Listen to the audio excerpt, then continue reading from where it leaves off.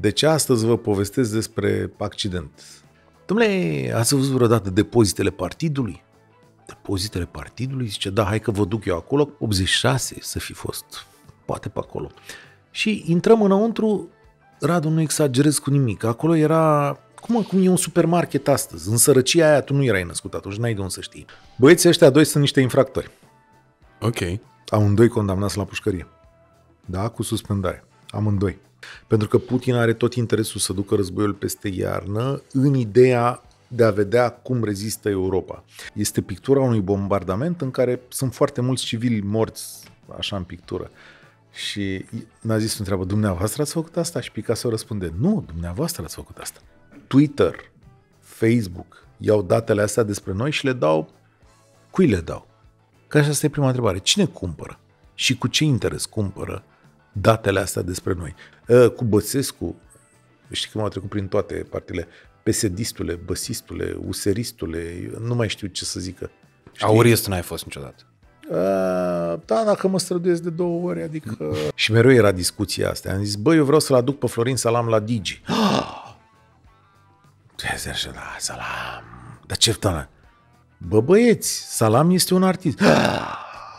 și drept când intru, Ana Maria Prodan era în mijlocul mesei și eu mă zic, what the fuck? Adică Ana Maria Prodan era celebră și atunci și acum și zic, bă, unde am nimerit noi? Ce suntem aici? Și ne-am așezat la masă, ni s-au dat două pahare de vin și la un moment dat, pe ușa de la bucătărie, apare Laurențiu Reghecamp împingând un cărucior cu mâncare. Concluzia e că Ultra. al lui Părintele Calistrat e mai perversă decât al lui cetățeanul Traian Băsescu. Și, și asta forță. Pentru cine nu știe sau află acum că, într-adevăr, chiar viața mea e în două ape din momentul ăla și unii oameni care mă știau atunci se uită într-un fel la mine, eu mă uit în alt fel. Uh, eu am avut un accident vascular cerebral, adică chestie foarte împuțită.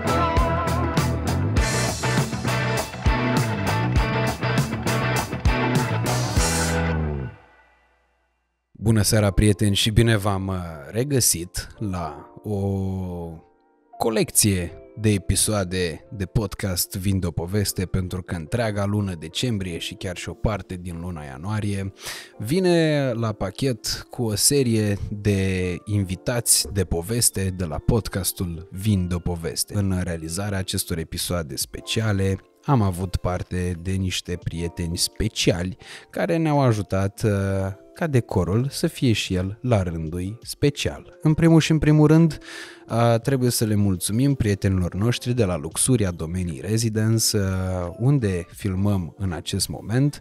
Acest decor reprezintă de fapt un penthouse aflat la etajul 11, este un duplex pe două etaje cu patru camere în mijlocul nordului Bucureștiului, în cartierul Domenii, în sectorul 1. Luxuria este un complex verde la standardele cele mai ridicate din acest punct de vedere vedere, cu peste 10.000 de metri pătrați de spațiu verde uh, și cu multe facilități uh, de ultimă generație, precum uh, supraveghere video 24 din 24, pază și securitate 24 din 24, parcare subterană uh, și sală de fitness și o poziționare, cum spuneam, extraordinară. Ei bine, pentru ca acest penthouse să se transforme în penthouse-ul lui Moș Crăciun, ne-au mai fost de ajutor prietenii de la împodobim.ro, care în mai puțin de 24 de ore au făcut această sufragerie sau acest living în termeni moderni să arate precum ambasada Crăciunului din România. Instagramul lor vine chiar aici. Să începem.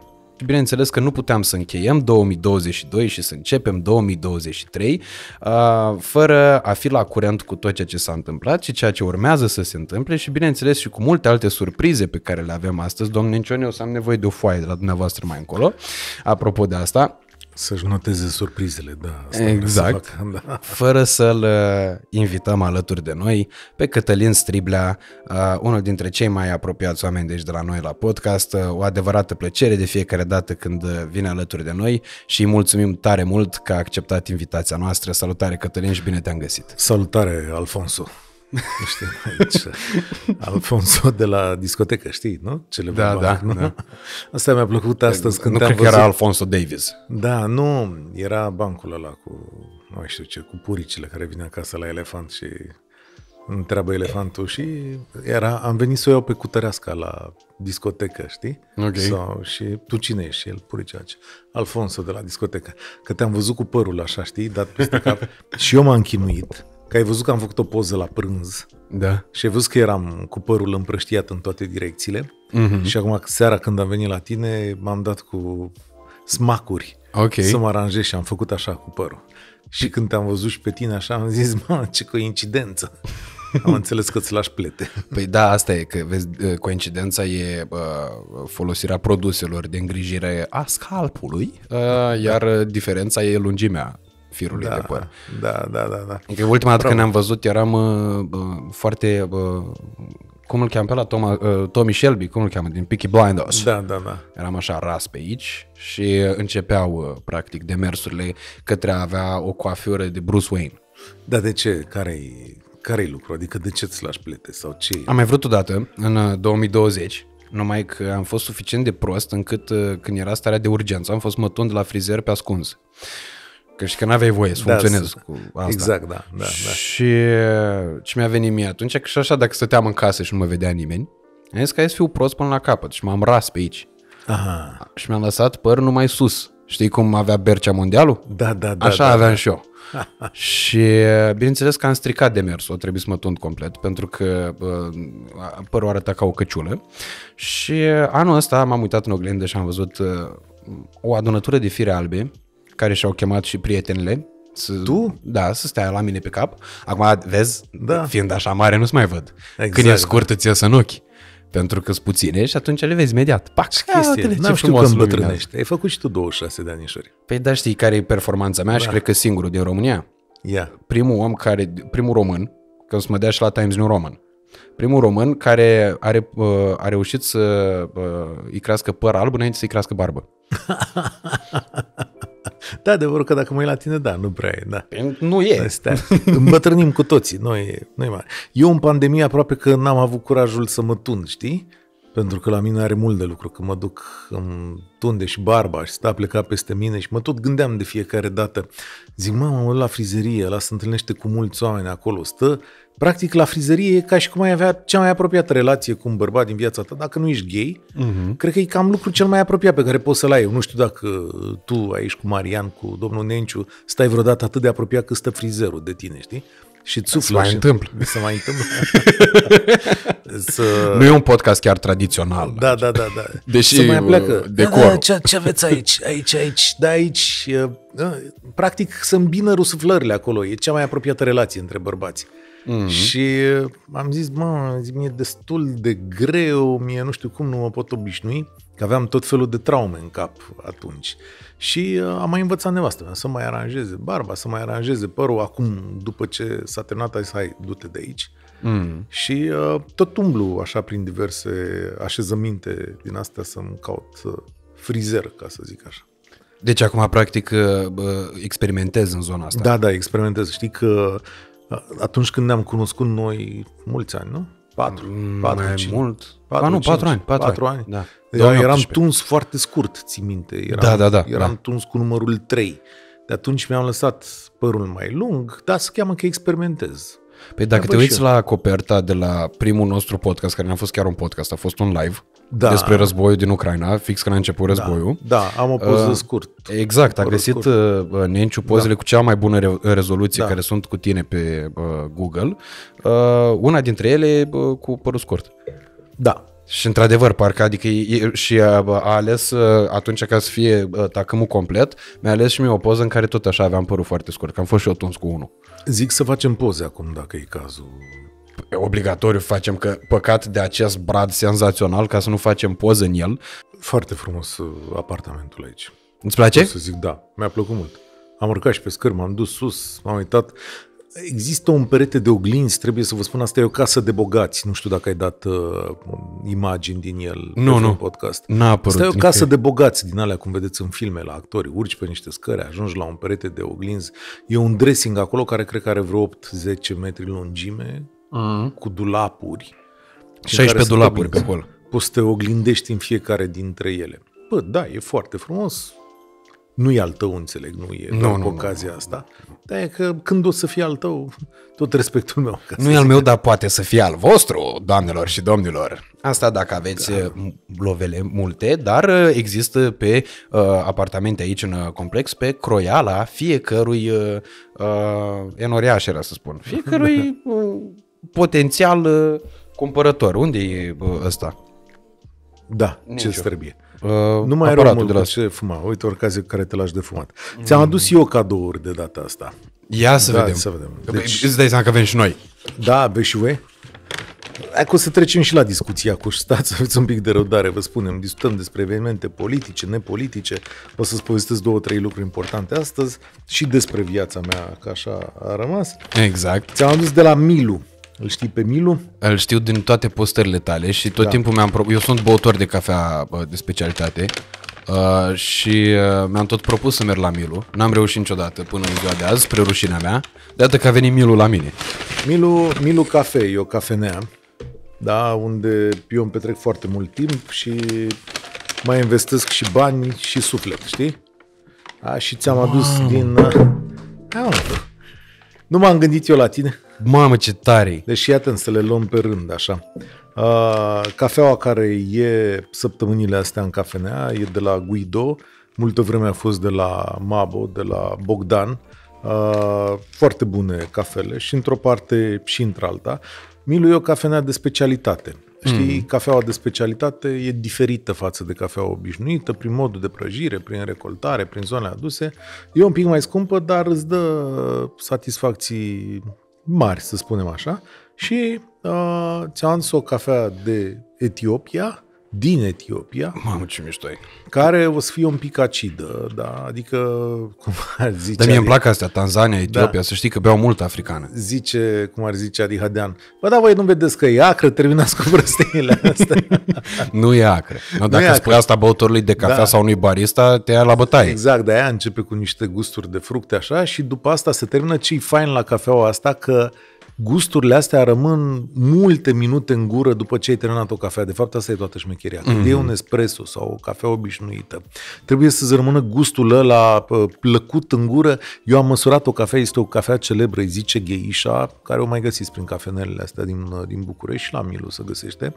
Și am măsurat odată, era de curiozitate. Post gustul la Geisha, deci gustul plăcut, aroma aceea rămasă în gură, a fost vreme de o oră și jumătate. Ceea ce e absolut formidabil. Deci Bine, asta când- dacă nu ești fumător. dacă nu ești fumător, dacă nu bei apă, dacă nu mănânci ceva după aia, bei o cafea și îți vezi de, de drumul tău. Și ți-am adus că Milu are sezonul ăsta de Crăciun, ți-am adus mă turtă dulce. Mamă, ce... Despre a, deci a, asta e, îți Da. dai seama, e uh, principala atracție. Uitați numai cât de șmecher poate să arate și cât Da. de uh, mișto e să faci branding așa cum trebuie, chiar dacă vorbim despre Da. o cafenea, nu vorbim de un lanț, nu vorbim de Ah, francize. nu, nu, nu. E, are pă, 30 de metri pătrați. Dar fii atent, care e povestea asta acolo? Eu îl știu pe Milu, Dan Milu, așa se numește, pă, amicul meu, uh, omul cu care am reconstruit treaba asta, îl știu de uh, 4-5 ani. Când am descoperit întâmplător cafeneaua lui, care atunci era prin spate pe la Cocor, prin zona aia. Ok. Și am intrat acolo, cafeaua foarte bună, personalitatea lui Milu era foarte interesantă, aia nu era mai mare, tot așa 30 de metri pătrați avea. Se petrecea un fenomen miraculos acolo, de câte ori mă duceam eu sâmbătă, era în felul următor. Oamenii intrau în vorbă, deși nu se știau unii pe alții. Spațiul ăla mic te obliga la lipsa intimității. Tu nu puteai să vii acolo, să avem noi o afacere, o chestiune, sau să fim despărțiți de ceilalți oameni. Nu trebuia să ne împărtășim poveștile. Trebuia să ne împărtășim istoriile, trebuia să întrebăm fiecare ce mai face. Cum... Oamenii începeau să se cunoască după o perioadă de timp. Unii erau actori, alții erau medici, unii lucrau în publicitate. Tot felul de oameni se adunau cu tot felul de idei și tot felul de proiecte, cu tot felul de schimburi, de cărți, de muzică și peste tot strona Milu care spunea poveștile lui, că el are o mie de povești nemuritoare din astea Când a venit pandemia, acolo s-a închis, adică nu poți să ții o cafenea din asta care e independentă într-o nenorocire din asta. S-a închis, uh, a căutat vreme de un an uh, un alt spațiu și s-a găsit acolo pe strada școalei, uh, cred că așa zice, da, strada școalei sau Nicolae Filipescu 52, un colț acolo, nu foarte departe de Magheru, unde s-a reconstruit totul, știi? Uh-huh. Și exact cu gândul ăsta – să ai un loc sau să aibă oamenii un loc unde să vină și să depășească barierele pe care un oraș mare ți le dă. Ți le dă. Să te uiți un, unul la altul și să vezi de la, la 3 metri de tine ce faci, uh, ce gândește, ce vrea. Și eu mă duc pe la fiecare și mă bag în seamă. Ce faceți? Ce vă aduceți aici? Uh, vin, vin străini acolo uh, și oamenii se uită. E cafeaua bună, locul e drăguț, intri în vorbă cu ei, ce gândesc despre România. Săptămânile trecute au venit niște fete din Canada și uh, îl țin minte pe Dan care a zis uh, și sunteți din Canada, nu? Deci asta s-a întâmplat în noiembrie, okay. am scăzuseră temperaturile și zis, da, dar de unde știi? Zice, a, tricoul pe care scrie Toronto și zice, nici vorbă, zice, sunteți singurele persoane de aici care sunt în tricou și geacă de piele. Nu zice, sunt 14 grade afară, la noi e frig. A, da, aveți dreptate.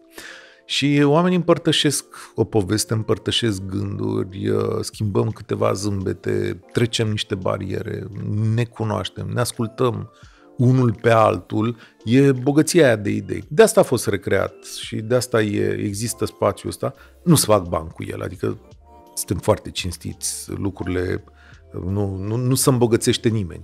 E un loc care merge. Uh-huh. Deci merge, își vede de viața lui, trăiește, creează, îi dă lui Dan, care e omul de afaceri, posibilitatea să aibă un business, un loc de muncă, să firesc și uh, celorlalți îl dă o respirație. Și m-am gândit să-ți aduc de acolo povestea asta. Să Bă, mi se pare foarte zi. mișto și mi se pare foarte fain branding în primul și în primul rând. Am observat chestia asta la uh, businessurile mici, uh, dar făcute cu pasiunea antreprenorului am observat faptul că de fiecare dată în momentul în care uh, oamenii care se ocupă de businessul respectiv investesc foarte mult uh, suflet în ceea ce fac, ies niște lucruri calitative extraordinare pe care nu ai să le vezi niciodată la uh, francize, de exemplu.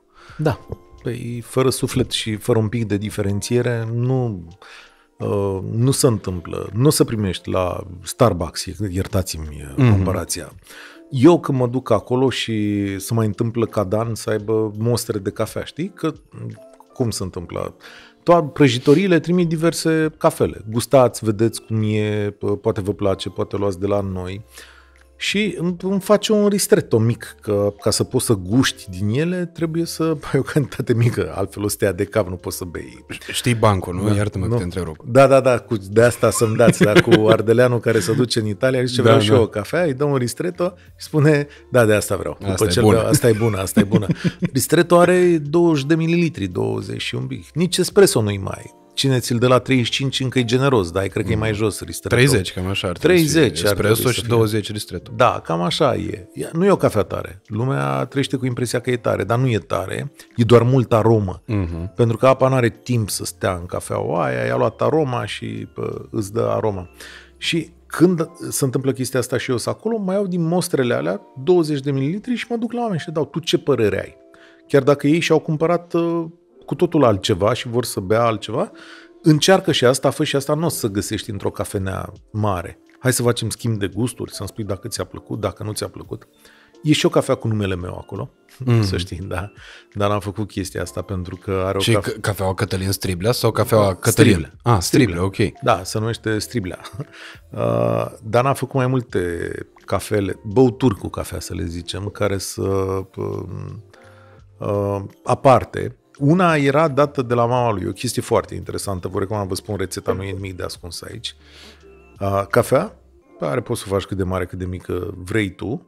Uh, lapte, da, făcut cum se face la espresor, da, adică frotat, cum spun ei, mm-hmm. încălzit așa, care se combină și înăuntru se pune sirop de trandafir, da? Okay. Pentru că mama lor, a fraților Milu, când erau copii, asta le făcea, dar nu cu cafea, că n-aveau voie cafea, le făcea cu cacao. Deci lapte cu cacao și cu sirop de trandafiri. Mm-hmm. Și era călduț dimineața, era plăcut înainte de a merge la școală și la, lui a rămas madlena asta, cum se spune, da? A rămas o madlenă și a zis, băi, eu o să fac o cafea, o băutură cu cafea, să nu zicem cafea, da? Cafea, lapte și uh, sirop de trandafiri. Și la mine, în a mea, este cafea, lapte și un sirop de soc, na, hai că n-am mai spus până acum, și cafeaua când, când se pune băutura asta, e în trei culori, știi? Are, okay. a, a, să, având densități diferite lichidele astea, se așează exact în trei culori, fiecare pe câte o treime de pahar. Laptele la frotat, siropul care se amestecă cu un pic de lapte uh-huh. și cafeaua care rămâne cumva un pic mai jos și când se prezintă arată foarte bine, foarte frumos. La Verona am băut dat o cafea da. de genul ăsta, se chema Ambrozia. Bine, nu avea bă, exact elementele da. astea, dar avea un sirop ceva îndulcitor. Da. Și într-adevăr, în momentul în care se așezau elementele alea, erau culorile pe etaje. Da, la... da, da, da.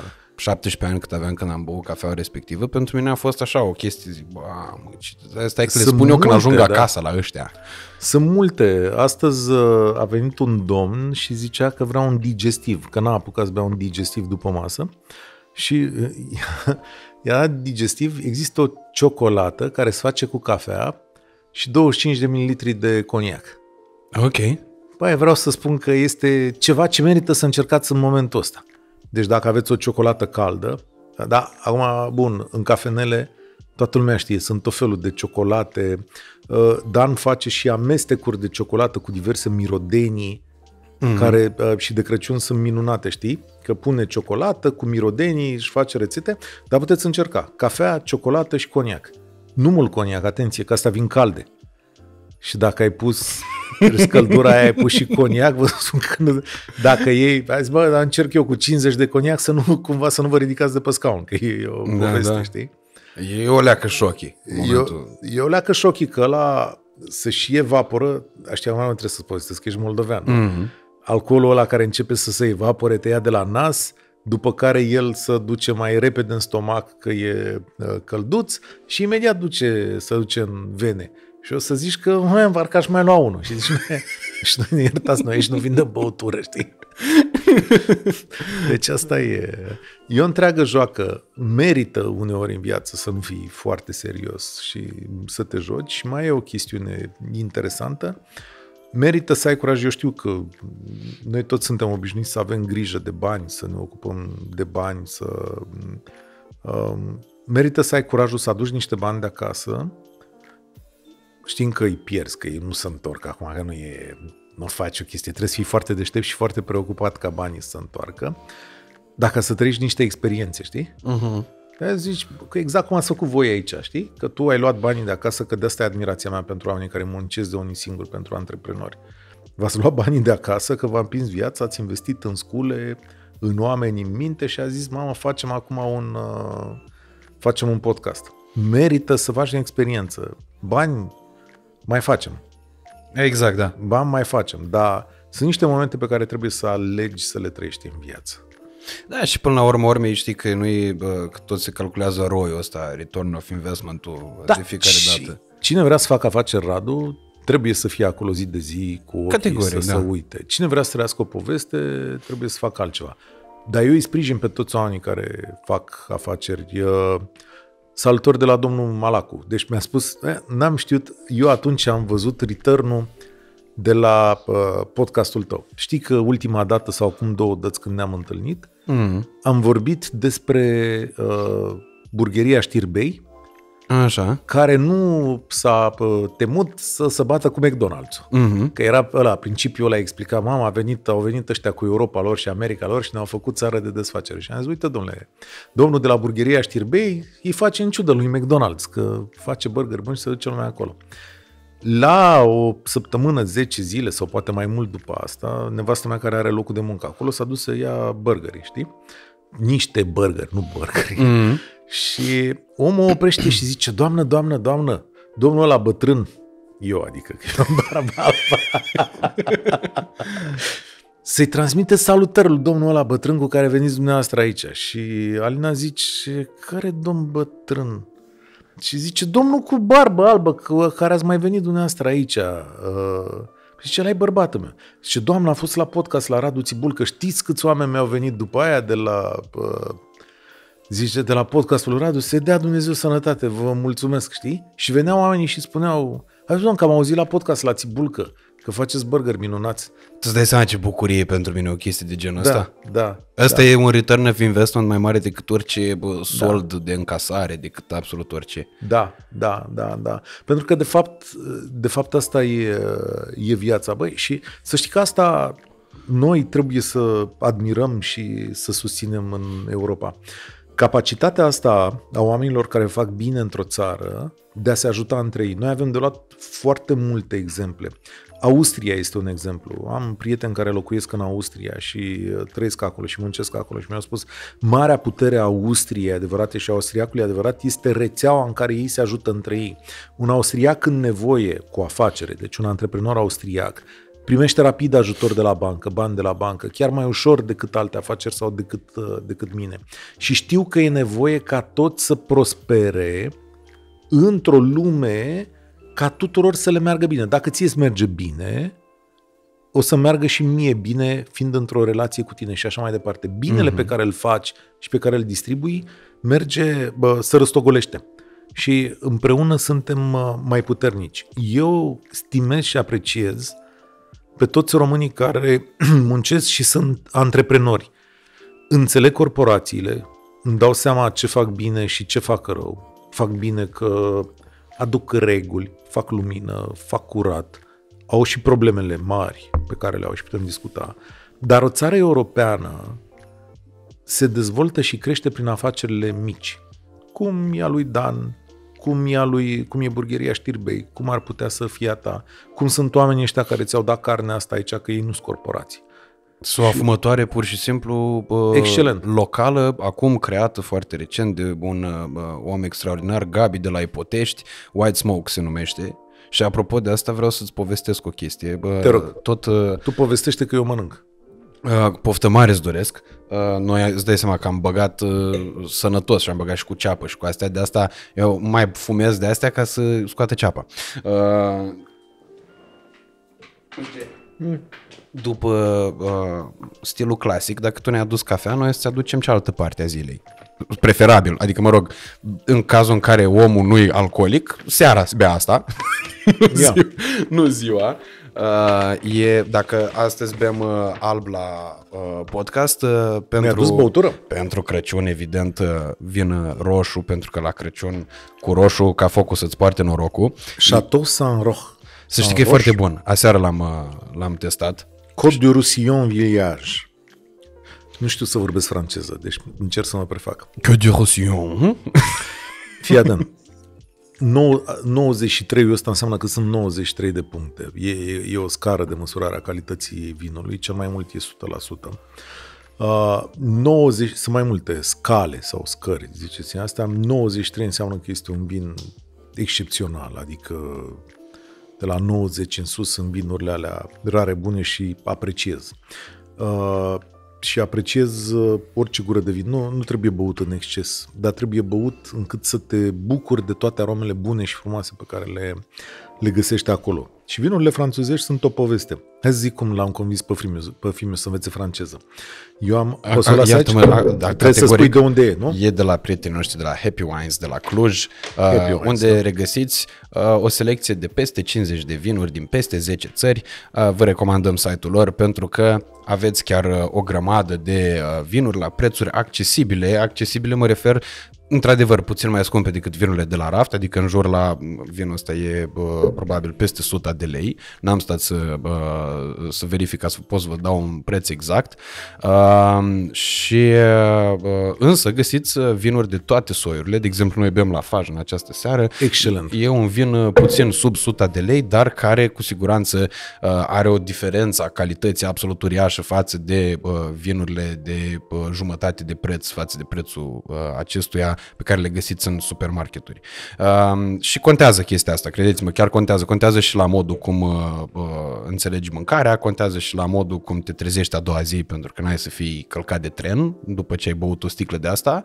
Uh, și eu zic că vorba uh, prea fericitului, dai un ban, dar nu ți-e greață. Știi care e faza? Nu trebuie să iei multe sticle din astea, adică nu trebuie să le bei pe toate, nu trebuie să le bei multe și atenție, nu trebuie să le bei neapărat când e cel mai bun moment din viața ta. De la părinții mei am văzut chestiunea asta, așa am fost crescut și cred că și la tine în casă a fost altfel, că n-are cum. Uh-huh. Tu le păstrăm aia pentru momentul ăla al vieții da, care trebuie, nu știu, trebuie să a luat copilul la facultate, e o bucurie, da, să însoară, să nu știu ce. Nu. Uh, eu, dintr-o întâmplare de asta, uh, mi-am dat seama că viața trebuie așezată altfel. Nevastă mea, într-o seară, am primit cadou de vârsta, de uh, ziua mea, nu mai știu dacă atunci când am făcut 40 sau 45, chiar nu mai știu. Am primit un armaniac, cred că era de 40 de ani, știi? Uh-huh. Și într-o marți seara, Alina a venit și a zis, hai să bem ceva. Mare, zis, da. Am zis, da, dar n-am fost atent, știi? Sticla era acolo și Alina a desfăcut-o și a pus în pare foarte bun. Și zic, chiar te felicit. Zic, eu marți seara și l-am desfăcut pe ăsta de 40 de ani. Și ea s-a îngălbenit și a zis, ah, cum ăla care trebuia? Zic, nu trebuia nimic. Uh-huh. Ăla e momentul. Zic, bucură-te acum. Că eu marți seara, zic, viața se întâmplă și marți seara nu numai sâmbătă, nu numai vinerea, nu numai duminica, nu numai atunci când îți cresc copiii, ci în ziua aia în care poți să te întâlnești cu cineva drag și desfaci vinul ăla pe care îl ții de multă vreme sau mănânci ciocolata aia. Noi, de la, de la părinții mei, deci mama săraca a ținut în bar, ca așa era, sau ce era acolo, o pungă cu cacao, nu ți-am povestit asta, sper să nu mă nu, repet. Nu, A ținut o pungă cu cacao olandeză vreme de un an de zile, pe vremea lui Ceaușescu. Ok. Noi am fost, uh, tata era pompier și mm-hmm. într-una din verile 86-87, ce puteai să faci în țara aia din care nu putea să plece nimeni? Am făcut un tur al României cu mașina. Și primul nostru drum am plecat de la Vaslui la Roman, după care trebuia să ne ducem la lacul Bicaz, după care nu știu unde. Uh, și la Roman când ne-am oprit, tata fiind pompier, se întâlnește cu un alt cunoscut de-a lui pompier și el zice Dom'le, ați văzut vreodată depozitele partidului? depozitele partidului, zice, da, hai că vă duc eu acolo. Pompierii aveau acces pentru că chipurile verificau PSI, adică mă da, da. știau aia. 86 să fi fost, poate pe acolo. Și intrăm înăuntru, Radu, nu exagerez cu nimic. Acolo era, cum, cum e un supermarket astăzi. În sărăcia aia tu nu erai născut atunci, n-ai de unde să știi. No, da, în e... magazinele din România găseai doar mazăre, niște borcane cu mazăre, eventual niște sticle de vin, dar nu le găseai de ăștia vietnamezi, de ăștia din alea, chipsuri din alea vietnameze, creveți, mm-hmm. le spunea lumea, și în rest nimic. Cozile erau la lapte, la pâine, bă, nu găseai nimic, nimic. Și intrai deodată într-un loc care arăta cu niște rafturi ca un supermarket. Ok. Și omul ăla le-a zis alor mei, zice, bă, aveți bani? Puteți să luați ce vreți voi. Și mi-a zis, cum puteți să luăm? Tot ce vreți voi. Zice, am intrat aici. Făcea, haideți doamna Striblea, luați-vă o blană. Păi, ai, ai mei n-aveau bani, adică ai mei erau, tata era pompier, mama era proiectant împreună, dacă câștigau 5.000 de lei pe daci, 5.000, nu cred că îi câștigau 5.000, mai puțin de 5.000 de lei pe lună. Și ea spunea, luați-vă o blană, doamnă, e numai 7.000 acum. Și zice, dar noi nu avem bani de ăștia, dar luați-vă televizor. Făcea, luați-vă televizor, că erau televizoare color, dar nu putem, dar nu știu ce. Și am plecat cu niște cacaturi, cum ar veni. Mm-hmm. Și Două lucruri le rețin, poate că au luat mai multe, dar două lucruri am să le rețin. În primul rând, ciocolată Mars. Ok. Aia, aia, aia, ciocolată Mars, da? Din care mama a reușit să-mi dea o săptămână, pentru că a luat o ciocolată Mars și o tăiam cu cuțitul, deci asta era mai, era mai mică decât telefonul. Și o tăia câte o bucățică, așa, știi? și îmi dădea azi o bucățică, mâine îmi dădea o bucățică. Ăla a fost primul Mars din viața mea. M-a ținut o săptămână. Mamă, fascinant. Da, așa, așa arăta lumea atunci. Și mi-am dat. Și lor în casă și au luat această pungă de cacao, care probabil că era o cacao banală din dracu soia de unde era, era o pungă foarte frumoasă. Înțelegi? Okay. Chiar o pungă foarte frumoasă de un kil cu niște cacao pe ea, cu niște fotografii, cu cineva care pregătea o prăjitură, o chestie de asta. Ba, asta cacao aia, deci mai... A expirat. Nu stă, da, cred că fie expirat de stătea acolo și uh, eu eram lapte cu cacao Ah, nu, asta e pentru pf, ceva, era o chestie deosebită, adică, bă, a stat aia acolo, o țin minte că stau multă vreme acolo. Deci alea erau vremurile și de atunci noi avem chestia asta și eu am avut o multă vreme. E, vinul ăsta... Nu-l desfacem Nu-l astăzi. desfacem astăzi. Săracul socrul meu, Dumnezeu să-l ierte, că acum când înregistrăm să fac 2 ani de la moartea lui, Dumnezeu să-l ierte. Uh, socrul meu, ce să mai, e un băiat extraordinar și n-a dus. Adică băutor, dar numai vin făcut la el în casă, bun, atent și așa mai departe. Și acum îmi pare rău de el, după ce a murit și ne-am dus noi la mormântare și asta, o sticlă de asta cu un vin bun. O avea săracul în casă, știi, nedesfăcută, știi? Și lui i-a plăcut vinul, adică nu, nu trebuie să ne ascundem. Lui socru mi-a plăcut vinul, i-a plăcut vinul bun. Și mă uitam la sticla aia, că m-am întors de la mormântare așa, și mă uitam la sticla aia care era pusă în bibliotecă, știi cum se pune. Și am zis, mă, uite, firarea dracu de viață, zic, Tony, nea Tony, zic, n-a apucat să uita la sticla aia cu vin bun, de ce nu o fi băut-o, mă, el când a... Că acum am desfăcut-o noi acolo. Am desfăcut-o noi, am luat-o și am zis, bă, hai să o desfacem. Că de acum la el s-a dus măcar să o bem în amintirea lui, pentru că nu, să nu mă înțelegi că e vreun îndemn la risipă sau vreo mm-hmm. nenorocire de genul ăsta sau că trebuie să faci în viață tot ce tre- trece prin cap. Dar uneori trebuie să ai momentul să zici, bă, Asta e, dar eu vezi că uh, moștenirea asta uh, a economiei dusă la extrem, că uh, să nu, să nu se înțeleagă economia, e ok să faci economie, mai ales în e vremurile să fii astea. cumpătat în viața astea, da. Dar uh, e dus la extrem, știi? Și o văd în fiecare uh, interacțiune pe care o am cu taică meu. Uh, anul trecut, spre exemplu, de Crăciun, neavând nici foarte multă inspirație, nici știind exact ce și-ar fi dorit el, am cumpărat un parfum pe care îl mirosisem eu când uh, uh, s-au căsătorit niște prieteni de-ai mei, el german, din părinți români, dar născuți în Germania, ea uh, româncă, sora lui Măciuc. Și la uh, Düsseldorf, acolo, la primărie unde s-a făcut căsătoria, mirosea a parfumul respectiv. Și atunci mie mi-a rămas în cap imaginea aia. Era mirosul pe care îl asociam eu cu Düsseldorf, cu uh, Mercedes-urile negre care aduceau oameni acolo, cu uh, oamenii care ieșeau din sedii de bancă, îmbrăcați frumos, ferchezuiți, eleganți. Și îmi rămăsese în cap uh, mirosul ăla de parfum. Eu pot să-l și spun. Eu, bă, Atkinson se cheamă uh, Wood Save the King și e și varianta pentru femei. Uh, uh, Would Save the Queen. Would Save the Queen, yeah. Of course. Um, yeah. și uh, m-am dus am luat lui taică parfumul respectiv. Nu e un parfum extraordinar de scump, dar e peste medie, mult peste medie. Eu l-am vrut 200 de euro. Uh, eu l-am dat, s-a uitat el la el așa, încă îl păstrează în cutie. Și ca Da, să ne da, înțelegem, da, da, da, da. încă îl ține în cutie, se dă cu el numai la ocaziile speciale.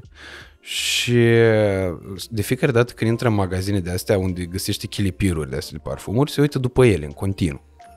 Și am zis, bă, tata, ai parfum. Adică, nu știu, mai ești primind, fiind mm-hmm. bărbat, de obicei primești multe parfumuri. Că e ziua ta, lumea asta îți cumpără. Ori de băut, ori de parfumat. Uh, adică ai parfumuri, o grămadă, la ce să mai trebuie alea? Zic, las că cu astea să mă dau când mă duc la serviciu, cu alea mă dau când am ceva, o ocazie mai specială. Și zic, păi tată, păi ocazie specială poate fi în fiecare zi până la urmă. urmă. Da. Ironia sorții, știi care e? Că am stat toată luna august la Iași. Eu nu mi-am mai cumpărat eu parfumul ăla pentru Te-ai faptul dat. că am zis că, na, dacă l-are taică nu să nu avem același parfum. M-am dat în continuu cu el. Te-ai dat de la taică tot, corect. Am fost acum la ziua lui Nu mai avea?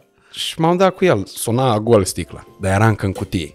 Încă în cutie, pusă în dulap frumos securizată. Și atunci mă gândeam, zic, bă, băiatule, totuși omul ăsta, eu i-am dat cadou ăsta. El s-a bucurat când l-a primit. S-a bucurat că era de la mine. Dar el nu s-a dat cu el, cred că decât vreo 3-4 ori în total, într-un an de zile. Ia că e Crăciunul 2022 și nu... Parfumul ăla a fost executat de către mine în incursiunile mele pe la Iași, nu de către posesor. Când ai uh, podcastul ăsta? Uh, sfârșit, ultima săptămână din decembrie sau prima din ianuarie, încă nu suntem hotărâți ce dată este astăzi. Uh, noi când ne înregistrăm o să fim foarte fair. E 20, uh, nu, e 19 noiembrie, e 20 în câteva ore. Uh, și se întâmplă lucruri în uh, timpul ăsta, că mi-a trimis uh, domnul Marian o chestie Ia. foarte faină pe care... Începem? Uh, da, vreau să ți-o arăt neapărat. Ok. Zice așa. Ia. Am citit gluma. Trebuie să explic acum. Ia, hai, zi. Ai zis de sticla uh, socrului pe care îl chema Tony. Da. Colegii mei de la trei chestii la un moment dat, după ce nu se mai făcea serialul Moldoveni, au făcut ei un serial pe net. Când ne-am apucat noi de podcast. Se chema 40 de zile. Și era vorba despre un om mort, Tony, Așa. care umbla fantoma lui timp de 40 de zile. trimis. Nici acum da. îți putea să mai bea cu Tony, că mai aveau 40 de zile la dispoziție. Fiți atenți ce se întâmplă exact în momentul ăsta în care noi vorbim. Victory is a state of mind, a long tradition of crafting trunks photogra- photographed by... An- cine e ăsta? Annie Leibovitz for Louis Vuitton. Reclamă la Louis Vuitton, doamnelor și domnilor, joacă șah Cristiano Ronaldo cu Messi. Nu cred. Să fac pielea de găină, jur. Băieții ăștia doi joacă șah? Pe o tablă lui Vuitton. Așa, gata, că îmi suna cunoscut numele de pe undeva. Deci stai așa, deci e o reclamă la Louis Vuitton, sau cum să pronunțăm în hai zi? Louis Vuitton. Louis Vuitton, așa? Cristiano Ronaldo și Messi fotografiați de legendara Annie Leibovitz. Annie Leibovitz sau Annie Leibovitz e una dintre cele mai, cele mai fotografe da, ale lumii. Acum, între timp, poate s-a săvârșit și Cupa Mondială, cred că s-a săvârșit când Da, s-a da, terminat da. la noi. Știm cine a câștigat. Uh, vrei să te asociezi întrebarea? Uh, în primul rând, hai, hai, hai să zicem niște lucruri. Gata, începem? Mhm. Începem, da? Bine, hai să începem. Băieții ăștia doi sunt niște infractori. Ok. Amândoi condamnați la pușcărie. Da, cu suspendare. Amândoi. Uh, Ronaldo în ce caz? Că nu știu. Amândoi neplata taxelor în Spania. Așa, da, da, Amândoi, gata. fiecare câte 2 ani de, de închisoare. În reclama asta nu se vede. 2 ani cu suspendare a luat fiecare dintre ei pentru neplata taxelor. Lumina pare cam de închisoare. Pare că, Dacă pare te că uiți. sunt celulă, uh, după care te uiți. Am niște amendamente la, la povestea asta. Uite, ia telefonul. Uh, Deci, în primul rând... 5 uh, milioane de like-uri în 34 de minute. Eu uh, sunt ok, adică înțeleg că nu e musai vina lor, cel puțin în cazul lui Messi, despre care aș pune mâna în foc că habar n-are ce în taxe, finanțe, pe Cristiano îl văd mai aplicat. Dar pe Messi, uh, în taxe, finanțe, afaceri, cred din tot ce am citit că este pur și simplu dezinteresat. Adică e treaba familiei lui. Dar una peste alta, când semnezi, aia e. Oamenii ăștia sunt condamnați la închisoare pentru că n-au plătit 14-15 milioane de euro din sutele de milioane de euro pe care le-au câștigat. Odată mesajul e că, băi, se fac foarte mulți bani în industriile astea. Aveți măcar grijă să plătiți exact atât cât trebuie. Pentru că de la un milion, două, trei în sus, nu, nu mai e atât de... nu mai e nicio diferență. Doi la mână, în ce îl privește pe Messi, înțeleg că trebuie plătit și trebuie plătit la adevărata lui valoare. Dar un contract de 500 de milioane de euro pentru 4 ani cât a semnat el la Barcelona este obscen. Uh, mai ales că Barcelona era un club falimentar. Să pleci pentru că nu mai poți să primești, nu știu cât, 20-30 de milioane de euro pe sezon de la clubul pentru care tu reprezinți totul și care reprezintă totul pentru tine, pentru mine iarăși este de neînțeles. Eu nu cred că Messi, în momentul în care a plecat de la Barcelona, avea vreo, cum să zic, vreo problemă de natură financiară. Înțeleg că trebuie să câștigi bani. Trebuie să câștigi bani. Asta, cu asta sunt de acord. Cât trebuie să câștigi e deja o chestiune de moralitate în fotbal. Cine plătește biletul acolo? O populație întreagă de pe întreaga planetă pentru care 100 de euro reprezintă foarte, foarte, foarte mult. Din punctul meu de vedere, Messi ar fi putut să facă mai mult pentru clubul care i-a dat totul și care l-a făcut. În privința lui Cristiano Ronaldo, admir foarte mult capacitatea lui de a munci. Uh, Messi e mai talentat decât Ronaldo. Mm-hmm. Ronaldo este un tip care s-a creat prin, prin muncă și o ambiție absolut extraordinară, supraomenească. Tot ceea ce îi se întâmplă în ultima vreme este legat de ambiția lui. Ambiția de a fi, de a deveni, de a bate recorduri, ambiția de a fi cel mai mare și poate că e cel mai mare, adică rar să mai fi văzut asemenea jucători pe, pe pământ. Cred că sunt absolut unici, nu știu cine vine după ei. Uh, ce nu mi-a plăcut este modul în care a îmbătrânit Cristiano Ronaldo, fără grație.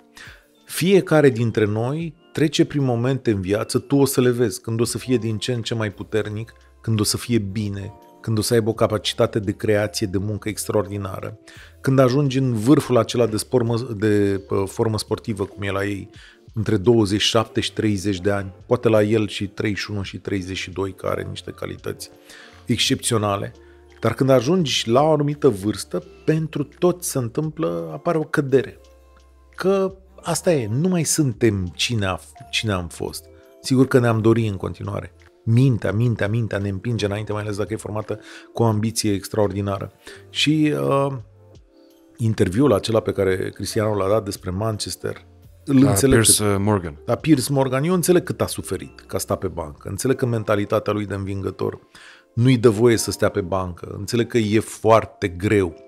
Dar în același timp, fiecare trebuie să vedem că la un moment dat rolul nostru în viață se schimbă. Așa cum se schimbă și rolul lui. Pentru că el nu mai putea să îndeplinească fizic ceea ce îi cere sportul ăsta la nivelul cel mai înalt. Mm-hmm. Întotdeauna când se joacă cu Cristiano în teren, se joacă 10 plus 1. Cristiano nu poate să facă pressingul cerut de lumea actuală a fotbalului. Și mi-aș fi dorit pentru el să îmbătrânească mai cu grație. Da? Adică acceptând faptul că de acum are alt rol de mentor, de povățuitor, de om care îți dă sfaturi, de uh, om care muncește alături de tine să te învețe. E momentul în care trebuie să transmită gloria către alte, către alte persoane. Așa mi-aș fi dorit eu. Nu zic că am dreptate. Că Ce da. crezi că o să se întâmple cu uh, uh, Ronaldo și Naționala Portugaliei? Crezi că o să fie un uh, scenariu asemănător uh, a ceea ce s-a întâmplat la United sau o să fie uh, poate o chestiune în care uh, selecționerul Portugaliei să-și dea seama că nu e de riscat cu el în teren? Da, noi vorbim cu o zi înainte de a, De a începe asta, campionatul, da. Uh, o să râdem când ne uităm la înregistrare, că de asta e frumos fotbalul, știi? Mhm. Mm-hmm. Că dacă aș ști să zic acum, precum caracatița aia, Paul. Cine, cine o să fie, m-aș duce la pariuri. Uh, ai văzut că meciuri de pregătire a jucat fără el, știi? Mm-hmm. Portugalia e o echipă serioasă, e o echipă tare. Foarte bună. Foarte bună. E o echipă care are și alți jucători în afară de, de Cristiano. Uh, dar nu o cotez cu șanse la titlul mondial. Eu cred că alegerea se face între Argentina și Brazilia de data asta. Dar mai sunt acolo Germania, Spania, sigur și Portugalia oricând. Belgia, care e o echipă cu o generație foarte talentată. Nu știu, mi-aș, mi-aș dori, dar cred că, sincer, dacă aș avea o bucurie, dacă ar fi să... Mi-ar plăcea ca Messi, la finalul carierei lui, să aibă titlul mondial, nu pentru că o să-l aducă el în situația asta, echipa Argentinii are niște jucători acolo, e ceva senzațional. Cristiano are un titlu european, care e un titlu mare, fără el pe teren. Reții? Da, că n-a Da, da, fost- bine, fără el pe teren doar în finală. Doar în finală, da. da. În rest, el a târâit echipa până acum. A adus-o, a adus-o până acolo, e adevărat. Cristiano are un titlu mare, mi-ar plăcea ca Messi să aibă această cupă mondială, alta nu o să mai, nu o să mai prindă. Ar fi o poveste frumos de spus. Frumoasă Mhm. mm-hmm. în sine. Bine, așa m-aș gândi și la Benzema că l-ar merita. Având în vedere că el n-a, n-a, N-a fost prins. convocat în 2018, era în scandalul cu Valbuena, cu... Vezi ce înseamnă o nație care respectă anumite valori și principii? Uh, pentru ce a făcut Benzema, a pierdut cel mai important lucru din viața lui, Cupa Mondială, adică pentru că a fost condamnat, pentru că a făcut o greșeală față de un coleg, federația nu l-a chemat vreme decât aproape 10 ani, mm-hmm. cred că 10 ani. După care, ca în orice lume, se consideră pedeapsa ispășită și atunci au spus, poți să te întorci. Se va întoarce cu succes acum? Sigur, Franța e redutabilă. Nu știu, poate să păstreze titlul. Ar fi o premieră, nu? Cred că nu e nicio echipă care și-a păstrat titlul. Oare Brazilia să fi păstrat vreodată? Cred că pe vremea lui Pele, dacă nu, Nu, dacă nu mă înșel, nu vreau să greșesc. 66, 70, s-ar, nu, 66 Anglia, 70 Anglia a fost. Brazilia, 74 Germania, 78 Argentina, 82 Sau Uruguay n-a câștigat de două ori? ba la da, da, început? odată în 1930 și odată Nu știu dacă n-au fost consecutive. Nu, nu, nu știu să spun. Aici Da. da. să ne ierte Cătălin Oprișan. Zi, Mariane, când? Da, da, da.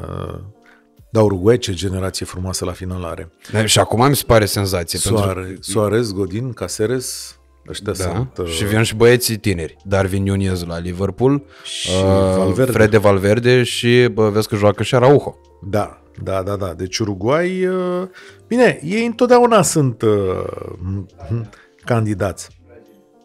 Ce zici, că Brazilia a păstrat un titlu? Da? Și Italia. Sunt duble campioane, dar nu că le-au luat unele după altele. Nu, Italia are patru titluri. Și Brazilia 5.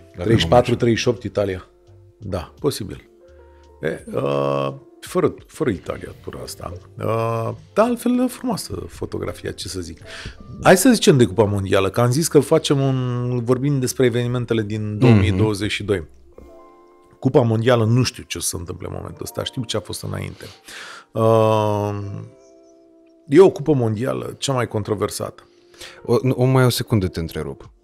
Eu pornesc de la premiza faptului că astăzi, 19 noiembrie, când noi înregistrăm, da. uh, efectiv, nu uh, știam exact și îmi scăpase complet din vedere faptul că mâine începe Cupa Mondială. În mod normal, o Cupă Mondială, eu așteptam patru ani. Atâta, atâta aștepți pentru ea. Au trecut. De data asta, efectiv, am uitat că mâine începe campionatul mondial. Nu e foarte mult marketing, spre deosebire de alte dăți, nici pe străzi, nici pe online. De ce? Pentru că este foarte greu corporațiilor să, să se asocieze, cu... să se asocieze cu această cupă, cupă mondială, mai ales în Europa Occidentală, care este și în Statele Unite, care sunt motoarele marketingului și generării de bani. Cupa mondială din Qatar e controversată. Catarezii au plătit șpăgi imense ca această cupă să ajungă la ei într-o perioadă complet nepotrivită a anului din punct de vedere al calendarului creștin, că poate pentru calendarul musulman se potrivește foarte bine, dar pentru lumea clasică nu se potrivește deloc. Fotbalul mare s-a oprit ca să facă loc cupei mondiale într-o perioadă ciudată, da? Și s-a făcut acest lucru prin corupție, adică asta e demonstrat da, există nu numai documentare, dar există Are recunoscut o plată. Da. Deci a fost corupție, da? S-au plătit. Și de ce? Ca să aducă un miliard de dolari în plus. Ăsta e prețul. Asta e diferența dintre o cupă mondială obișnuită și această cupă mondială. Un miliard de dolari în plus. E o sumă mare. E, în condițiile astea de corupție, catarezii au mai făcut și altceva. Ca să pregătească cupa mondială, pur și simplu au instituit un sistem de sclavie acolo, în care se presupune că 6500 de oameni de lucrători din Asia de Sud, sri lankezi în special, ar fi murit acolo în condiții improprii și asta e o problemă pentru lumea occidentală civilizată. De asta corporațiilor le este foarte greu să se asocieze pentru că sunt automat întrebate dar ce faceți, promovați ceva care nu respectă drepturile omului și doi la mână există această atitudine legată de persoanele homosexuale, da?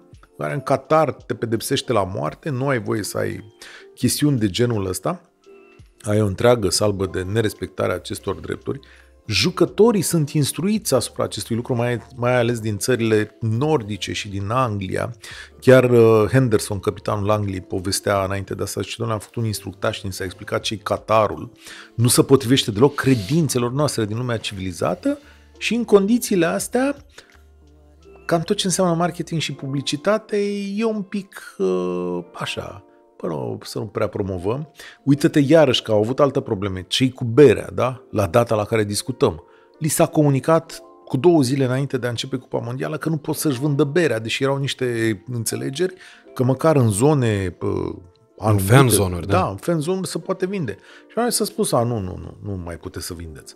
Asta e o problemă, cum să zic, și de înțelegere între oameni, ca și cum noi am bate palma, tu accepti un lucru și îmi comunici după ce am venit cu jucăriile în curtea ta, a nu că mă sucesc aici. Uh-huh. Qatarul va avea o problemă din punctul ăsta de vedere.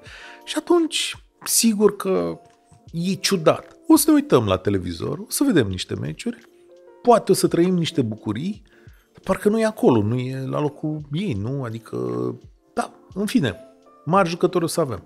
Să ne bucurăm, zic, despre, nu îndrăznesc un pronostic, dar poate așa unul să râdă lumea de mine, știi? Deci tu, zic, tu mizezi pe Argentina sau pe Brazilia? Da, hai zicem, când s-o difuza la 10 zile după terminarea Cupei Mondiale, eu aș zice Argentina sau Brazilia. Da, aș spera că Argentina. Ok. Da. Brazilia mi se pare mai, uh, mai bună pe foaie decât uh, Argentina. Este, este. Dar uh, așa, na, pe foaie cel mai bine mi se pare că stă Anglia.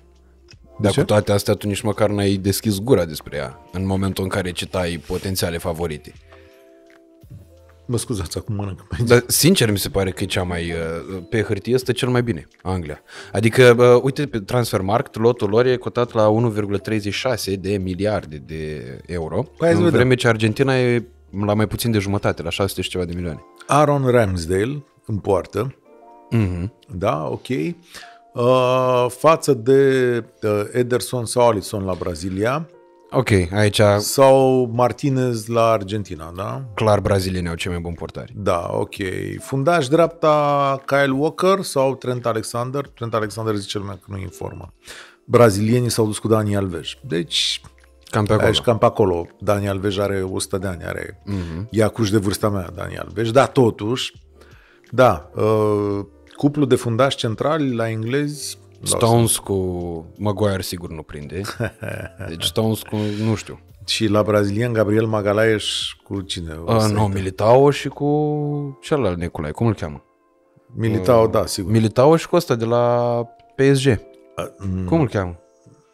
Marquinhos. Marquinhos. Marquinhos, da. Ala e și pe Thiago, stai să nu uiți. Și Thiago, da, da, Deci bine, clar Thiago că- tot e bunic acolo. Uh, deci e clar că Brazilia are fundaș central peste, da? Da, dar vine stânga, Chilwell. Uh, nu e accidentat Ben Chilwell? Nu joacă, e convocat. Da? Da, și Chilwell și mai au uh, o piesă foarte puternică acolo, nu mai, nu mai țin minte Da, despre ar cine trebui vorba. să ne uităm pe... Da, uh, În schimb vin Bukayo Saka, după aia ăștia grei, uh, Jude Bellingham, uh, și Keane în față. Sancho, da, Kane. Uh, Kane, da. Bun, dar dacă nu merg la Brazilia, te umflă râsul. Deci nici n-au mai luat mijlocași brazilieni, i-au luat pe Fabinho și pe Casemiro. Au zis, bă, hai să avem și noi doi mijlocași. Și în rest îi luăm pe toți ăștia, că n-ai cum să ai. Nouă atacanți. Da, pentru că cel mai probabil mulți vor juca în, uh, vor face și faza de, de mijloc. Deci, dacă e să avem eveniment, Cupa Mondială va fi unul dintre evenimentele anului 2022. Bine, an 2022, care se încheie după foarte multe evenimente. Uh, Da. Principalul războiul. Tu ne-ai spus uh, aici încă din vară că războiul va mai dura. Mhm. Când uh, multă lume spera că e cam pe uh, terminate. Să mai senzația zic mai mea, departe. da, senzația mea e că și acum e pe terminate. Adică asta e senzația mea de jumătate de an. Dar asta știi cum e? Bă, eu mă raportez la războiul ăsta cum te raportezi tu la Argentina să câștige, că-ți dorești, mm. știi, să câștige campionatul mondial. Da, da, da, corect. Și atunci ți se pare Martinez comparabil cu Ederson și cu ălălalt. uh, Mai, Alisson. dacă joci uh, pe ăsta Fantasy Premier League, o să vezi că Martinez e unul dintre cei mai bine cotați portari. Că Ah, eu, ok. da, eu am mai jucat sezonul ăsta, n-am mai, n-am mai avut răbdare să joc, dar pe la FPL Martinez era foarte bine. Uh, hai, vorbim cu războiul? Da. Gata. Bine. Ți-am zis în uh, în 2022 că o să dureze. O să dureze și în 2023. Nu arată bine acolo, mai ales pentru că, în ciuda faptului că Europa dă un mesaj acolo de unitate, de fapt europenilor le este foarte, foarte greu. Multora dintre europeni, multora dintre... și concetățenilor noștri le este foarte greu. Uh, e un test de încredere pentru toată lumea și asta ce face și asta face Putin. Ne dă un test de stres, cum să cheamă, adică în orice caz acțiuni militare, ofensive și contraofensive vor avea loc întreaga iarnă, pentru că Putin are tot interesul să ducă războiul peste iarnă în ideea de a vedea cum rezistă Europa. Europa cu prețuri foarte mari la gaz, la căldură, la electricitate, cu lipsa acestor produse și atunci Putin vine și spune ia să vă mă cum vă descurcați fără astea de bile livrez eu.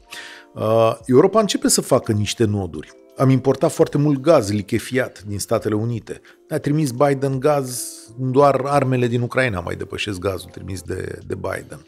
Ce n-am reușit să facem este să-i convingem pe cetățenii din Qatar și alte țări, că tot veni vorba, să dea gaz în neștire și benzin și petrol în neștire, să mărească producția atât de mult încât să îngroape pe ruși. Ăia rușii au jucat foarte bine acolo. Nu uita că această cupă mondială, și de exemplu cazul Mbappé, este un exemplu foarte bun, are o dimensiune politică și legată de război. Qatar este țara care are cel mai mult gaz. Trebuie să ți-l pui în cap. E după Ok. okay. Rusia, da? Deci dacă ar putea Europa să aducă niște gaz din Qatar, ar fi o minunăție să facem niște conducte sau să-l aducă lichefiat. Să nu crezi că întâmplător Macron a pus mâna pe telefon și l-a sunat pe Mbappé și i-a zis, prietene, fii atent ce căcat faci, nu te du la Real Madrid, te rog frumos, rămâi aici că țara are nevoie de gaz. Adică okay. nu e niciun dubiu aici că acest lucru s-a transformat în politică. Una dintre sursele importante de gaz ale lumii este în Qatar. Dacă noi reușim să-i convingem pe catarezi care, ce să vezi, nu respectă valorile noastre, nici n-au cum, ei au o altă societate. Dar ei nu respectă valorile noastre, nouă ne place gazul și petrolul lor. Asta e viața. Și atunci ce facem? Luăm gaz cu petrol cu tot cu valorile, valorile lor. Deci Europa se recuplează cumva, dar e foarte greu. E foarte greu pentru antreprenorii de care vorbeam, pentru afacerile de care vorbeam. Pentru fiecare dintre noi e foarte greu să plătească tot timpul banii aia mulți din buzunar pentru, pentru chestiunile astea. Și ăsta e testul pe care ni-l dă Putin. Dacă la primăvară, Doamne ferește și de o iarnă grea peste tot să fie minus 20 de grade prin Europa, dacă la primăvară răzbim cu bine, va fi un, aproape un miracol. Dar te poți aștepta ca foarte multă lume în stradă, să fie în stradă la primăvară și să zică guvernelor și din Franța, și din Anglia, și de oriunde din Europa, zică, terminați mă cu prostia aia, împăcați-vă cu nebunul. Ah, că trebuie să piardă Ucraina niște teritorii? Sigur, dar nu sunt teritoriile noastre, vor zice oamenii, nu? Au auzit pe asta și în România. Că ce vrea Zelenski, zic. De ce nu se împacă? Știi că asta e... Da, asta e retorica. Asta e retorica. Că de ce nu se împacă, domnule? Cât o să mai doreze? Ce face nebunul ăla de Zelenski? Păi ce să facem, prieteni? Puneți-vă în locul lor. Am înțeles tot felul de teorii. Uh, Ucraina nu există. Există foarte bine. Ucraina e un stat național care și-a căutat libertatea și independența sute de ani. Nu 10-20. În perioada comunistă a fost ștearsă de pe fața pământului. 1700-1800 rușii peste ei. Ei și-au păstrat ziare, și-au păstrat teatru. Au fost uh, momente când mai rele, când mai bune. Uh, a fost rusificată complet, dar la țară se vorbea ucraineană. Da? Oamenii își păstrau sărbătorile și gândirea în ucraineană. Orașele deveniseră rusești. Ucraina a avut tot timpul germenii unui stat național cu limbă și conducere proprie, mai puțin în perioada rusească, dar ei tot timpul au încercat să iasă la, la liman. E ca și cum, nu știu ce explicație să dau, ca și cum noi am fi fost ocupați aici de, dar nu, poate Transilvania e cea mai bună explicație. Transilvania a fost sub ocupație maghiară și austriacă, dar în special maghiară, că ungurii au fost acolo, sute de ani și, bă, ca să înțeleagă lumea exact, și românii încă au spus, bă, stai că e vorba despre noi aici, e țara noastră, e limba noastră, sunt obiceiurile noastre, e același lucru. Rușii au venit peste ucraineni, e adevărat că față de noi și unguri, limbile lor se aseamănă, ei sunt toți slavi. Mm-hmm. Dar e aceeași situație. Noi, ocupați de unguri o mie de ani, ne afirmăm idealul național. Ăia ocupați de ruși câteva sute de ani și afirmă idealul național. E ca și cum, prin comparație, astăzi Ungaria ar veni și ar spune Păi ce nu e aici? Se știe, ăsta e spațiul nostru, nu? Deci, și vine și zice de multe ori, bagă bățul prin gard cu chestia asta. Uh, aici România este o prostă. Adică ce a putut să facă guvernul Orban în ultimii 10-15 ani în Transilvania este o rușine pentru noi, ca autoritate, mhm. administrație și așa mai departe. Pentru că au orientat o întreagă populație de cetățeni români, adevărat minoritate maghiară, i-au orientat către Budapesta. Oamenii ăia nu mai au nicio legătură cu România, ei trăiesc numai fizic aici. Dar mintea, gândurile lor, idealurile lor sunt legate de Budapesta. Pentru noi este o nenorocire asta. Noi, ca București, ca nație, noi nu reprezentăm nimic față de oamenii ăia. Noi suntem în retorica aia tâmpită în care spunem, da, ce domnule, m-am dus și n-am putut să iau, uh, n-am pâine. putut să iau pâine, da. Știi că are, uh, are are Teo, un banc celebru, Teo de la stand-up. Ok. Care îmi place, Teo este cel mai bun stand-up din România. E foarte tare. Care a zis că s-a dus el să verifice uh, povestea asta cu pâinea, că avea spectacol. În secuime. în secuime, da. Și a zis că am stat eu la balcon, am fumat o țigară și pe care am coborât jos la brutărie. Și zicea, de dreptate, n-am putut să iau pâine, pentru că m-am dus acolo și erau atât de multe și parcă așa zicea. Și am zis, dați-mi și mie o pungă cu covrigi. așa și... Uh, Așa și noi în povestea asta, știi? Noi nu am reușit să le transmitem oamenilor alea, ălora ideea că bă, sunt parte din România, că noi putem să-i ajutăm, că putem să colaborăm. Asta și am ascultat pe tot felul de, nu știu, înfierbântați din ăștia. Adică am adus extremele la centru, și români și maghiari, că și românii și maghiari au. Și au zis, mamă, noi nu ne înțelegem aici. ce azi, frate, cum ne înțelegem? Facem băutură împreună, cartofi împreună, mâncăm împreună, iau turism împreună și vorba unui coleg de-a meu, Mircea Zanfir, care a zis o chestie magică și a zis cea mai mare temerea mea nu este că iau ungurii Transilvania, ci că o iau și o pun sub șaua calului și o să ia forma curului, știi? Aia era vorba lui Mircea, știi? Adică de lucru cel mai rău care se poate întâmpla. Nu se poate întâmpla. Oamenii ăia nu se plece cu terenurile alea de aici. Nu o să facă un stat, nu poate să facă chestiunea asta. Dar i-am pierdut sufletește, da? Asta e mm. paranteza pe care am vrut să o fac. Și acum gândiți-vă prin comparație, cum ungurii spun că uh, Transilvania e a lor, așa și rușii sunt ferm convinși că Ucraina e a lor. Ori nu e, că acolo sunt niște cetățeni care zic, bă, nu ne place de voi, ne-ați ocupat ani de zile, lăsați-ne să trăim. Uh, de asta zic că războiul ăsta are această componentă în care ce să facă președintele Zelenski? Adică știu că toată lumea acum mai zice asta e retorică. Hai bă, terminăm, mă, deci tu mai ai patru județe, dă-o dracu de treabă. Dă-le lui ăla, rusul ăla, ți-a ocupat patru județe și stai dracu liniștit că vrem tot să ne fie bine. Și stau și mă gândesc că, ok, aș, și eu vreau ca de mâine să se termine și asta mă gândesc dacă ar veni, știi că Putin i-a dat o hartă unui general rus, nu mai știu cu A, nu, lui Dodon i-a dat o hartă Ok. în care pă, Moldova noastră, adică Iașul, Vasluiul, Bacău, erau, nu mai erau parte din România, erau parte din Moldova, care era o țară din Federația Rusă.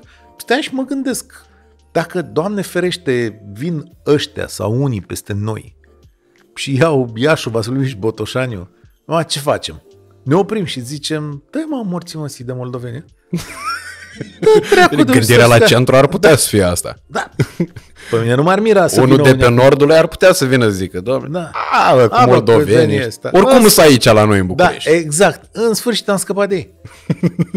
Gândiți-vă cam care e posibilitatea cam care e posibilitatea să ce să facă Zelenski la el în țară.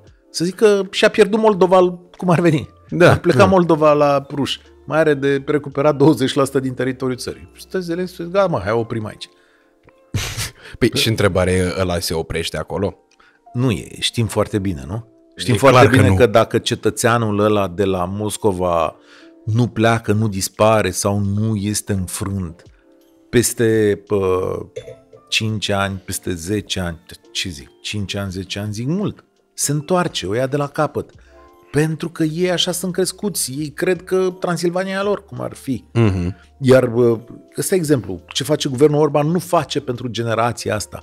Victor Orban, ca și Vladimir Putin, nu se gândesc musai, bă, o rezolvăm noi acum în 10 ani uh, și gata, am luat-o la noi. Nu. Dar e bine dacă reușim să punem bazele ca să o avem peste 100 de ani mm. sau peste 200 de ani sau peste 1000 de ani, nu? Că trebuie să avem răbdare. Și acest eveniment nefericit al războiului va continua și în iarna asta, până la primăvară, poate pe aliniamentul ăsta, nu știu câtă putere mai au ucrainenii să îi împingă mai încolo, dar rușii au destulă forță, adică e o țară mare cu multe resurse care pot fi puse la dispoziție, cu oameni care pot fi uciși, care pot fi pierduți. Acolo respectul pentru viață e... Statistică. Absolut statistică, da? Vă uitați în fiecare zi, da. Doi ca noi care discută aici, sigur că am putea discuta despre cafea, vinuri și nu știu ce, dacă trecem pe alea, dacă am trăit în Rusia, când trecem pe alea, zburăm pe geam, știi? Și aici suntem la etajul 11, nu-i tocmai plăcut, adică să te tragă curentul. Aia e diferența. Nu, nu contează acolo viața omului. Contează doar viața bun și nici măcar nu contează viața nimănui. Aia e diferența fundamentală între noi și ei. Deci toată iarna asta o să vedem asta și deocamdată în lumea occidentală o să avem două viziuni. Una care va spune, și asta e viziunea americană, vă dăm arme până când îl punem pe ăsta în situația de a accepta o pace, pe ăsta fiind uh, Putin, mm-hmm. de a mhm. accepta o pace care nu-i convine și una europeană care ha, va cărăi, va scăpa un picior, va vedea, bă, hai să facem cumva. Sunt foarte mulți oameni care în real politic, cum se numește, gândesc că trebuie să-i salveze fața, adică trebuie să-i dea ceva lui Putin să se mândrească în fața poporului lui. Și atenție, gândesc că Putin este de neînlocuit. Da? Astea sunt două curente, de astea lucrurile nu stabile aici. Unii care sunt americani, care ar vrea și ei o formă din asta de pace, negociere, la niște condiții mai proaste pentru Putin și unii din Europa care zic, bă, hai să se oprească, numai să se oprească, dracu că să răcim cu toții. Deci ăsta e un, un lucru foarte important. Și uh, iarna asta vor fi bătălii încolo și încoace. Nu știu dacă Ucraina va mai avansa, până unde, e foarte greu să faci asta iarna, dar cred că Putin va forța un tip de negocieri în această iarnă ca să-și refacă anumite forțe și odată venită primăvara să o ia de la capăt. În timp, el mai face un lucru. El pur și simplu netezește Ucraina. El face o țară de nelocuit. Putin conduce un stat terorist în momentul ăsta. Rachetele lui desfințează zone civile din Ucraina care nu au nicio legătură cu războiul. Uh-huh. Rachetele lui bombardează vestul Ucrainei, nordul Ucrainei, sudul. Linia frontului este la mii de kilometri departare și totuși rachetele lui vin spre Liov, spre alte orașe care nu au nicio treabă cu războiul. El atacă puncte civile, creează o criză umanitară de proporții. Încearcă să-l convingă pe Zelenski sau de fapt să îndrepte populația împotriva lui Zelenski să spună, eventual să spună și ucrainenii, hai bă că nu se mai poate, lasă-i dracu pe aia din est, că și așa sunt niște moldoveni. Da. Așa, și hai să terminăm dracu cu, cu, prostia, cu prostia asta. Pentru că te saturi de nenorocire, te saturi de moarte, te saturi de și spui, băi, hai lasă cum o fi, trăim aici și vedem cum e. Am filmat săptămânile astea la Timișoara, unde este o asociație, se numește Casa Logs. Acolo Flavius Ilioni Loga face niște lucruri extraordinare. Am întâlnit oameni din Ucraina, femei din Ucraina, copii din Ucraina, care încearcă să-și recupereze. Pentru mine este uluitor și de-abia în momentul în care te întâlnești cu oamenii ăștia îți dai seama. Copiii aia veneau la ore să învețe să recupereze comunitate, să învețe limbi străine, să se distreze, să poată să stea împreună acolo, la asociația asta în condițiile în care ei învață pe Zoom. Știi? Școlile ucrainene uh-huh. funcționează pe Zoom. Și copiii arată pozele, arată poze instructorilor în care spune, uite aici a fost școala mea, școala bombardată, le-am văzut cu ochii mei, școală distrusă. Uite aici învăța doamna mea, învățătoarele lor, educatoarele lor, profesorilor. Stau pe Zoom cu clase de copii care sunt răspândiți în tot estul Europei sau în Europa de vest. Școala cu tare din nu știu ce sat, din Ucraina, îi adună pe Zoom și le predă ora de fizică sau de ucraineană sau de ce fac ei acolo. Asociații din România îi pun la un loc. Uh, tații acestor copii sunt acolo, că ei nu pot pleca din țară. Unii sunt pe front. Aici sunt femei care plâng.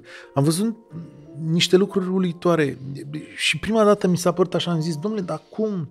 La, de exemplu, la Casa Logs există un curs de, de, de mindfulness. Știi? Mindfulness, uh-huh. asta care te învață să trăiești în prezent, știi? Și uh, mai sunt, uh, este și o instructoare care face yoga și am zis, ok, zic, dar nu e prea mult, adică mindfulness, poate oamenii ăștia au alte nevoi, au alte nevoi, au altă viață, își doresc alte lucruri. Și zic, hai să asist și eu să, să văd, știi? Și atunci am văzut-o pe instructoarea de acolo, care se numește Mihaela, care s-a dus, uh, s-a dus la tablă și a desenat o inimă mare. Bă, a desenat o inimă cât o tablă de mare, știi? Și acolo era o doamnă din Ucraina și ea l-a invitat să scrie în inimă, inimă, eu sunt aici, eu trăiesc aici, eu trăiesc aici și acum, știi? Și ele mi-au explicat, zice, prima dată și nouă ni s-a părut ciudat, adică cum, ei, desenăm o inimă și... Și pe aia mi-a spus, eu sunt aici, adică sunt bine, sunt aici în momentul ăsta. E un moment în care pot să gândesc, e un moment în care sunt în viață, e un moment în care copilul meu e deasupra, mă rog, la etaj cum ar fi, și face o oră de limba engleză cu niște instructori. Eu sunt bine acum, în momentul ăsta, trăiesc, trăiesc, sunt în viață. Soțul meu știu că încă e în viață, părinții mei n-au putut pleca, sunt în viață, suntem bine. Și pas cu pas, asistând la oră, mi-am dat seama ce important e pentru ei să se bucure de minutul ăla în care știu că deși nu sunt acasă, ei sunt în viață.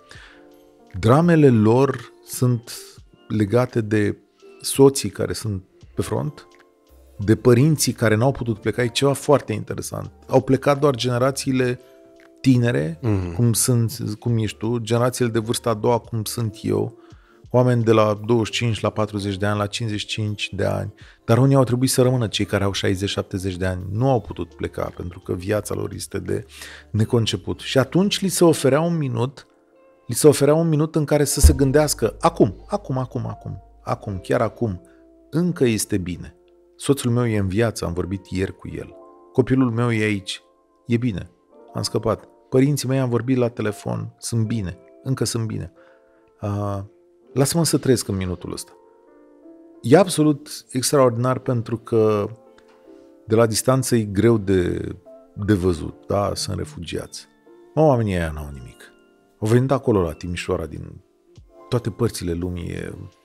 Suntem aici într-un căsoi care costă 100 de mii de euro și aici unde filmăm noi, știi? Mm-hmm. Și mă gândesc că cum ar fi, Radule, ca mâine să o luăm. Vine nenorocitul ăla peste noi. Vine la peste noi și plecăm, nu știu, la cine o să ne primească pe noi. Ne primesc sârbii, ne primesc ungurii. Unde dracu ne duce noi? Ne primesc ca ai noștri, că avem familii în Spania, mm-hmm. în Italia. Cine suntem noi acolo față de ei? Cum trăim noi acolo față de ei? Ce știm să facem? Ne apucăm să facem podcasturi acolo în Spania. Îți dai seama că ne-am adaptat cumva. Ne-am adaptat cumva și... Ai avea și pă... se adaptează până la urmă urmei. Da, și ai avea părinții aici la Iași. Și ai zice, bă, da, vor fi Iașul bine. care e, na, cum i-a arătat lui Dodon... Iașul prică, da, prică primul, da. E primul picat. Uh, din păcate, mi-e teamă că aici va fi un conflict, conflict mocnit care va dura zeci de ani de zile. Adică nu cred că se termină așa.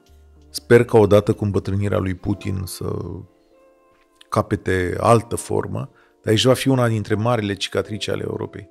Nu știu cum, cum o să trăim, dar uh, cert e că atâta vreme cât trupele americane sunt aici, vom trăi ca într-o fortăreață.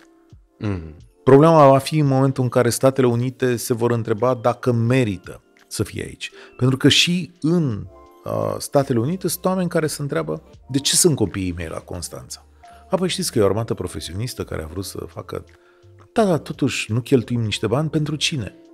Ucraina e foarte departe și România e foarte departe de forțele astea. Și oamenii se vor întreba și vor pune probleme. Politicienii se vor uita, merită?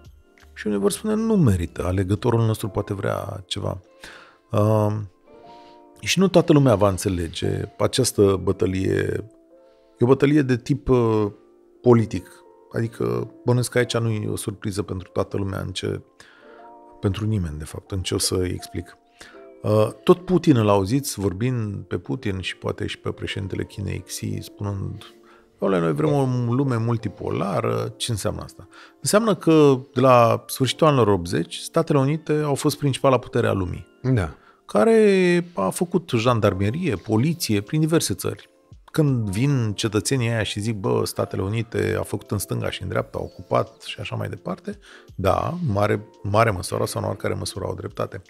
Numai că Statele Unite, când oferă genul ăsta de diplomație, ocupație, zi, cum vrei, uh, trupe trimise undeva și promovarea unor valori democratice, le oferă la pachet cu un, uh, cu un sistem administrativ.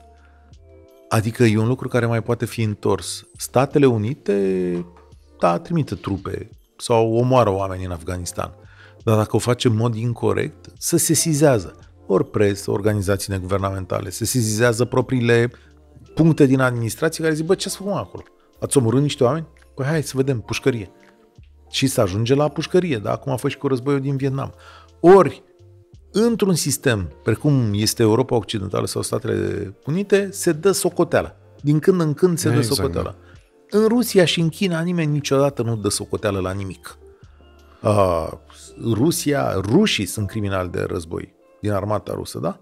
Există vreun proces? Acum e cineva la Moscova care se vadă, vai ce au făcut trupele noastre? Nimeni niciodată.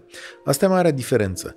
Și acum vine cetățeanul Putin și zice, bă, nu se mai poate o lume cu Statele Unite, e, trebuie ca țări precum România, Polonia, Ungaria să se mai uite și la noi. Mm. Eu nu vreau să mai la ei. Pentru că ei ce mi-aduc? Mi-aduc nenorocire, violuri, lipsă de democrație, mi-aduc, mi-aduc lipsă de răspundere, da? Eu nu Sărăcie. Să... Nu mai zic. Eu nu vreau să trăiesc într-o țară în care nu pot să-l trag la răspundere pe ăla. Eu, eventual vorbim noi doi între noi și nu se întâmplă nimic niciodată. Ori democrația, oricât de proastă ar fi, oricât de corupt ar fi, că suntem corupți, nu? Suntem corupți la nivel administrativ, la nivel de corporații, oricum încercăm să facem bani peste limită. La un moment dat vine cineva și vorbește și începe să vorbească și le spune oamenilor, bă, ăia sunt niște hoți. A, și lumea zice, sunt niște hoți? Cum? Păi uitați vă arăt eu de ce sunt niște hoți. Și la un moment dat se schimbă ceva. Ori îi mai arestează, ori ți-e rușine, ori îi dă jos. Vorbim și despre Qatar, da? Bă, ăia sunt niște hoți acolo, da? Și la un moment dat Blatter, Platini, ăștia, au mai luat și o țără de pușcărie, nu? Mm. Niște hoți.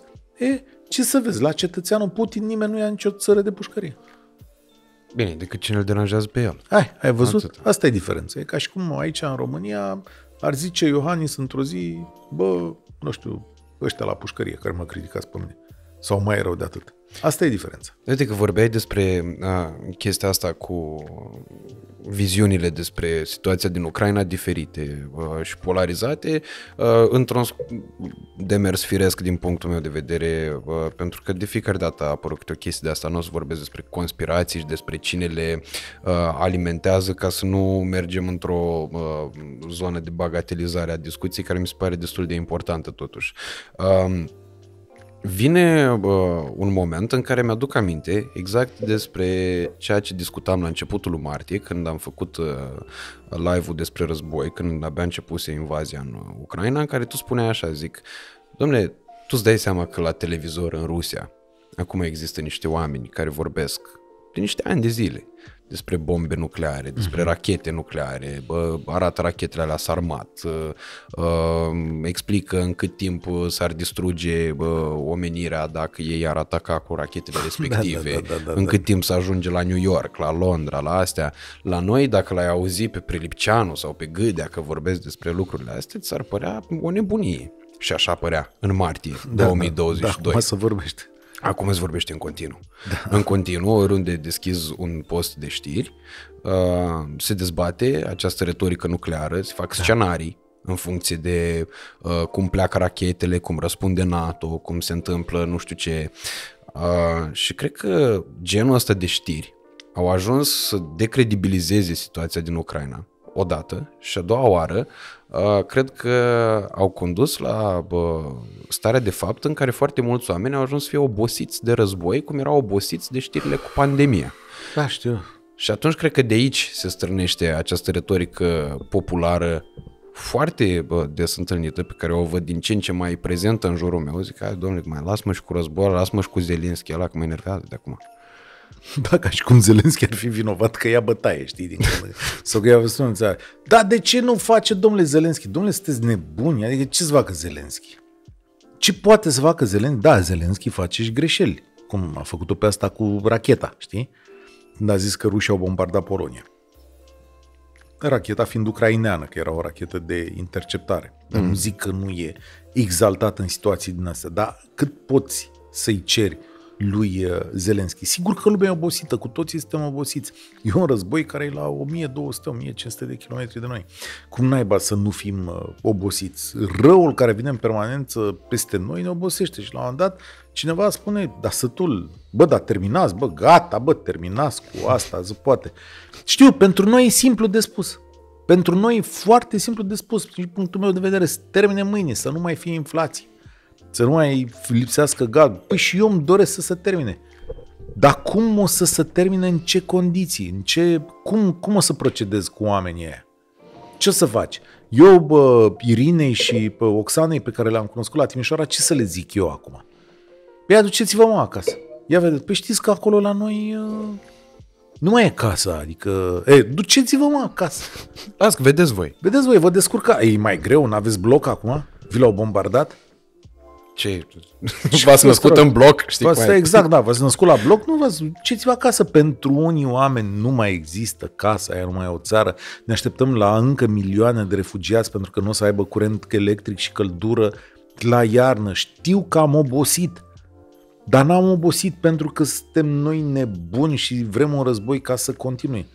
E un dement și o clică de mafioți care bombardează oameni civili care le opresc curentul electric, internetul și căldura. E o demență acolo, nu e ca și cum... Ce să facă ucrainenii? Păi, cine zice să termine oboseala asta, Bă, cred că ucrainenii, așa, în perspectiva asta, ar trebui să se predea mâine și să zică, veniți mă rușilor, ocupați, luați voi țara asta, faceți ce știți voi să faceți. Și ce credeți? Că o să se termine aici? Aici mi se pare fascinant, știi? Pentru că oamenii care spun că, domnule, ar trebui ucrainenii ăștia să mai, nu mai fie așa de coioși și să uh, rezolve situația, se gândesc la faptul că situația chiar s-ar rezolva în felul ăsta și nu s-ar ajunge în uh, ipostaza în care ăla văzând că i-a mers, va tot încerca, va tot băga bățul prin gard. Bun, nu o să mai fie Putin, crapă să zicem. Putin... Da? Vine altul. Altul care a văzut ce a făcut Putin. Da. Și că i-a mers. Nu o să încerce același lucru? Da, ăsta este modul în care funcționează sistemul administrativ rusesc. Ei vor să fie un imperiu, vor să fie un centru important în această multipolaritate. Există termenul ăsta. Știți ce înseamnă, domnule, multipolaritatea asta, adică să fie așa? Deci, ce propune Să contăm Rusia? și noi cumva. Da. Rusia propune o altă împărțire decât este acum, adică și rușii ne Nu v-ați sătura, mă, românilor, să fiți sub americani, ăsta e mesajul. Nu vedeți ce rău vă merge? Păi, culmea că s-a ajuns acum într-un sondaj în care eu am văzut la Inscop, 50% dintre români cred că era mai bine pe vremea lui Ceaușescu. Da, mă, am văzut și eu asta. Băi, ești nebun? Și aia spun rușii. Stai că vorbim media. Aia spun rușii. Nu v-ați sătura, mă, de ce nenorocire vă fac americanii ăștia? Nu vreți să vă... Haideți la noi înapoi. Că asta nu e, știi că sunt state care zic că astea cu suveranitatea, cu asta. Nu, rușii vor ca americanii să ia mâna de pe niște pârghii de aici ca să poată să revină ei unde au fost până în 89. Adică ce înseamnă? Nu că ne conduc, uh, nu, nu o să vină un rus cum a fost în 1950, că l-are pe un tank, ca pe Anna Pauker. Da.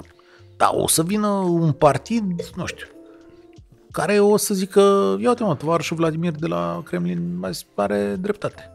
Deci cam asta visează ei, să ia locul ăsta nu numai la noi, ci și în Polonia, în Bulgaria, în alte multe părți ale lumii. Și acum să zicem cu sondajul ăla, da? Care, care mi se pare acum, absolut da. fascinant. Păi, odată, și eu zic că era mai bine cu 20 de ani când eu eram mai tânăr, știi, și mergeau lucrurile mai bine. Adică, nu, dacă beam ceva, nu eram mahmur uh, o zi, eram mahmur doar două ore, știi cum mm. e. Mă rog, e nostalgia tinereții, cum ar veni. Nostalgia tinereții nu mai zic eu cum, că pot să detaliez, am dat-o pe mahmureala, dar pentru unii, pentru unii bărbați peste 50 de ani se raportează altfel. Normal, da. la 25, ca să zicem pe șleau, mergea mai bine, știi? Normal că era mai bine cu 30 de ani, că așa. Dar uh, să știți că există medicamente care rezolvă și la 55 de ani, dacă aveți nostalgie din astea. Eu n-am 55 Dar de unde știi? Asta e am, am auzit, s-a, s-a vorbit, am fost eu la un doctorat, la prezentarea unui doctorat să vorbea de asta. Și a, a zis cineva, cred că chiar Mircea John a zis la un moment dat, zice, da mă, ăștia Pe el îl cred. Da, zice, ăștia visau când aveau ei 25 de ani. Nu e, luați, luați cu pastile acum. Uh, nu așa funcționează lucrurile. Sigur că e o nostalgie în care dacă ești mai tânăr, doi la mână se uită. Au trecut 30 de ani, din jumătatea asta de români nu ar fi doar bătrâni. Sunt oameni care nu știu cum e acum. Și eu am scris un articol, îl găsiți pe blog, puteți să-l căutați, în care am dat un exemplu foarte simplu. Am zis, da mă, era bine pe vremea comunismului? Foarte bine că era bine, zic, dar visează vreunul dintre voi să încalțe de la Clujana? Când ai tu, Clujana a dat faliment zilele astea, fabrica de încălțăminte Clujana a dat faliment, știi? Și nu știu dacă ai avut, ai avut vreodată, ai visat să-ți iei, te Nici nu știu, adică știu din povești despre Așa, ce vorba, da. dar n-am văzut cu ochii mei. Da, pe Instagram ai văzut Clujana, da? Adică simți ceva că te-ai... Clujana asta a fost o fabrică de încălțăminte care a fost înființată acum 111 ani.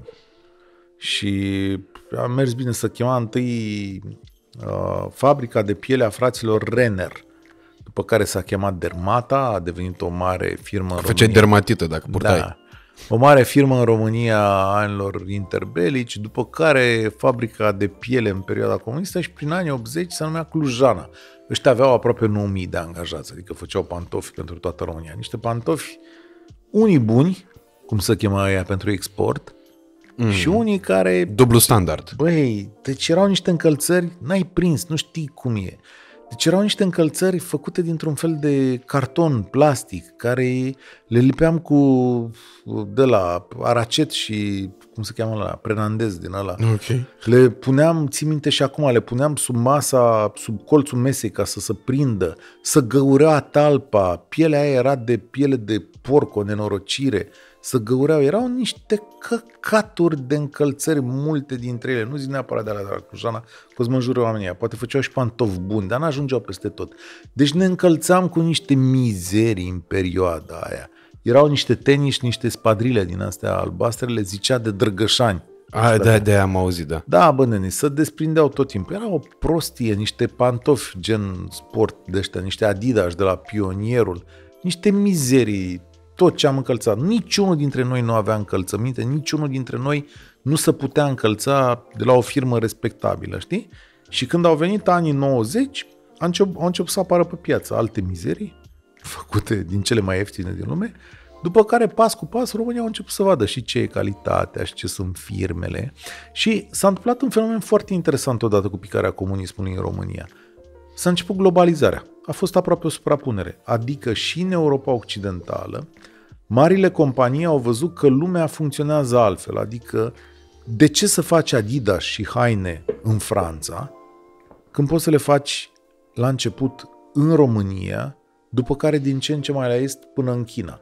De exemplu, la Vaslui în anii 90 se făceau niște geci pentru Italia, le zicea Faciba. Pf, alea erau Dumnezeu. Pe la Moncler încă face geci la Bacău. Da, e. Și uh, pas cu pas oamenii ăștia au externalizat producția, sau au apărut, corporați, au apărut corporațiile, producția se face în Asia, asta a fost începutul anilor 90, că e cel mai ieftin să o faci, și marketingul se face în Europa Occidentală. Nike, Adidas, Joma, ia tu, Reebok, tot cu ce se încalță lumea, poate sunt acum pe zi ăsta de puștime, cum se cheamă ăștia? Balenciaga. Va, ah, Vans. Vans, da. Na. Balenciaga nu mai zic. Dacă te duci la Beijing, imediat faci rost de un Balenciaga. Toată producția externalizată în China și alte țări cu, cum se numesc, cu sweatshop-uri, unde sunt oameni care câștigă un dolar, 2 dolari, 3 dolari pe zi, și normal că brandurile alea cu o publicitate foarte mare aici au creat visuri în rândul unor noi generații. Nimeni nu visează să încalțe cu Clujana. Mm-hmm. Da? Lumea visează să încalțe cu Nike, cu Adidas, cu nu știu ce mai purtați voi. Mie hainele îmi sunt indiferente. Eu și mie încep să devină din ce în ce mai indiferente. Dar visurile sunt făcute, a, așa sunt făcute în mintea oamenilor. Ori eu n-am întâlnit acum la vârsta mea vreun om care să zică pe fimiu, știi? Să zică, mamă, ce mi-aș dori niște pantofi ăștia de la Clujana, adică... Păi da, uite, cel mai bun exemplu în legătură cu ceea ce spui tu acum e bă, imaginea care a apărut uh, recent pentru momentul în care noi filmăm acum o lună și ceva pentru momentul în care voi vă uitați la noi, uh, cu Lavrov în uh, Bali, da, care avea tricou de brand pe el, da. Nu știu dacă e credibilă informația, dar uh, dacă e verificată informația, dar știu că, adică am văzut niște bă, uh, mențiuni cum că acel brand ar aparține unui artist care e bă, și homosexual. Lui Baschia. Așa, și uh, avea Apple Watch la mână, iPhone 14 ultimul model, camerele cele mai mari erau pe masă și atunci stai și te gândești, zic, domnule, pe, parcă era nasol Occidentul. Parcă erau nasoi americani, dar văd că îi folosiți. Folosiți exact produsele asta. lor. Căderea comunismului în asta stă. Adică, într-adevăr, Clujana s-a terminat pentru că uh, a căzut comunismul. Dar căderea sa a fost desăvârșită de lipsa granițelor. De faptul că românii au putut circula, au putut primi mărfuri și au putut face comparație. Și s-au uitat, bă, și au zis, noi nu prea, hm, am vrea altceva. Adică adaptați-vă. Da? Mm-hmm. Făceți-vă lucrurile astea. Și da, uh, ce era mai bine pe vremea comunismului? Că ce? Erau prețurile mai mici? Nu erau mai mici. Și uite, vin și îți mai spun o chestie aici.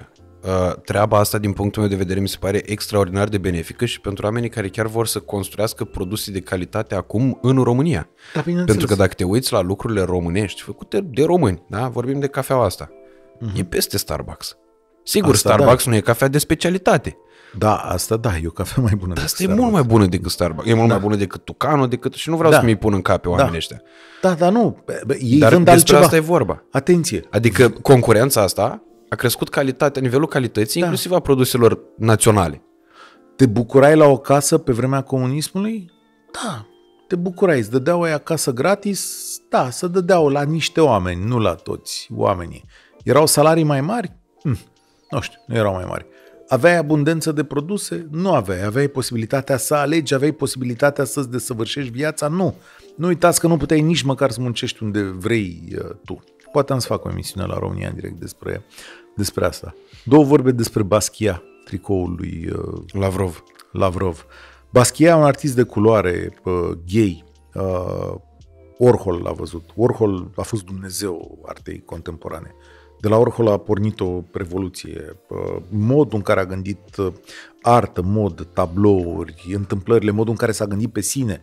Orhol era o mașină care se autovindea, uh, a scos la iveală o lume. MTV este creat pe gândirea lui Orhol. Și Orhol la un moment dat îl cunoaște pe Baschia și aproape ce aș pune mâna în foc că s-a îndrăgostit de el. Baschia era frumos, era un negru frumos, care era și super talentat și făcea tot felul de lucrări de artă. Și când Warhol a ajuns în acea pantă în care vorbeam, apropo de Cristiano, în care el era aici, dar încetul cu încetul începea să coboare, Baschia a apărut ca la finalul, la jumătatea anilor 80, a apărut așa ca o explozie, știi? Uh-huh. Și a zis, bă, și într-adevăr făcea niște lucruri. A început, el era grafer, cum s-ar spune astăzi la noi. Okay. A umplut pereții din New York cu niște lucruri absolut formidabile. După care gașca lui Warhol și alții ca el văzându-l i-au spus, băiete, nu mai desena pe, pe pereți. Vină și desenează aici pentru oameni. Pentru că you gonna be rich. Da, nu știu dacă săracul Baschia a apucat să, să devină bogat, da, cred că s-a simțit bine. Orhol s-a dus spre el, Orhol avea o relație atunci și sunt sigur că ar fi vrut să-l iubească pe Baschia, dar nu e clar, au rămas lucrurile așa. Dar în schimb, arta lui uh, a rămas acolo, adică lumea l-a înțeles, l-a apreciat și Baschia a știut să se joace cu celebritatea lui, adică a dat niște mesaje lumii. Și uh, e unul dintre promotorii mișcării, mișcării gay. Bine, aici eu pot să bag mâna în foc, n-avem foc. Da, dacă am avea, da. poți bag mâna în foc, că la Vrov habar n-avea istoria asta. El habar poate, n-avea ce purta. Poate îi place Baschia, mie, mie îmi place Baschia. Păi să fi vrut să trimită vreun mesaj, cine știe? Da. Uh, eu nu cred... Un mesaj subliminal către americani, luați-mă de aici, sunt în Bali, mă puteți răpi. Uh, știi care e treaba mea? Eu uh, cred că oamenii sunt alcătuiți din nuanțe, adică sunt convins că uh, uh, Lavrov e un ticălos așa, în esență, sau că e ahtia după putere. Dar în același timp sunt convins că e un om deștept și că are capacitatea de a se deschide, de a primi lucruri, de a vedea informații, de a admira. Adică nu m-ar mira ca în același om, în același ticălos care lucrează pentru Vladimir Putin, să existe o admirație imensă pentru arta lui Baschia. Adică da, da. e acolo, nu știu. Cred că dacă Baschia ar fi fost în viață, cred că ar avea vârsta lui Lavrov, dacă stau să mă gândesc. Cred că pe acolo. Mm. Poate Lavrov, când era tânăr, poate a visat în perioada aia de deschidere a Uniunii Sovietice la Warhol, la Baschia. Cine știe ce-o fi în mintea lui. Naziștii erau mari iubitori de artă, nu? Naziștii erau iubitori de artă, dacă ar fi putut, ar fi tras totul de acolo, din uh, din Paris, din Louvre, din... Uh, și că există o anecdotă celebră, nu o să știu niciodată dacă e adevărată sau nu. Uh, Picasso era... Uh, Picasso, lui Picasso nu-i plăcea politica, nu avea nicio treabă, era în lumea lui și uh, la un moment dat, uh, când a avut loc războiul civil din Spania, Picasso brusc s-a trezit la lumea politică și a zis, aoleu, ăștia naziști, ăștia îmi distrug patria, știi? Și după bombardamentele de la Ghernica, el a desenat Ghernica, Ghernica care e o pictură care înfățișează un bombardament, uciderea unor civili și care arată exact cum și-a dorit Picasso, adică nu știu la ea și zici, bă, dar ce a vrut ăsta să facă aici? Și, mă rog, e din istoria sa cubistă, foarte contrasă, numai esența acolo și în 1936 când a expus-o în Franța, lumea se întorcea cu spatele la ea și ziceam, Doamne, până și cei curatorii galeriei unde a pus-o a zis, ce a făcut mă nebunul ăsta? Nu mai pictase vreme de 2 ani că avea niște probleme de astea maritale. Adică divorțat de nevastă, avea o amantă tânără cu care făcuse un copil, dar tocmai își găsea treia amantă, a doua amantă de fapt. Deci avea nevastă amantă și amantă, mm. deci cam asta era statusul lui marital la data respectivă și vreo doi ani fiind prins în această complicație, îți dai seama că e greu, adică să te descurci în trei femei, uh, n-a mai pictat. Și când a pictat, a făcut nebunia asta cu Ghernica. Și lumea se uita la ea și zicea, bă, ăsta e nebun. Și la un moment dat Parisul este, de asta zic că e anecdotă, pentru că eu știu că Ghernica a fost trimisă la un moment dat în Statele Unite, dar există această idee că la Paris a fost văzută de către ofițeri naziști. Și un nazist îl întreabă pe Picasso, zice, uitându-se la mine, de cum uite, e un tablou în spatele tău. Ne prea înțelegând că e complicat, zice, Dumneavoastră ați făcut asta. Deci, încă o dată, este pictura unui bombardament în care sunt foarte mulți civili morți așa în pictură. Și nazistul întreabă, dumneavoastră ați făcut asta? Și Picasso răspunde, nu, dumneavoastră ați făcut asta. Ce tare! deci, asta zic eu cu, cu Lavrov, că Lavrov Sigur, nu e un prost, adică sunt convins că nu e un prost. Și sunt convins că nu a fost întâmplător, adică nu cred că e o greșeală, nu cred că el nu și-a dat seama sau omul care îl filma, că cu siguranță erau oameni în jurul lui, nu cred că nu și-au dat seama că, bă, ai Apple watch la mână, scoate-l, tată, nu Aia, iPhone-ul pe masă. E, pentru mine e o... Pă, pentru mine e foarte interesant. Porți Apple Watch la mână? Tu, Serghei Lavrov?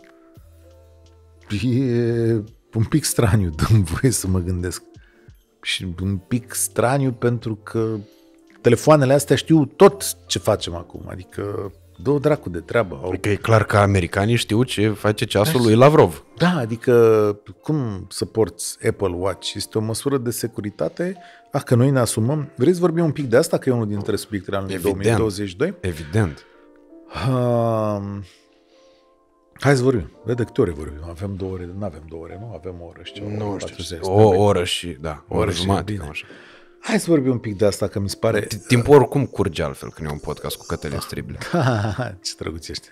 Nu e, chiar așa e. Vorbesc serios, că nu m-am uitat vreo secundă la ceas până acum. Singura mea grijă e cu bateria la asta.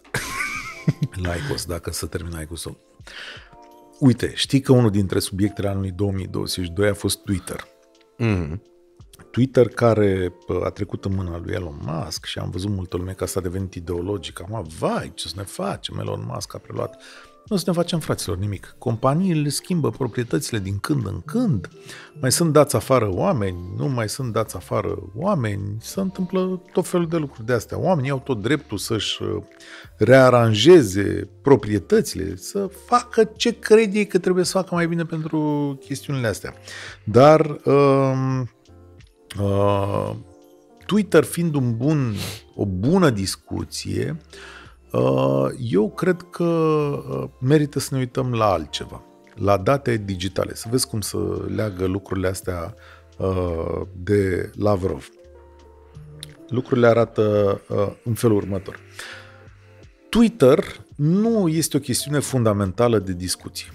Da, adică ce face Elon Musk cu proprietatea lui, e treaba lui ce face cu proprietatea lui. Sigur, companiile au și responsabilitate socială, au și lucruri de lămurit. Nu, nu, nu mai există aspectul ăsta, băia mea fac ce vreau cu ea, că asta e la Gigi Becali. Nu merge asta. Uh-huh. Mai ales în cazul Twitter, care ia și bani de la oameni, dar mai ales Twitter, care uh, folosește datele noastre. Da? Prin intermediul acestui uh, telefon, Twitter știe foarte multe lucruri uh, pe care noi le facem.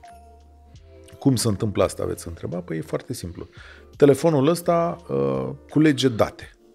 Tot felul de date. Știți asta deja, adică, serios, dacă nu știe lumea așa ceva, înseamnă că și nu pentru că le ascultă cu microfonul. E, poți le ascultă și cu microfonul, că dacă îl deranjezi pe Siri, acum o să vezi că imediat vorbește cu mine. Ascultă și cu microfonul, îți ca niște bariere. Dar culeg date, da? Tot felul de date de la date de sănătate până la unde ești, până la ce vorbești, până la ce tastezi. Știți că tot ce tastezi, știți că ei, toate companiile astea, știu ce tastezi tu pe WhatsApp, da? Scrie aici că de câte ori eu vorbesc cu tine, ăia știu. Dar nu știu că te urmăresc pe tine, Radu Țibulcă, sau pe mine, Cătălin Striblea. Nu, ei alcătuiesc niște portrete. Eu urmăresc niște IP-uri, da, practic. Da, niște IP-uri, niște trenduri. Pot afla dacă își bate cineva capul că ăla e telefonul tău, dar ei nu vor să vadă asta. Ei nu vor să vadă asta, ei vor să vadă trenduri, portrete generale, tendințe în societate și să aibă capacitatea de a vinde cât mai multe lucruri legate de tine. Atenție încă o dată, vorbim de Twitter. Mie nu mi se pare foarte important cum o să-și regleze Elon Musk rețeaua, dacă tu o să poți să înjuri sau nu o să poți să înjuri, sau o să vină suporterii lui Trump, e o prostie asta, nu. Lucrul la care trebuie să se uite omenirea este altul. Ce fac băieții ăștia cu datele astea? Și dacă acest lucru trebuie reglementat. Și de ce zic asta? Pentru că nevoia de reglementare este esențială. Viața noastră este reglementată în tot felul de direcții. Munca doctorilor, a avocaților, a siderurgiștilor, a pă, celor care lucrează la televiziune, nu și a podcasterilor, da, e o întrebare. Este reglementată, da? Munca avocaților este reglementată, se desfășoară între niște spații în care ei pot face sau nu pot face anumite lucruri. Ori culegerea de date din aceste telefoane, din aceste dispozitive care ne însoțesc întreaga viață, nu este deloc reglementată. E ok să le punem date la dispoziție, e ok ca doar mediul privat să hotărască asupra acestor date și până la urmă veți spune, dar ce interes, de ce ne interesează, de ce e uh, important asta? Păi să vă povestesc de ce e important. Pentru că datele astea ne șlefuiesc viața și se întorc la noi. Astă vară, o prietenă de-a mea mi-a spus următoarea istorie. Ea stă în Anglia și mi-a zis așa, Zice, băi, eu fac pregătire cu niște copii. Ea e profesoară, e româncă, o profesoară extraordinară. Și face pregătire cu copii de fotbaliști, adică a reușit să intre într-un mediu de ăsta foarte bun. Adică bani mulți. 50 de lire ora, să zicem, mi-a spus. Mm, de bani frumoși. Bine, da. E bani frumoși. Când faci, sunt bani frumoși, da, când faci 50 de lire ora. De ce? Copiii au niște examene, mai ales cei de ciclu primar, când vor să intre la o școală privată mai bună, trebuie să facă niște lucruri și atunci ei învață. Și spune așa, uh, zice, eu iau banii cash de la oamenii ăștia. Zic, păi de ce e cash? Păi uh, pentru că cu ei cumpăr, de exemplu, în casă băutura. Și zic, ce-ți veni, ce problemă este? Și pentru că am avut surpriza ca la uh, cardul de credit să mi se explice, deci în momentul având un card de credit, să mi se explice, mi-au spus cei de la bancă, dacă ați cumpărat cantități mai mari de băutură, uh, noi v-am dat un credit mai mic.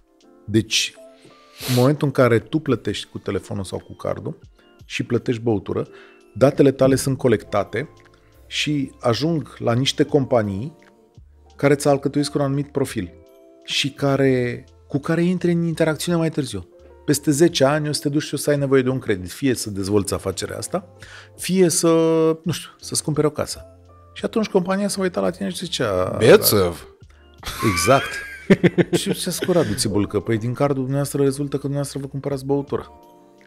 Păi zice, păi ce treabă are cu una cu alta? Păi ne face impresia că dacă dumneavoastră vă cumpărați băutură, s-ar putea să nu puteți să S-ar putea să beți creditul. Și exact. Și zic, păi și asta a fost o problemă și zice, nu e o problemă că nu poți restitui, dar primești un credit mai mic. Ăsta e un exemplu.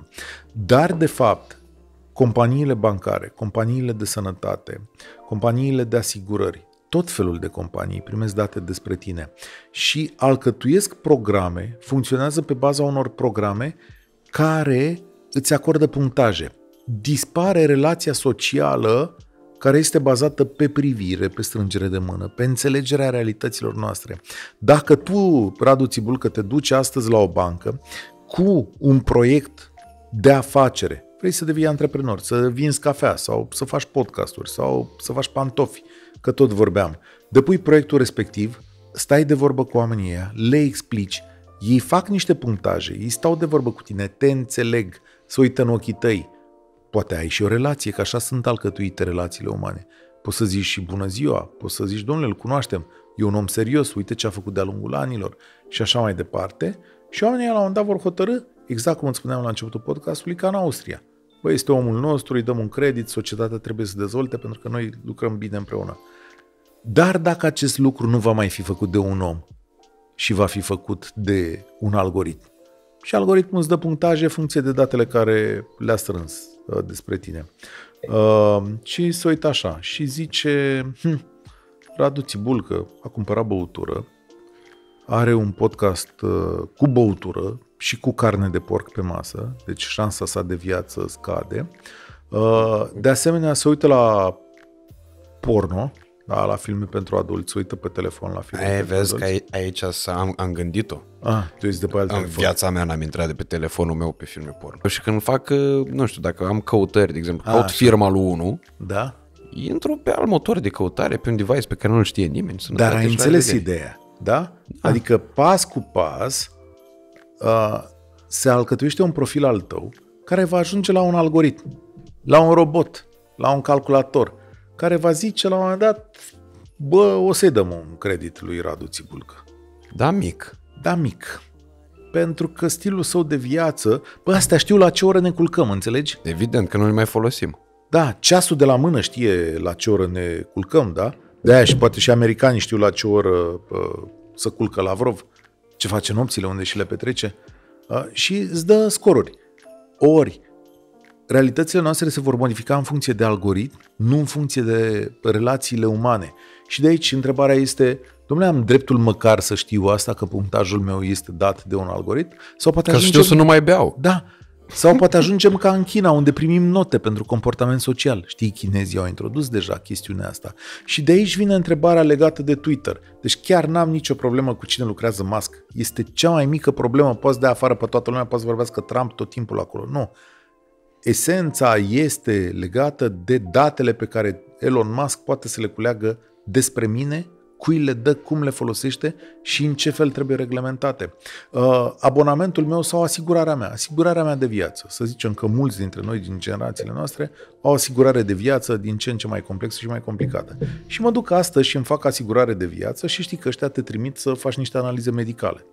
Da?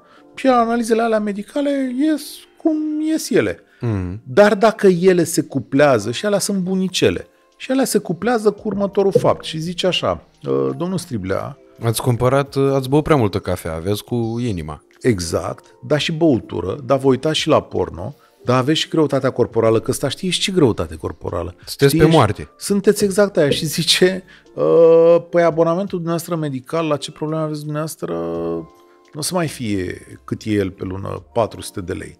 Apoi noi credem că în viitor o să aveți niște probleme, o să fie 1000 de lei. Abonamentul dumneavoastră medical. E ok Îți dai să... seama cum te duci acasă gândindu-te Da. la lucrurile astea? Lasă banii. Că tu te gândești, doamne, ce bolnav sunt și nici nu știu. Da, exact. Uh, toate chestiile astea adună lucruri despre noi, le pun în niște algoritmi, le pun în niște tablouri, le fac, uh, fac niște portrete despre noi și nu sunt reglementate în niciun fel. Adică astea sunt doar lucrurile pe care le fac firmele private. Deci întreb, e ok Twitter, Facebook, iau datele astea despre noi și le dau, cui le dau? Că așa asta e prima întrebare. Cine cumpără? Și cu ce interes cumpără datele astea despre noi? Că acum la zice, aia e simplu, numai să pună publicitate. Serios? Doar pentru publicitate? Oamenii ăștia știu cum gândim, cum iubim, ce opțiuni politice avem. Adică, în mod clar, uh, Twitter, dacă vrea să știe sau cine cumpără baza de date, știe cu cine votezi tu și cu cine votez eu. Nu neapărat pentru că a văzut votul, dar pentru că e în funcție de articolele pe care le citim, de like-urile pe care le dăm. Ori despre asta vorbim foarte puțin. Iar dacă vrei un eveniment pentru 2022, ăsta e. Faptul că noi trebuie să ne punem la punct cu asta. Vor fi bătălii ale generațiilor, uh, ale generațiilor viitoare. Uh, Ăștia devin niște monștri care fac lucruri mult mai complicate decât putem să le înțelegem în momentul ăsta.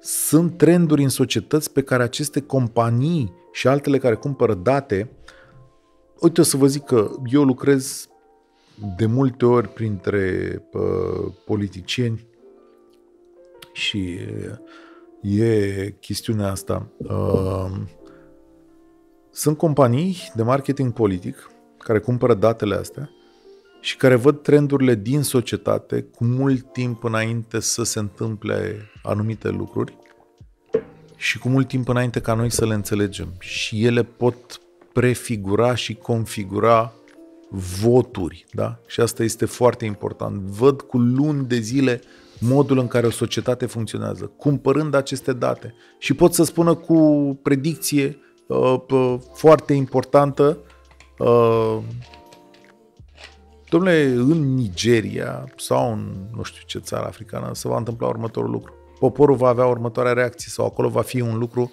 foarte important sau cu tare idee va avea mare succes sau nu va avea succes deloc. Sigur că unele pot fi în bine sau altele pot fi în rău, dar fără o reglementare adecvată, uh, eu cred că e o problemă aici.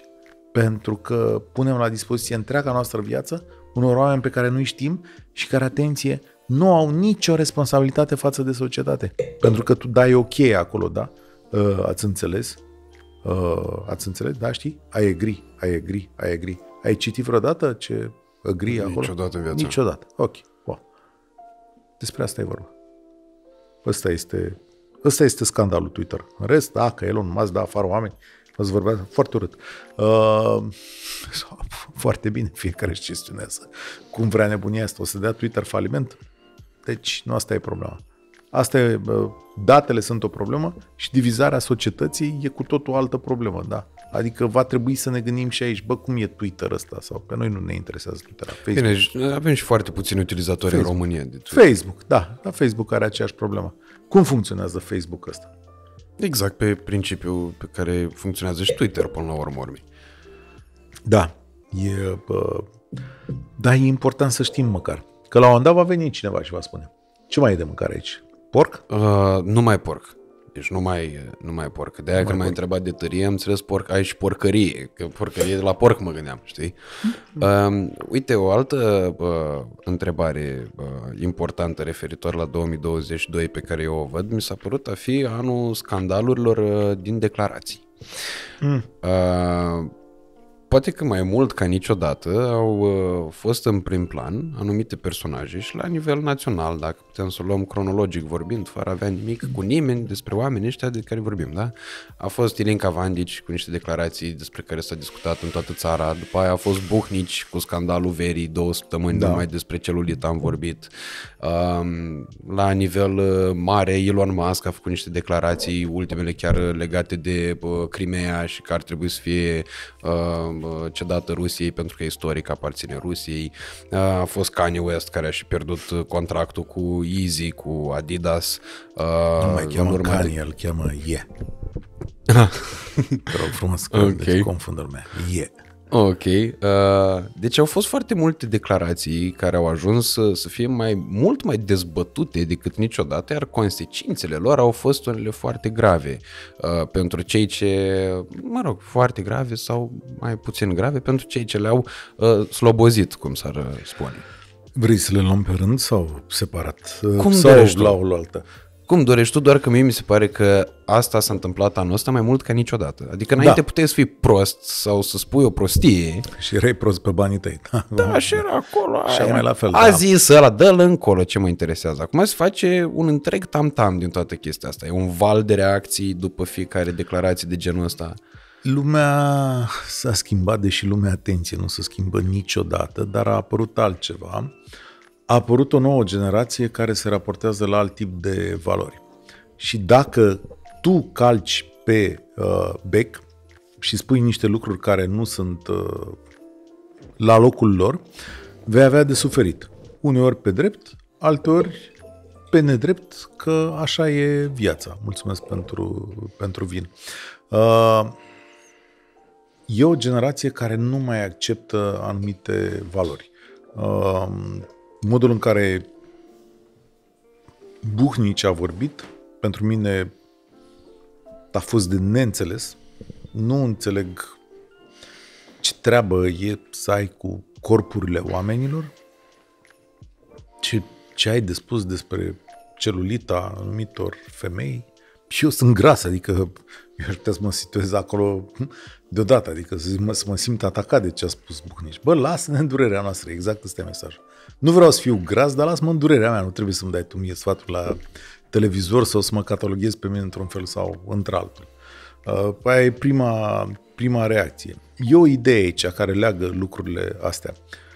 Sunt generații de astăzi care au schimbat tipurile de valori care văd o egalitate perfectă, care nu mai acceptă discuții legate de corp, care nu mai acceptă discuții sau nu mai acceptă sfaturi pentru unii sau pentru alții. E o generație care ține mult mai mult la egalitate, la, uh, cum să zic, care are o sensibilitate mai mare și ideea e că trebuie să fii atent în spațiul public atunci când, uh, când vorbești, dar și trebuie să-ți uh, reașezi un pic sentimentele și credințele față de anumiți, uh, anumiți oameni.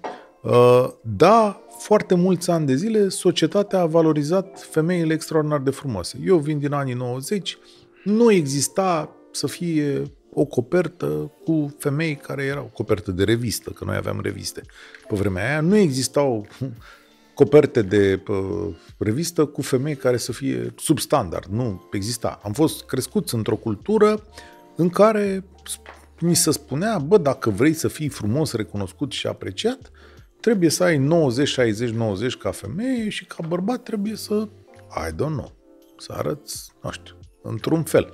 Aia e.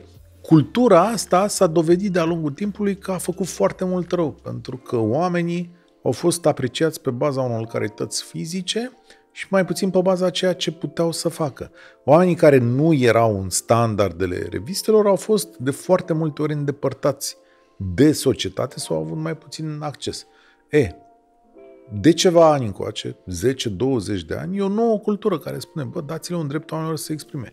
Primiți și pe grași. Bă, sunt și exagerări, adică noi, pe o copertă de revistă, încă vrei să vezi, cel dacă vii ca mine. Na, acum o spățesc și eu ca bucnici. Nu e niciun fel de exagerare. Gata, am terminat subiectul ăsta. Nici nu ai curaj să spui. Deci ne oprim, ne oprim aici. Sunt, dar sunt și exagerări. În orice caz, ideea este că nu poți să mai ieși astăzi în spațiu public să uh, propovăduiești sau să încerci să le spui oamenilor, bă, urâților, puneți-vă la punct și uh, iau în caz mai puțin, faceți-vă frumoși. Bănuiesc că foarte multă lume și-ar dori să intre în standardele alea de frumusețe. Unii nu pot, alții nu sunt dăruiți. E o diversitate mai mare. Cred că ăsta e cuvântul cheie. Și atunci trebuie să accepti diversitatea asta și să te porți frumos cu restul oamenilor. Dacă ți-a ieșit porumbelul pe gură, te duci și îți cer scuze. Serios. Acum, nu știu, n-am, eu n-am standarde atât de înalte în materie de plajă. Sincer, mie îmi place la plajă. Mă duc să mă uit, mai beau o, o bere, mă mai întâlnesc cu niște oameni. Fetele sunt frumoase pe plajă, n-am stat să dau note, dacă asta e. și mă, da, acolo unde era de uitat, m-am uitat, unde nu era de uitat, nu m-am uitat. Da, da, asta sunt lucruri normale. Nu mai există familia uh, tradițională, patriarhală, în mod clar, generații noi de femei sunt crescute altfel pe un picior de egalitate.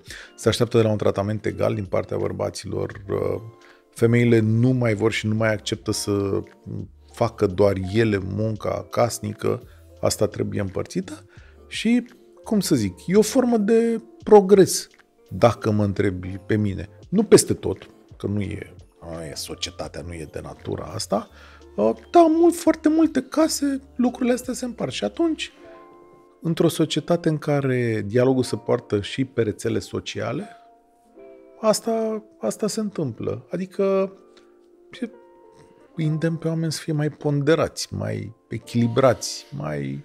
Bă, mai gândiți-vă și la sentimentele altora.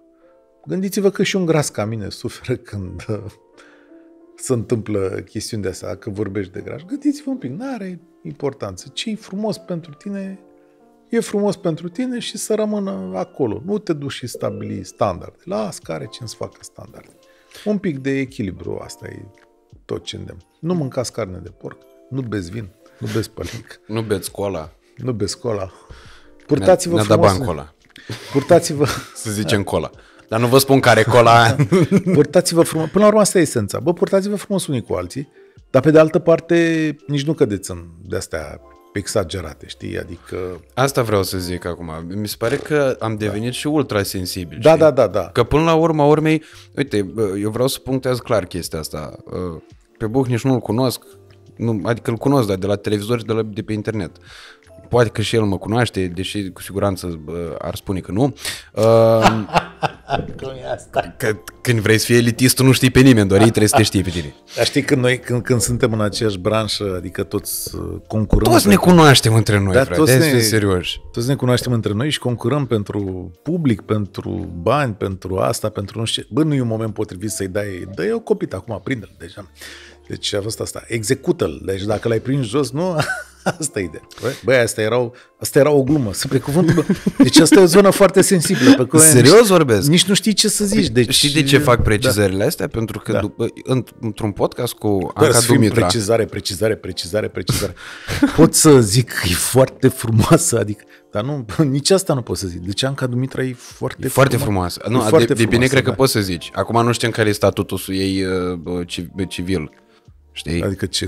Dacă nu știm ce? dacă are uh, bă, pe cineva sau n-are. E important sau ce încerci să Nu știu, că Tu mă știi, gândesc dacă că ne- dacă, e, sp- dacă spunem că e frumoasă să nu se supere omul. Nu știu să, așa mai să, departe. e, că, că ne adâncim, știi? Adică, Da, da, sunt o grămadă de probleme de genul ăsta. da, de, da, e foarte frumoasă. Deci Da. da. nu, nici nu știi cum să porți discuția asta, dar eu zic așa, băi, cu bun simț, echilibru și ase- așezare și respect pentru suferințele unor oameni sau pe... Cu toți avem traume. Deci pe cuvântul meu, și oamenii frumoși, și oamenii deștepți, și oamenii grași, și oamenii subțiri, și oamenii de toate, feluri, de toate felurile avem traume. Suntem crescuți cu niște nenorociri în capul nostru pe care uh, îl desfințăm foarte greu și dacă cineva care e foarte important așa și foarte vizibil mai vine și ne mai spune Băi, știi, aia e treabă, eu mă uit la celulită sau mie îmi place să mă fac preș în fața bărbatului, na, lumea izbucnește. Mă duceam unde pe vremuri notam într-un loc, acum a dat faliment în timpul pandemiei, știi? Și eu de când l-am văzut pe Emil Boc în treaba aia de la fotografiat oamenii aia în fundul gol, am învățat o lecție și am zis, bă, deși suntem în vestiarul de bărbați, eu nu mă las chiar în uh, fundul gol pe acolo. Dar de ce? Că m-au văzut aia la televizor, care mă mai fi văzut la televizor, mai sunt unii care mai știu, dar la radio, m-au citit pe aia, nu știu ce, și chestia aia că se uite, uite-l pe ăsta la televizor, hai să vedem cum arată gol. Și să, să uit așa, ia să vedem, bă, cât oare, deci ia să vedem. Și mie mi-e groază de treaba asta. Și atunci încerc în vestiarul ăla să mă port cumva, știi, ori am un halat, ori pun un prosop în jurul meu. Nu defilez în fundul gol să se uite cinci bărbați la mine, că mai mult de cinci nu sunt. Să se uite așa, ia, ia să vedem, domnul cum e. E, domnul Striblea, vă știu de la televizor, ia să vedem aici ce aveți. Băi, deci stai un pic. Este și aici să facem cunoștință, știi? Nici asta nu pot, să facem cunoștință. Un așa. cucugol. Un cucugol. Deci nu, parcă nu merge. Adică, bună ziua dumneavoastră, ce mai faceți? Și noi să ne vânturăm pe acolo. Și într-o zi, în acest vestiar, în aten- atenție, eu cu prosopelul în jurul meu și cu halatul de fiecare dată, având grijă să nu pățesc ca Emil. Mai face unul vreo fotografie, mai... Da. Uh, băi, intră un tată cu două fetițe. Două fetițe mici, sub 10 ani. Și am paralizat. De jur că am paralizat, că nu știam ce să fac. Că eu eram cât de cât în bărcățel, cum ar veni, adică defilam cu prosopul. Dar acolo erau niște domni care își vedeau de treaba lor, știi? Adică defilau cum i-a făcut mama lor. Na. Iar dacă ai peste 50 de ani, o să vedeți voi, că am uitat la podcast, nu se uită de ăștia 50 de ani. Sunt niște detalii. Avem, cum avem Avem, și- da, da, da, da. avem, da. Ei, domnii de la 50 de ani, tu știi că sunt niște detalii anatomice mai complicate, așa, știi? Nu trebuie să te uiți la podcast, trebuie să te uiți la stand-up ca să le Da, înțelegi da, pe da, astea. exact, da. Când sunt cu Și la șoarele. vârstă, deci, oamenii aia circulau pe acolo și vedeau de treaba lor și au intrat fetițele astea două și am rămas așa, am paralizat. Deci mi-am pus prosop așa și am zis, aoleo, aoleo, ce e aici, frate? Și m-am uitat la omul ăla și făceam din ochi, bă, frate, ești serios? Adică pe bune? Adică ce faci aici? Și omul a zis uh, că s-a simțit, știi, răceala, adică și zis, știți, trebuie să le schimb și eu nu puteam să intru la femei cu ele și sunt mici și trebuie să le schimb aici. Și atunci noi toți bărbații ne-am acoperit, ne-am asta și i-am zis, prietene, deci, e clar că avem alte concepții legate de viață, dar după capul meu trebuia să vii să întrebi sau să anunți. Și vedeți că acum intru cu două fetițe mici aici în uh, asta, ori îmbrăcați-vă, ori, nu știu, venim peste 5 minute când se face asta. Nu, da, oamenii sunt mai libere astăzi, adică am intrat acolo, am scris asta pe Facebook. Și ce domnule aici, mare lucru că te-a văzut în curul gol. bă, nu mă simt bine. Că m-au văzut ei pe mine în fundul gol și nici nu mă simt bine în prezența unui copil și nici nu vreau să întreb cum se simte copilul ăla. Adică mă pun și eu în mintea unui copil de șase ani dacă mă băgau undeva acolo și ce făceam? Muream de curiozitate sau ce mă uitam la moșii aia cum sunt acolo. Deci de asta zic că nici genul ăsta de libertăți uh, neexplicate nu le înțeleg, nu înțeleg cu genurile astea. Suntem nu știu câte zeci de genuri. Bun, fi în capul nostru, putem să ne credem ce vrem noi, natural și în relațiile cu ceilalți oameni, suntem percepuți ca bărbat și ca femeie, uh, indiferent de fluiditatea din capul nostru și de orientarea noastră sexuală. Noi așa ne uităm. Că tu poți să te crezi ce vrei tu, dar eu nu știu ce te crezi tu, că eu nu stau de vorbă mult cu tine. Ne vedem într-o interacțiune și uh, interacțiunea aia trebuie să fie firească, normală, așezată și să nu-mi dea nici mie fiori, nici ție fiori. Adică să nu-mi dea mie posibilitatea să uh, îți zic ceva, dar nici tu să mă pui într-o situație din asta în care eu să rămân uh-huh. așa. Și atunci, cred că căutarea echilibrului este cheia în toată povestea asta. Da? Uh, deci nu înțeleg nici pe oamenii care sunt în cealaltă extremă, nici pe oamenii care sunt în extrema conservatoare. Eu cred că lucrurile bune și așezate din viața oamenilor stai și la centru. Adică, băi, fetelor, aveți celulită, asta e, se întâmplă în viață, nu putem fi perfecți, vă respect. Cunosc foarte multe femei cu celulită care sunt frumoase și tu cu plăcere la ele, da? Și la fel cum zice doamna, dacă la voi în familie, doamna Van zice, dacă la voi în familie ție îți place să faci cumpărăturile și vrei să-l protejezi pe el să nu se ducă la mega, e ok pentru voi, dar trebuie să știi că pentru foarte multă lume nu e ok. Pentru foarte multe femei muncitoare, deștepte, aia zic, bărbate, băi, când ai dus mă ultima oară cu noi? Deci când? Ia să. Ai pus și tu mâna pe o cratiță? Am auzit eu la o femeie o chestie foarte interesantă și aici noi doi ar trebui să rezonăm. Zice, mamele de băieți au distrus toate relațiile lumii. E puiul lui mama, că lasă să facă nimic. Să pună Nu, no, nu, să spele nu, un tric. nu știu dacă e chiar așa, știi? Da? Te-a pus maica ta să speli tricori? Nu erai puiul lui mama? Nu, dar... Ai frați, ai surori? Ai? Nu, nu, Nu, ești nu. singur? Da. Și n-ai fost la cocoloșit, n-ai primit totul? Ba da, da? bineînțeles. Nu ți-a făcut maica ta tot?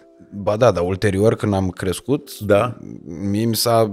Eu, eu or, orice aș face, nu știu, cred că dacă aș fi înșelat în momentul ăsta Așa? și aș spune lui maica, mi zic, bă, mă, uite, m-am înșelat, asta am prins-o în fapt, Da.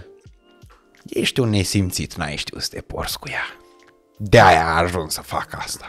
Da, Adică e la mine posibil. e chestia asta, știi, din spate. Că Orice ar fi, eu sunt vinovatul.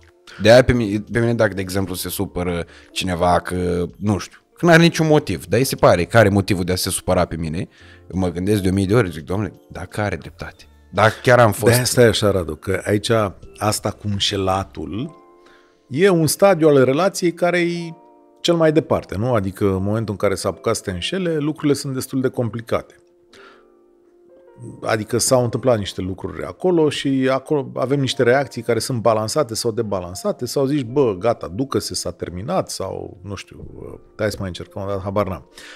Dar sunt stadii ale unei relații și aici te provoc.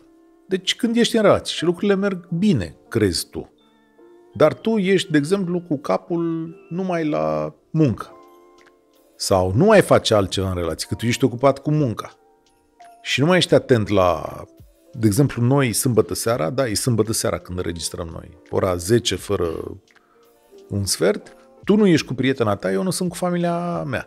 Bine, eu nu sunt cu prietena mea că nu mai am cu ce prietenă să fiu. în primul și în primul rând. Este, Dar da. Este available, după cum ați auzit, fetelor. Dar nu asta e. Deci, noi am făcut-o și în alte sâmbete și în alte duminici, nu? Mm-hmm. Pentru că nouă ne face imens de multă plăcere să facem treaba asta. Din asta trăim, dar nu la modul că ne luăm banii din asta. Din asta se, hră, se hrănește creierul nostru, din ego, din uh, mulțumirea asta de a fi în fața microfoanelor, din modul în care înțelegem lucrurile astea. Uh, adică nouă ne face plăcere. Familiilor, prietenilor, vieții noastre face plăcere această chestiune? Categoric nu. Categoric nu. Hă? Deci aici se întâmplă, se întâmplă niște chestiuni, știi? Pe care noi s-ar putea să nu le, pricep, le percepem. Ai primit reproșul ăsta că ești mai mult plecat la muncă și cu capul mai mult în microfoanele astea și în... Foarte des.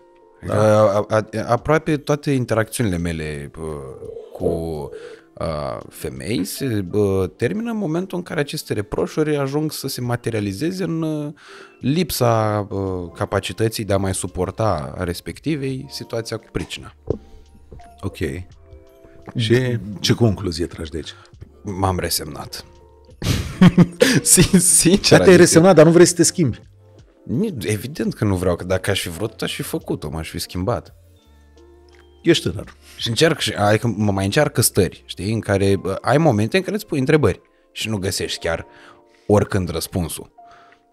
Dar, dat fiind faptul că în momentul în care eu sunt aici uit de absolut orice altă problemă, înseamnă că asta mă face pe mine fericit. Da, mai fericit o... decât alte lucruri. Ia uite-te, fii atent ce te afunzi. Doar n-ai spus asta acasă. Nu ai spus prietenei tale că ce facem noi doi sau alții aici te face mai fericit decât statul cu ea. A, nu, dar nu la asta mă, nu la asta mă refer. Nu, dar te face? Oarecum da, pentru că dacă n-aș face chestia asta, n-aș putea să fiu nici fericit acasă cu ea. Eu, eu, eu în mare măsură sunt de acord cu tine, dar te-ai dus să spui asta?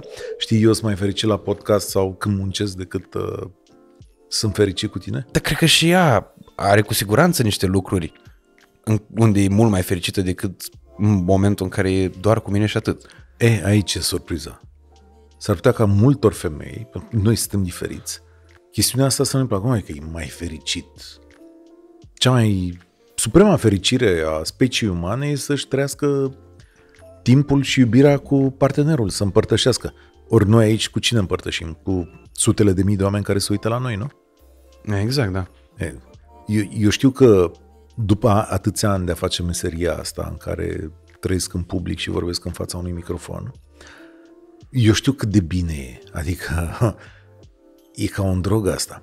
E ca fumatul, ca băutul, eu alte droguri n-am experimentat, dar te trage. În momentul în care vorbești la microfon, în momentul în care cineva îți dă drumul la un microfon, înainte de a vorbi, e o secundă, e o, e o fracțiune de secundă, un frame, cum ar fi în televiziune, în care e liniște, e gol, e un spațiu pe care tu începi să-l umpli. Și acolo vin oameni, mii de oameni, sute de mii, oameni care te ascultă, oameni care se uită la tine, oameni care îți sor vorbele alea, bă, și tu știi chestia asta. Și ai o nebunie, aia fracțiunea aia de secundă în care tu știi că o să preiei controlul și o să te uiți și o să faci, aia îți sucește creierul. De-aia tu uiți în momentul ăsta că noi mai avem și alți oameni lângă noi. Dar ei nu uită că noi suntem lângă noi și nu toată lumea înțelege că n-a trecut prin demența asta în care să faci radio, televiziune și alte tâmpenii. Zice, bă, dar ăsta e nebunii plecați la 10 seara sâmbătă. Nevastă mea acum îmi spunea, dar ce tu unde ești? Ce faci?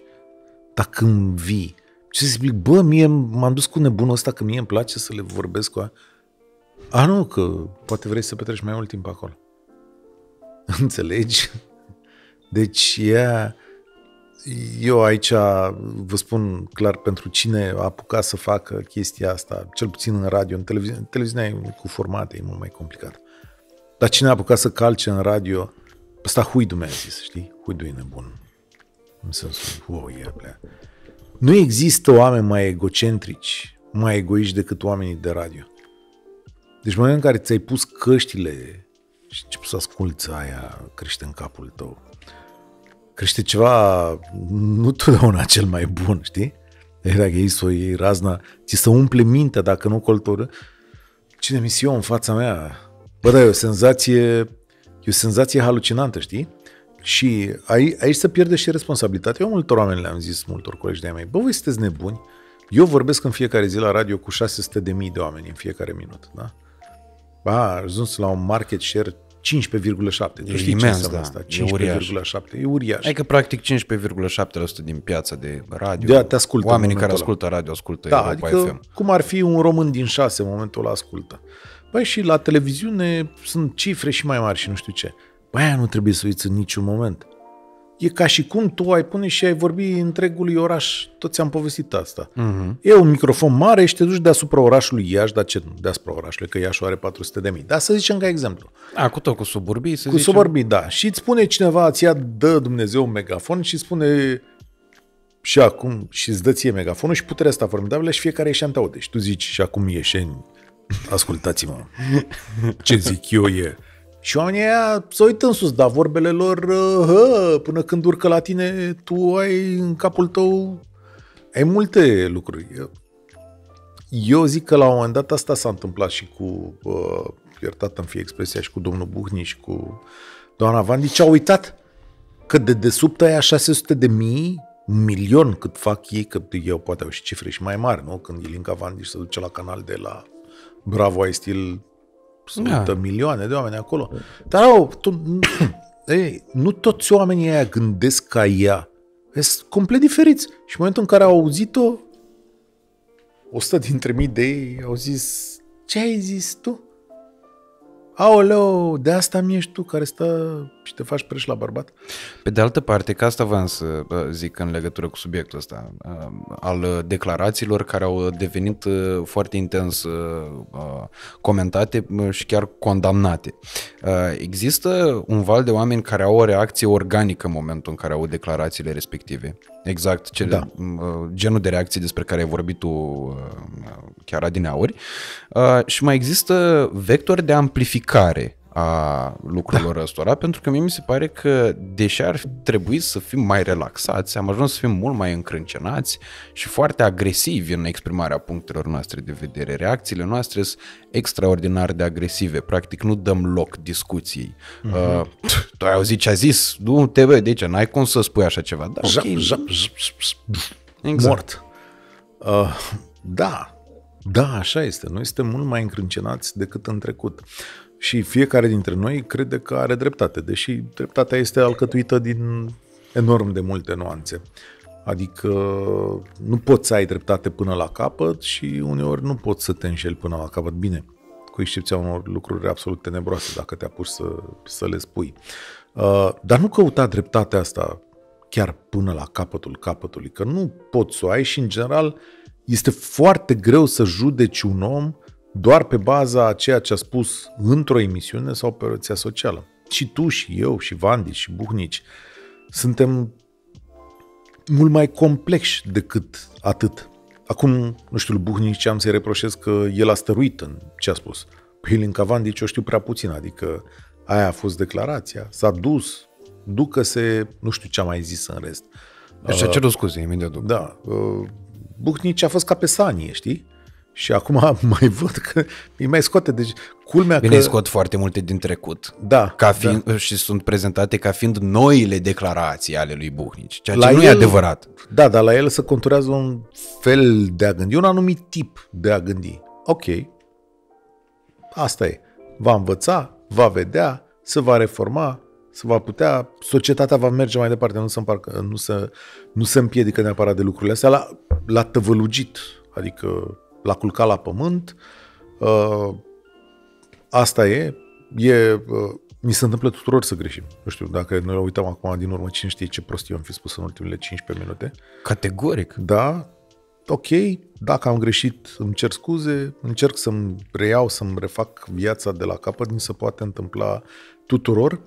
Ce vreau eu să spun ca o concluzie la toată povestea asta, care într-adevăr ai văzut-o foarte bine ca o constantă a anului 2022, în România există o nouă generație care afirmă o libertate și o egalitate mai mare între sexe, care nu mai acceptă anumite judecăți de valoare care sunt legate de trecut și care are curajul să le spună foarte, foarte, foarte tare. Ori dacă tu schimbi discursul echilibrat pe unul în care vrei să faci vâlvă sau chiar comentezi pe baza frumuseții, deșteptăciunii sau, uh, nu știu, problemelor pe care oamenii uh, le au, s-ar putea să ai de suferit. Și este important nici măcar să nu promovezi acest tip de, de valori. E clar că societatea patriarhală românească este într-un punct de cotitură. Și în momentul în care valul schimbării s-a pornit, un val mai mare al respectului între sexe și al egalitarismului, uh, dacă spui ceva contra acestui val, vei avea de uh, suferit. Dar nici măcar asta nu argumentez, ci faptul că anumite valori mai noi și mai bune, din punctul meu de vedere, au început să vină în România, arată că această țară e într-un tip de progres. Nu cred că societatea comunistă și societatea anilor 90 este un bun exemplu pentru relațiile dintre bărbați și femei. Adică pentru foarte multe femei tinere și bărbați tineri, lumea asta s-a schimbat și nu mai este deconceput așa cum era pe vremea noastră. Violența uh, domestică, abuzul asupra persoanelor inferioare ca putere fizică ție, au fost constante ale societății noastre. Lumea nu le-a luat în seamă și uh, de aici foarte multe drame. Ori, o nouă generație vine și afirmă un nou statut social și o nouă bază și cred că e mai bun decât cel dinainte. Asta e, cred că, concluzia acestor, măcar acestor două cazuri. Uh, cred că este aproape imposibil în acest moment să mai mergi către valori din trecut, trebuie să te uiți doar către viitor, din punctul meu de, de vedere. Dar cu echilibru și cu împătare. Încă o dată, nu o să pot să criticați-mă. Domnule, la bărbați ca la bărbați, la, la femei ca la femei. Nu aveți că s-a întors microfonul. Situația asta. E un semn. Da, e un semn să vezi ce mi iau după asta. Deci, încă o dată... Tot în 2022, a, mi se pare că fenomenul fake news-ului a explodat mai mult ca niciodată. Și, și aici putem veni cu exemple dintre cele mai uh, discutate, dintre cele mai notorii, nu neapărat că au fost cele mai uh, grave. Unul dintre ele mi se pare foarte grav. Uh, vorbim de filmulețul pe care l-a prezentat uh, Prelipceanu la Digi24, uh, despre care am mai vorbit uh, odată în vară cu soldatul rus, uh, care e un clip de acum 11 ani da, Digi, da, da, da. Digi s-a specializat deja pe uh, știrile de genul acesta, uh, neavând nimic cu Digi, uh, dar e foarte... N-ai nimic cu Digi? Tot, am internet, atât. uh, ideea e că e păcat că se întâmplă la ei din punctul meu de vedere pentru faptul că erau și reprezentau o sursă credibilă de informații um, și uh, chiar recent am văzut tot așa o, un filmuleț cu Kim Jong-un care mergea pe o barcă și niște, sud, niște nord-coreeni oameni care uh, alergau uh, pe lângă el prin apa mării ca să-l prea slăvească. Și era prezentat uh, ca fiind un filmuleț recent, el fiind un filmuleț din 2011. Uh, mai departe a mai fost uh, fix ziua în care Rafil a anunțat uh, faptul că trebuie să ne uh, mergem să ne luăm pastilele de iod în vară. A fost ziua în care uh, breaking news-urile erau cu rușii care bombardează centrala nucleară de la Zaporojie. Și bă, cireașa de pe tort, din punctul meu de vedere, a fost vizita lui Elon Musk la Bran, uh, un fake news grosolan, Uh, și uh, cred că treaba asta e un fenomen foarte periculos pentru că, apropo de ceea ce discutam uh, la început despre uh, război și despre faptul că oamenii au obosit cu știrile despre război, au obosit să trăiască în panică, să trăiască în frică, uh, cred că datoria jurnalismului de calitate care e din ce în ce mai puțin uh, întâlnit în, uh, în zilele noastre, e să reglementeze chestia asta uh, cât se poate de rapid, pentru că în goana după trafic, în goana după clicuri și după audiență pe TV, s-a ajuns în punctul în care uh, practic nu verificăm o știre care pornește de pe un site obscur, înregistrat, apropo că m-am uh, documentat mai mult de, pe subiect, Mediaflux e un site de unde a pornit știrea cu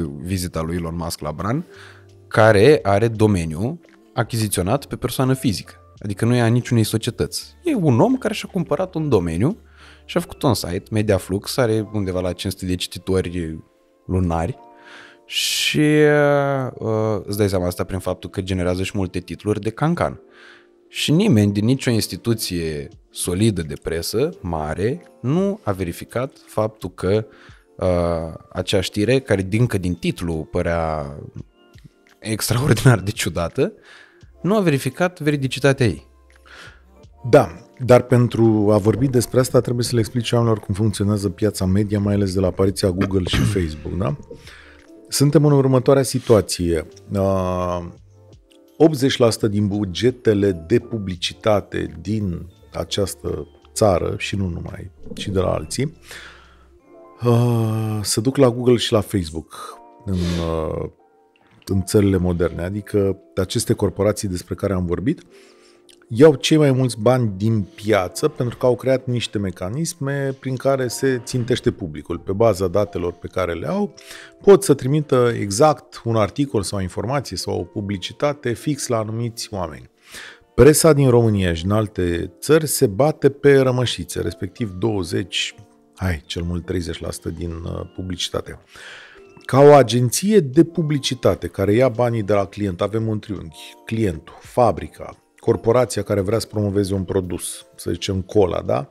Cola vrea să promoveze, dar și cola nu e cel mai bun exemplu, pentru că acolo sunt alte realități, proiecte speciale, un anumit tip de publicitate, dar să zicem, o fabrică de calculatoare sau de pantofi vrea să promoveze produsul. Să duce la o agenție de publicitate, care agenție de publicitate face un proiect media și distribuie pe mai multe canale media în funcție de interesul clientului ca să-ți dea banii și ca să întoarcă cu o anumită capacitate a investiției către client, ce pot măsura ei? Numărul de cititori sau de privitori sau de orice la știrea respectivă, respectiv clicuri. Clicuri. Dacă dai click, se valorizează. Dai click, iei bani. Dacă tu dai click, cu tare ia bani. Și atunci, foarte multe site-uri sunt create ca rețele de clicuri, da? Așa a apărut clickbait-ul, adică momeala pentru click. Uită-te la un titlu tâmpit și sigur apasă acolo. Bă, și s-a ajuns la un talent al titlurilor tâmpite, ceva ieșit din comun. Cel puțin pe site-urile de sport nu mai poți să citești nimic. Nu mai există nicio informație în titlu, numai ca și cum am fi un popor de... Eurosport a început da. să facă asta. Băi, Eurosport, da. Suntem ca un popor de... Bă, dar ce nu un popor? Că e peste tot chestia asta. Cu excepția unor site-uri plătite, suntem ca un popor așa care, ha? Facem examen, ha? Oare ce-o fi zis? Oare ce-o fi spus? Ce a spus? Întorsătură cumplită în cazul, băi, bun, generează clicuri ca să poată să genereze bani. De aici această competiție absolut tembelă pentru niște bani. O paranteză, asta se întâmplă și pentru că, în realitate, nimeni nu plătește nimic. Adică corporațiile plătesc da, ca să ajungă mesajul lor acolo unde trebuie contra click, dar publicul nu plătește niciun leu pentru uh, produsul pe care îl consumă. Toată lumea consideră că presa trebuie să fie gratuită, că e un drept. Nu e niciun drept. Dacă e gratuită, tu ești produsul. Adică tu vei, vei fi valorizat prin click și nu informația respectivă. Dacă nu plătești, nu primești de calitate. Nu există de calitate gratis. Atenție! Vei zice că te uiți la ProTV. ProTV deja este pay-per-view. Da? Adică să nu uităm această discuție. Fiecare dintre noi plătește la ProTV 7 cenți, parcă era contractul negociat, nu? În ProTV s-a dus la cablu și a zis, în momentul ăsta, dacă vreți să ne mai aveți, trebuie să mai măriți abonamentul cu, nu știu, 7 cenți pe privitor. Și este pay-per-view, da? În momentul ăsta. Deci, calitate plătită, deși noi am uitat că 7 cenți în nu știu câte zeci de lei plătim acolo, nici nu se vede, dar e pay-per-view marile publicații ale lumii, New York Times, Washington Post, uh, Wall Street Journal, uh, The Times, deci calitatea, calitate, sunt plătite, sunt plătite. Adică plătește abonamentul online. De asemenea, publicațiile franceze, cred că nu mai e niciuna la liber. Săracii de la Libertatea, Tolontan a anunțat acum câteva zile că pun și ei, da, donații, atenție, deci nu obligatoriu, nu e paywall. Hai zis, dacă vreți să ne sprijiniți, Păi și puteți să plătiți, ca la Guardian. Guardian în Anglia mai face asta. Deci a fost un val, deci m-am uitat pe, com- pe comentariile alea, mi-am făcut cruce. Pentru ce să vă plătim, bă, voi care furați, care... Ce-o fi furând de ea, Dumnezeu știe. Și atunci, în condițiile în care nimeni nu plătește și tu vrei să câștigi puținul ăla de bani, s-a ajuns în situații în care apar acești pirați de presă. Da?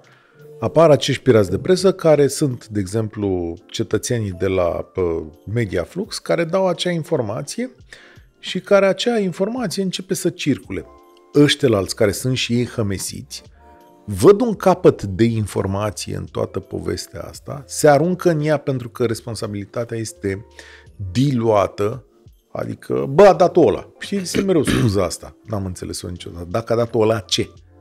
Ba, mi-a, mi-a trimis cineva de la Euronews că eu am întrebat, am vorbit cu tine atunci și am întrebat și eu pe Facebook. Bă, a văzut cineva ceva? Are cineva un capăt de știre, vreo treabă? Și mi-a trimis o colegă de la Euronews o declarație a lui Dragoș Anastasiu, care zicea, păi, l-am văzut eu pe... Nu l-am văzut, am auzit eu că Elon Musk. Și mi-a venit să scriu înapoi pe zic cu declarația asta, zic, pe o singură persoană, pe o știre atât de mare, tu te-ai dus să-mi spui că e adevărat-o? Pe principiu, da, a zis-o ăla, mă. Păi dacă ți-o ziceam eu, ia mie o declarație că ți-o zic eu, că mi-a zis mie un prieten, care-i treaba? Te duci, te arunci în ea, suntem pelicani? Da, suntem pelicani, pentru că, na, dacă o dă toată lumea, dacă tu nu o dai, ești prost. De, de, spre, de, spre fericirea mea, Europa FM au fost niște proști, știi? Uh-huh. Și n-au dat-o, de exemplu. Dar era ceva acolo fișii. De la unde pleacă prima știre? Tu ești Media Flux. Bă, ce e asta? Deci Bine. prima Media Flux, ai auzit vreodată de Media Flux? Până în ziua respectivă, nu? Nu. Bun. Dacă n-ai auzit niciodată până în ziua respectivă, ce faci? Cauți. Cauți. Cauți, Logic, că da. seară. Trebuie să o dai? Nu trebuie să o dai, tata. Pentru că zici o vorbă de când lumea, ce se taie, nu se fluieră. Publicul nu are cum să zică. Da, acum vrei să zic ceva din registrul conspirațiilor și din asta, mm-hmm. poate nu să-ți placă, poate... Bă, da aia dracu coincidență, bă, să fiu. Ai, bun, de, deci trage în concluzie. Pelicani, pelicani, pelicani, lipsă de respect față de meserie, ne-am aruncat. Mă iau și eu asupra mea, deși eu nu m-am aruncat. Am avut un dubiu chiar din momentul în care a apărut informația, deci vineri seara, sâmbătă dimineața, am scris unei colege, o ziaristă foarte bună și am zis, bă, aveți ceva pe subiectul ăsta? Deci, nu știu, după 30 de ani, în 2023, dacă dai podcastul ăsta în 2023, să știi că să fac 30 de ani de când mănânc pâinea asta. Wow! Da. Să vorbim imediat despre da. asta. Și zic, după 30 de ani, unele vin așa, știi, și zici, bă, nu se potrivește. Și am întrebat atunci și am zis, bă, pute.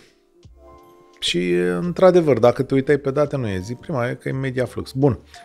Suntem pelicani, ne-am grăbit, e lipsă de bani, redacțiile sunt subțiri, sunt deprofesionalizate, nu arătăm bine. Salariul unui ziarist e într-o redacție obișnuită 3.000, 3.500 de lei, 4.000, ho, ho, cine ia 5.000 este Redactor este, șef. Este redactor șef de acum. Este... Adică trebuie să știți că e sărăcie mare. Și unde e sărăcie mare sunt și probleme multe. Dar hai să zic ceva. Uh, e o observație pe care au făcut-o niște oameni de la un ONG și pe care, care au, au comunicat-o în spațiu public foarte discret, dar cu atenție mare.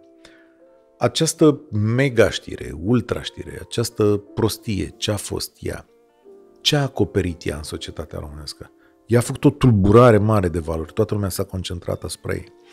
Dar a făcut, a avut, a acoperit un alt eveniment, care, în absența acestei știri, s-ar fi dezvoltat mult mai tare. Și am să zic acel eveniment. Legile justiției? Nu. Această știre, erau și legile justiției acolo, dar cine să mai uită mă la legile justiției? Alea parcă le-am uitat, efectiv. Alea, da. Nu. Această știre a apărut cu două zile înainte de a se face șase ani de la colectiv. Șapte. Șapte. Șapte. Șapte. Colectiv a fost o notă de subsol. Colectiv e întotdeauna o emoție în societatea românească. Întotdeauna ai de vorbit. Vin politicieni, oamenii realizează materiale speciale, victimele vorbesc din nou. E o generație întreagă care își găsește revoluția acolo, în colectiv. Ori acest subiect, pe acest cu această tulburare cu Elon Musk, acest subiect s-a dus jos. Nu l-a mai văzut nimeni. Ori ăsta e un subiect care încurcă clasa politică din România, încurcă administrația, încurcă, cum se numește în engleză, establishmentul, acea parte din societate care editează și face și drege. Bă, să fiu eu a dracu, cum s-a potrivit această știre înainte de colectiv? Ce coincidență naibii o fi fost? Cum a dat-o ea, cum a fost hrănită de un site care nu există, și de pe care nimeni nu mai citește. Cum a apărut așa din neant, cum zeci de redacții s-au aruncat în ele ca guguștiucii, ca pelicanii. Uh, mie conspirațiile nu îmi sunt dragi, că nu le pot stăpâni. Dar, iarăși, aici pute, știi? Adică te uiți și zici, bă, da, dracu, coincidență. N-a fost nicio zi mai târziu, nicio zi mai devreme, nicio zi mai încoace, nicio zi mai încolo. Știi, când au apărut fotografiile cu Udrea, Udrea la Paris cu doamna Bica. Ok, da. După da. câteva zile, doamna Audrey era chemată la parchet când pica o putere politică. Pe fotografiile alea au apărut pe un site care nu mai le-a pus cineva pe un site și gata. Știi? Și de acolo au fost luate de toată presa, nimeni nu s-a mai uitat cine le-a pus. Dar cine interesează cine le-a mai pus? Că până la urmă așa este. Doamna Udre era acolo cu doamna Bica. Mm, înseamnă același tip de operațiune. Sigur, pliată pe prostia noastră fundamentală, dar nu pot să nu mă uit, să nu zic, să ridic un semn de întrebare, că habar n-am. Și acum a zis, de ce nu investighez, domnule Striblea? Pentru că n-am puterea să investighez așa ceva. Adică... E foarte greu, da. E foarte greu, ce să zici, e... că au niște băieți puteau să o dea cineva de la un site mai serios decât acest Media Flux, mai cunoscut și la fel s-ar fi întâmplat.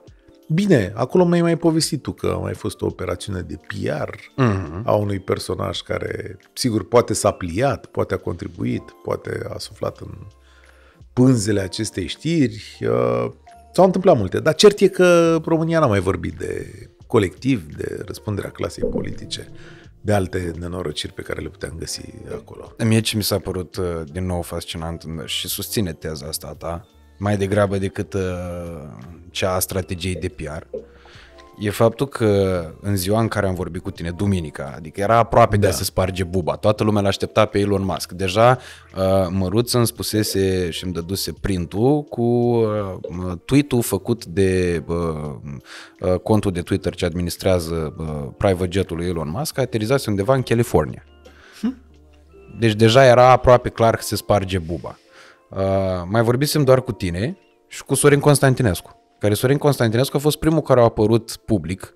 Eu scrisese mai pe Insta Story și am zis că, domnule, e Elon Musk la Bran cum a murit și Salam în august. Uite, am uitat de am alt mare de fake Salam, news. Da. Da?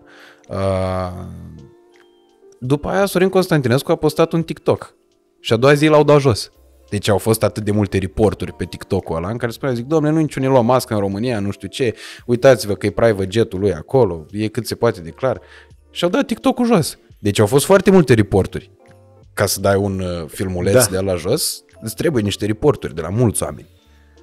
Adică dacă ne apucăm noi trei acum să dăm report la un filmuleț... nu ne bagă nimeni în seama, da. Nu o să-l dea jos. Stai. Da, știu că de Bine, după aia l-au adus în, uh, Sorin a făcut contestație, a venit uh, Sorin Constantinescu e omul cu pariurile, nu? Cu cazinourile, da. Cazinourile, da. da. Cu păcănele a început el. Am citit, uh, am văzut și la tine, am citit și la Ștucan s-a dus la, la emisiune. Bă, să știi că asta e una dintre marile teme ale societății românești. Adică... Cele mai multe vizualizări le-am făcut aici pe canal cu jocurile de noroc poate nu în cazinouri. Cazinouri sunt, sigur, e o industrie care are specificul ei, nu toată lumea are acces la casino, uh, nu toată lumea poate să intre, adică în sens de bani, că poate să intre oricine. Și noi doi, dacă ne ducem acolo, tot ca niște sărași, suntem priviți și uh-huh. nu, nu, nu e asta o problemă. Dar cazinourile în sine nu, nu o văd ca cea mai mare traumă, dar în schimb văd uh, uh, sălile de păcănele, și pariurile sportive, pentru mine sunt o mare problemă. Mare de tot, mare problemă, păcănelele sunt peste tot, sunt ca farmaciile, ceva îngrozitor. Eu cred că foarte multă lume își pierde banii, viața acolo, relațiile. Eu cred că sunt foarte, foarte multe nenorociri acolo, cum sunt și pă, la pariuri sportive. Și nu îmi place când văd la pariuri sportive atât de mulți sportivi mari, mici, profesioniști de presă, pe ce faci tu ca ziarist să prezinți pariuri sportive? Adică cum vine asta? Pariurile sportive au emisiuni la televizor. Despre ce vorbim aici, prieteni? Adică ce fel de țară e asta? Ce fel de lume e asta? Ce încurajează lumea asta? Am, am râs la un moment dat. Aveam un contract că eu nu mă ascund, deci pe mediile mele, adică pe striblea.ro, pe Facebook, sunt companii care cumpără publicitate, știi? Uh-huh. Și la un moment dat cineva uh, angajase o discuție în, în sensul ăsta și uh, agenția respectivă îmi spune la pachet, zice și nu vrei să faci niște pariuri, uh, să faci ceva pentru niște pariuri. Nu! Cum să fac ceva pentru pariuri sportive? Zic și zic, te rog, concentrează-te, zic, ne-am adunat aici pentru o altă discuție Adică cu o temă serioasă, cu niște oameni care vor să cumpere ceva, cum poți să-mi propui să iau pariuri sportive. Nu, nu, nu e o chestiune. Adică uh, nu e nu știu cum ești tu, ești sponsorizat de pariuri sportive, nu, ca să știu unde... Nu, avem și noi uh, uh, regula asta clară, adică nu jocuri de noroc. Am uh, jucat, de exemplu, poker. Da, poker fiind sport, e cu tot și cu totul altceva. Adică, din punctul meu de vedere, acolo îți trebuie creier. De am și și ultimul. Uh, nu e cu bulan. La tot ce înseamnă bulan și îmbogățire rapidă și așa, am avut uh, pachetul ăsta clar în, uh, de, la, de la bun început. Nu video chat, nu... Despre da. ce vreți să mai vorbim? În primul și în Deci primul cred rând... că vorbim de trei ore, nu? Aici s-a întâmplat? Nu vorbim de trei ore? Trei Trei ore, voiam- trei ore, trei ore. Voiam să fac mult trecerea dintre Da. uh, treaba asta cu fake news și o chestiune pe care tu ai explicat-o foarte corect în legătură cu de ce, de ce se petrece fenomenul. Așa. La parcursul tău uh, din cariera de jurnalist și Da. totodată la o chestiune care uh, mie mi se pare a servit drept o lecție foarte importantă despre viață și despre care noi n-am vorbit niciodată, despre uh, momentul de cotitură din viața ta. Am văzut că ai scris uh, sau ai acordat un interviu înscris cuiva uh, recent despre asta. Ia, cui am acordat un interviu? Na, uite că aici... La publicația live.ro, cred că am scris. și- Aba nu, am vorbit și cu Cristina Stăncilescu despre asta, da. Băi, foarte multă lume, că de asta e moment de cotitură, foarte multă lume a descoperit acum povestea asta. Vrei să-ți povestesc? Nu-i prea târziu în podcastul ăsta? Să povestesc. Cum să fie prea târziu? Doamne, ferește. Știi, nu știi cât durează un podcast la voi? Ăsta îl facem de patru ore? Mai editezi, nu? Am avut de patru ore, da. Am Mai- avut patru ore cel mai lung. Cătălin Opreșan a bătut toate recordurile. Păi fii atent, deci spune, bagă tu, adică faci mai, mai bagă niște teasere printre ele să mai uite lumea la noi ca să ajungă la momentul ăsta. A, Dar știi că lumea stă pe clip aici. Da? Adică e o medie foarte ridicată de minute. Cât ai? Că noi la vorbitorinci avem 47 de minute. Ai mai mult? Aproape de o oră avem și noi, 50 ceva. Depinde, când vii tu sare, se duce spre oră. Deci bagă, bagă asta la început, că bagă secvența asta. Deci fiți atenți astăzi, eu să vă povestesc, folosește uh, domnul Nenciu să folosiți în teasere. Deci astăzi vă povestesc despre accident. Ok, Merge? E bun asta? categoric. Uh, Și punem și o poză și cu o mașină accidentată scumpă. Uh, Băi, am mai zis cuiva și am mai zis oamenilor, nu, nu e momentul meu favorit de viață, dar într-adevăr, ai- tu ai zis bine că viața mea s-a schimbat acolo. Stai că am dat un interviu zilele astea și vreau să mai uit pe el să văd ce să mai ales de, uh, de el. Pentru cine nu știe sau află acum că într-adevăr chiar viața mea e în două ape din momentul ăla și unii oameni care mă știau atunci se uită într-un fel la mine, eu mă uit în alt fel. Uh, eu am avut un ac- accident vascular cerebral, adică o chestie foarte împuțită, foarte nasoală, foarte urâtă, care omoară oameni.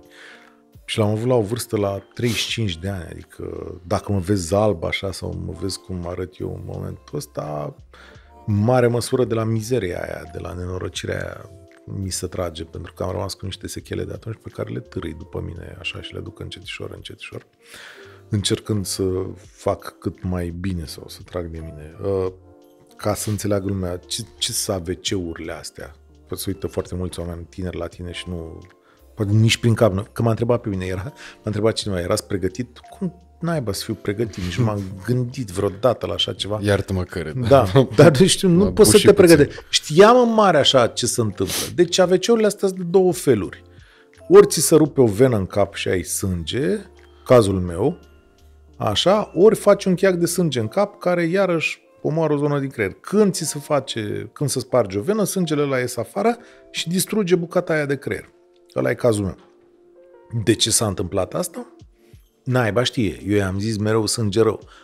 Lucram într-o televiziune și nu mi era bine. Bă, lucram la România TV, că n-am nimic de ascuns. Bă, dar nu mi era bine deloc. Adică televiziunea aia pornise cu niște gânduri și se dusese în cu totul alte părți. Adică o luaseră razna oamenii de acolo, jur. Razna, razna, razna. Și eram mereu sub un ăsta de presiune, mă certam cu ei. Eu aveam un program care era program de prime time. Îl făcusem înainte la realitatea, mergea bine, fusese locul întâi în România, când locul întâi, când locul doi, mai câștigam, mai luam bătaie, era sus. După care televiziunea aia s-a rupt în două și ăștia au avut o idee de a reconstrui televiziunea și nu ne-am înțeles nicio secundă în ce direcție voiau să ducă ei. Ei au făcut și au ajuns la ce vezi astăzi că au ajuns. Ori cu mine acolo nu se putea întâmpla chestia asta. Ne-am certat, ne-am certat. cu o noapte înainte de a avea chestia, deși mie mi erau rău așa de câteva săptămâni, dar nu știam eu să interpretez lucrurile astea, cu o noapte înainte de a se întâmpla nenorocirea asta, eu am anunțat, mâine avem o ședință în care vom prelua controlul asupra emisiunii Marș, mă, deci a fost în, meu, în capul meu. Și atunci le-am zis, după ce am avut AVC-ul și, mă rog, ședința n-a mai avut loc, tot le-am zis, bă, ați văzut că n-ați făcut, mă, ședința aia cu mine. Uh, și uh, deci mi s-a rupt o venă în cap, tehnic. M-am trezit noaptea, niște amorțeli, niște amorțele aia erau, niște amorțeli. Da, eu paralizasem pe partea stângă a corpului, știi? Nu mai puteam să mișc mâna, nu mai puteam să mișc brațul. Mai meu noroc era că era Alina cu mine, știi? Dar m-am prins destul de repede ce s-a întâmplat, că aveam niște noțiuni așa, știi? Apropo, pentru cine, Doamne ferește, că o să aveți rude, neamuri lângă voi, oameni, să știți, dacă aveți picioare grele, furnicături, mâini pe care nu le puteți mișca bine, dacă vi se duce un colț al gurii în sus, în jos, că aveți durere în picioare pe care nu vi le puteți explica, mergeți la doctor. Mergeți la doctor. Eu n-am fost, deși am avut asta, dar nu puteam să interpretez eu astea, dar acum, na, se întâmplă. A venit salvarea, m-a luat, aia să uitau și a zis, domnule, sunteți cel mai tânăr pe care l-am avut, că mi-au zis din era clar ce era. Sunteți cel mai tânăr pe care l-am avut cu AVC. În salvare au început să sune la diverse spitale, între trei spitale nu, nu mă primea niciunul că așa era, acolo e plin, acolo e nu știu ce. Acum s-au mai schimbat lucrurile, acum cineva cu AVC este dus foarte repede sau să fac niște proceduri în salvare. În fine am ajuns la spitalul militar, acolo la spitalul militar nu mergea computerul tomograf, mi-a spus medicul de gardă, stați așa. Băi, eu eram celebru, înțelegi? Că eram la televizor, că mă știa lumea ca pe un cal breaz în fiecare noapte, în fiecare seară apăream în casele oamenilor, intram, bună seara, stați să vă zic eu care e treaba. Aveam și eu un cap așa, cât o baniță, știi? Mi se umflase capul, cum ți-am explicat mai devreme, de important ce era în capul meu, știi? Și la mi-a zis la spital acolo, haideți că vă facem un computer tomograf. A făcut computerul tomograf și zice, aveți puțin sânge în creier. Pff, ha, stai să vezi. Dar pentru că și aici intervine România, știi? Eram acolo, ce să-mi fac, cum să-mi fac? Între timp, colegii mei au început să dea telefoane la spitalele care puteau să opereze așa ceva. Și cine a răspuns primul, acolo am ajuns. Adică a răspuns, uh, prima a răspuns că era să făcuse 5 dimineața între timp. Directora de la Bagdasar, Arsenia Anca Buliman. Și a zis, păi aduceți la noi. M-au pus în salvare, la 6 eram acolo, la 7 a venit profesorul Gorgan, m-a, deci în două ore m-a operat, știi? Și în trei ore am început recuperarea, că asta a fost prima chestie, că ți minte că am ieșit din ce-mi dăduseră acolo toate substanțele alea și m-a întrebat uh, mâna dreapta lui doctorița cu care lucra. I-a zis, strângeți mâna, mâna stângă, puteți să mă strânge și am putut să o strâng, știi, am putut să mișc mâna. Și de acolo a început recuperarea, recuperare care a însemnat că trebuie să învăț din nou să merg, să-mi folosesc mâna, să merg, să-mi folosesc mâna, să merg, să-mi folosesc mâna. Multe lucruri trebuie să le înveți. Mm, le-am învățat, am stat trei luni și jumătate în spital. Ambiția doctorului Gorgan a fost că mi-a zis, zice, pleci de aici pe picioarele tale, adică pleci mergând, nu pleci într-un căruț. Și toți mi-au zis, bă, nu o să mai fie viața cum a fost. E adevărat că n-a mai fost, dar într-un fel m-am gândit că a fost mai bună. Și am început o recuperare pe care o fac și astăzi, adică eu în continuare mă duc la recuperare, în continuare trag de mine, de trei ori pe săptămână merg la recuperare, de trei ori pe săptămână încerc să înot sau de două ori pe săptămână le alternez. Uh, sechele sunt multe, din fericire, accidentul a fost pe partea dreaptă, care înseamnă sensibilitate și chestiuni musculare, nu pe partea stângă, care înseamnă capacitatea de a vorbi. Um, fac botox mult, am tone de pastile și botox, multă lume râde de mine, dar trebuie să știți că ăsta e tratamentul. Eu m-am hotărât să vorbesc despre asta pentru că foarte mulți oameni au nevoie și trebuie să știți asta și foarte mulți oameni abandonează. Sunt mii de oameni în această situație ca a mea. Nu toți reușesc să-și recupereze viața. ce cu botoxul ăsta? În timp și pentru unii, nu pentru toți, apar niște sechele care se numesc spasticitate și eu sunt destul de spastic, adică mușchii rămân încordați, ei nu mai știu să se relaxeze, da? Și probabil că tu mai ai văzut, stăm pe lângă tine, cum merg, cum îmi folosesc mâinile, că nu mi le folosesc chiar ca un om normal. Îmi pui mâna pe mine, toți mușchii mei de pe partea stângă sunt într-un fel încordați. Pentru că mușchii de pe partea stângă sunt încordați și mușchii de pe partea dreaptă au tendința să se încordeze. Uh, vă povestesc asta nu ca să vă îngrozesc, dar vreau să știți prin ce pot trece anumiți oameni și cum îi puteți ajuta pe cei de lângă voi.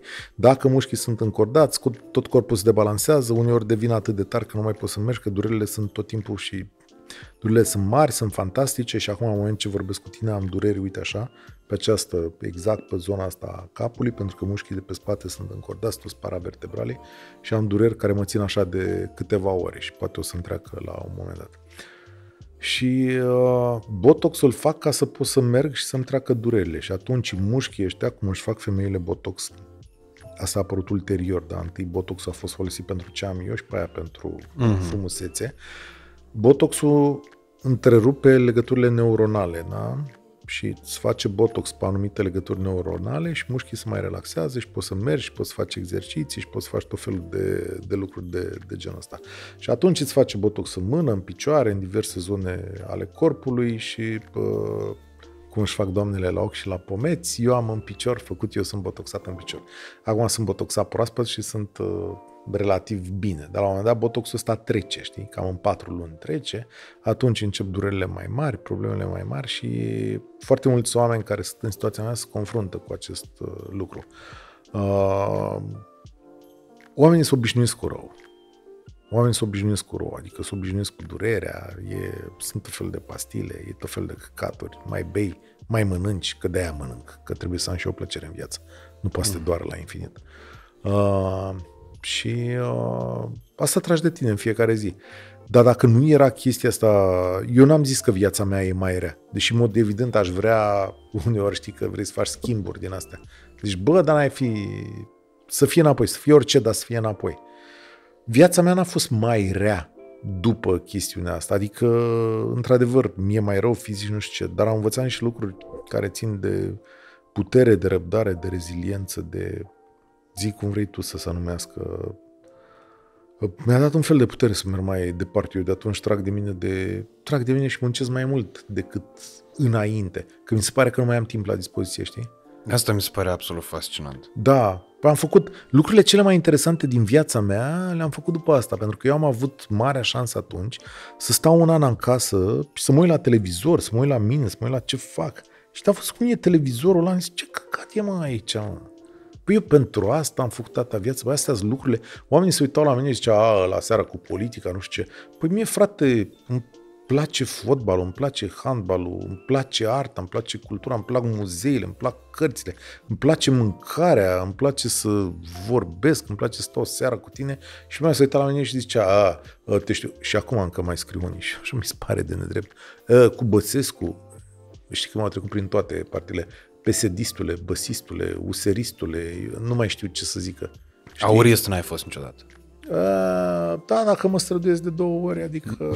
Băi, am spus una, fac o paranteză, deci am spus una, fii atent, am văzut zile, săptămânile trecute, o victorie a societății românești, când am ajuns eu în presă, ăștia toți umblau cu girofare, Năstase, prea spunea mașină girofar, Gabi. Ah, da, gata, știu, postarea cu Grindeanu. Cu Grindeanu, da, știi? A fost aia cu Tăricianu, care nu sărea, la, care sărea peste coz, nu știu ce, bă, zbor cu avionul de două ori la Timișoara, a dus întors. Avea de, de fiecare dată Grindeanu în avion, ca să vezi belea. Pe ele Timișorean am impresia. Da, ele Timișorean, da. Și de fiecare dată asta la coadă, de fiecare dată nu era business class, nu era nu știu ce a stat acolo, era ca unul dintre călători. Și am zis ceva de genul, bă, ce să vezi, e ca o victoria societății românești după ce am vorbit atâția ani, Uite, a ajuns ministrul transporturilor să meargă precum cetățenii normali, ceea ce era firesc, pentru că înainte îi aducea cu mașina VIP să vezi cum e ăsta, Rareș, mă, cum îl cheamă, Rareș. Rareș Bogdan. Rareș Bogdan, de la PNL, de ia mașina VIP de la avionul de Bruxelles sau alții cu tot felul de întâmplări în cap. Pe vremea când, cu 15 ani în urmă, Tudor Chioariu, sau mai puțin de 15, nu știu, era ministrul justiției, se ducea pe aeroport la Iași, deschidea camera de protocol, îi dădeau aia cheia și eram în aeroport și făcea. A zis, domnul Stible, aici în camera de protocol, doar nu să stăm cu toată lumea, știi? Și după ani și ani și ani, după ce societatea a zis toate lucrurile astea, s-a ajuns acum în situația în care, mă rog, nu poate că ar vrea Grindeanu, dar Poate astea sunt condițiile în care să merge cu pă, avionul așa. Și am și eu, ia uite, bă, Victoria Societate, mamă, ce am luat la primire. PSD-stule, Am te văzut, știm dar noi. special am citit Da, comentariile. da, da, PSD-stule, oh, mori, nu știu ce. Bă, frate, societățile nu funcționează așa în alb și negru, cum vreți voi. Societă... Deci de asta zic, că pe mine m-au trecut prin toate apele, nu mă mai impresionează chestia asta. Dar revenind după povestea asta cu accidentul, uh, cred că am căpătat un fel de putere în mine, am căpătat un interes mai mare și pentru părțile mai bune, diferite ale vieții, pentru nuanțe, pentru echilibru, pentru, nu știu, pentru o interpretare mai altfel a, a lumii. Mi-a dat un fel de putere. Trag de mine în fiecare zi cât s-o putea și uh, nu știu încotro mă îndrept. Dar de atunci am făcut, uh, ca să zic așa, mi-am schimbat cariera, am, am plecat din televiziune. A apărut, cum ziceai tu în povestea la un dacă mai aveai 300 de lei din buzunar, eu n-am avut 300, eu spre deosebire de tine am avut 1200. Deci înainte de Așa, a... dacă pe, pe asta mi-a povestise Dobre într-o zi, Dobre fiind directorul, Așa. era director la Pro FM în Da. perioada în care făceam eu matinal acolo, că nu vreau să bă, sune așa ca și cum dau niște nume de iurea, da. el încerca să mă motiveze tot timpul, că de aici și afinitatea asta mea ridicată față de tine. Pentru că eu până la team building-ul ăla din Bulgaria, eu nu știam de povestea ta cu accidentul. Eu te știam de la televizor, dar nu înțelegeam de ce nu mai ești acolo. da. Și în Bulgaria acolo mi-a povestit el, mi-a zis că, bă, vezi cum a avut, a fost operat. E... Și zic, ah, ok, am înțeles situația. După care îmi povestea, zic, uite, Striblea cum muncește, că el dimineața se trezește la um, patru jumate, că la șase jumate deja e în direct. Uh, după da. emisiune vezi că stă și își pregătește, tu făceai și oameni de colecție. Da, da, da, făceam interviurile, Și da. n-am să uit niciodată la cu Andra, când ai făcut-o Da. pe Andra să plângă. da. Cred că ești singurul om care a făcut-o pe Andra într-o emisiune să plângă, Dar, dar, dar bă, autentic, real. da. Cu măruță pe hol care stătea și venea și lui să plângă. Că știu că era geamul ăla și noi stăteam da. dincolo de geam. Da, îmi pare rău de interviurile alea, că nu mai... Da, a fost o perioadă, în, perio- în viață trebuie să încerci de toate, mai ales în meseria noastră. Știi că ăla am stat să mă gândesc că acum, ăla a fost un fel de sămânță de podcast, știi? Uh-huh. Aici nu erau atât de multe podcasturi în 2017, 2018, poate erau unele. Ăla era primul făcut, n-am știut noi ce să facem. Adică Avea Andreea Esca la radio, la da, Europa da, FM. da, da, avea Andreea Esca. Noi nu prea am știut să facem, să-l vindem, nu știam, nu ne-am priceput, nu știam ce trebuie făcut. Dar știam, eu, în mintea mea, știam bă, că trebuie făcute niște interviuri cu oameni diversi, exact pe principiul ăsta. Radule, noi suntem diferiți, noi avem experiențe diferite, noi trebuie să ne ascultăm unii pe alții. Și ăla a fost un program bun. Mie mi-au plăcut Foarte bun. Mie mi-au plăcut oamenii de colecție. O să repet la un moment dat. Acum sunt în altă fază a vieții. Acum sunt mult mai preocupat de... Mi s-a umflat capul. Acum sunt preocupat de ceea ce am de zis eu acolo la, la România în direct. Dar atenție, sunt atent la multe alte lucruri. Dar interviurile alea am să revin la ele. Uh, mai e mult de construit acolo. Mie îmi place când societatea se adună. Nu când societatea pleacă.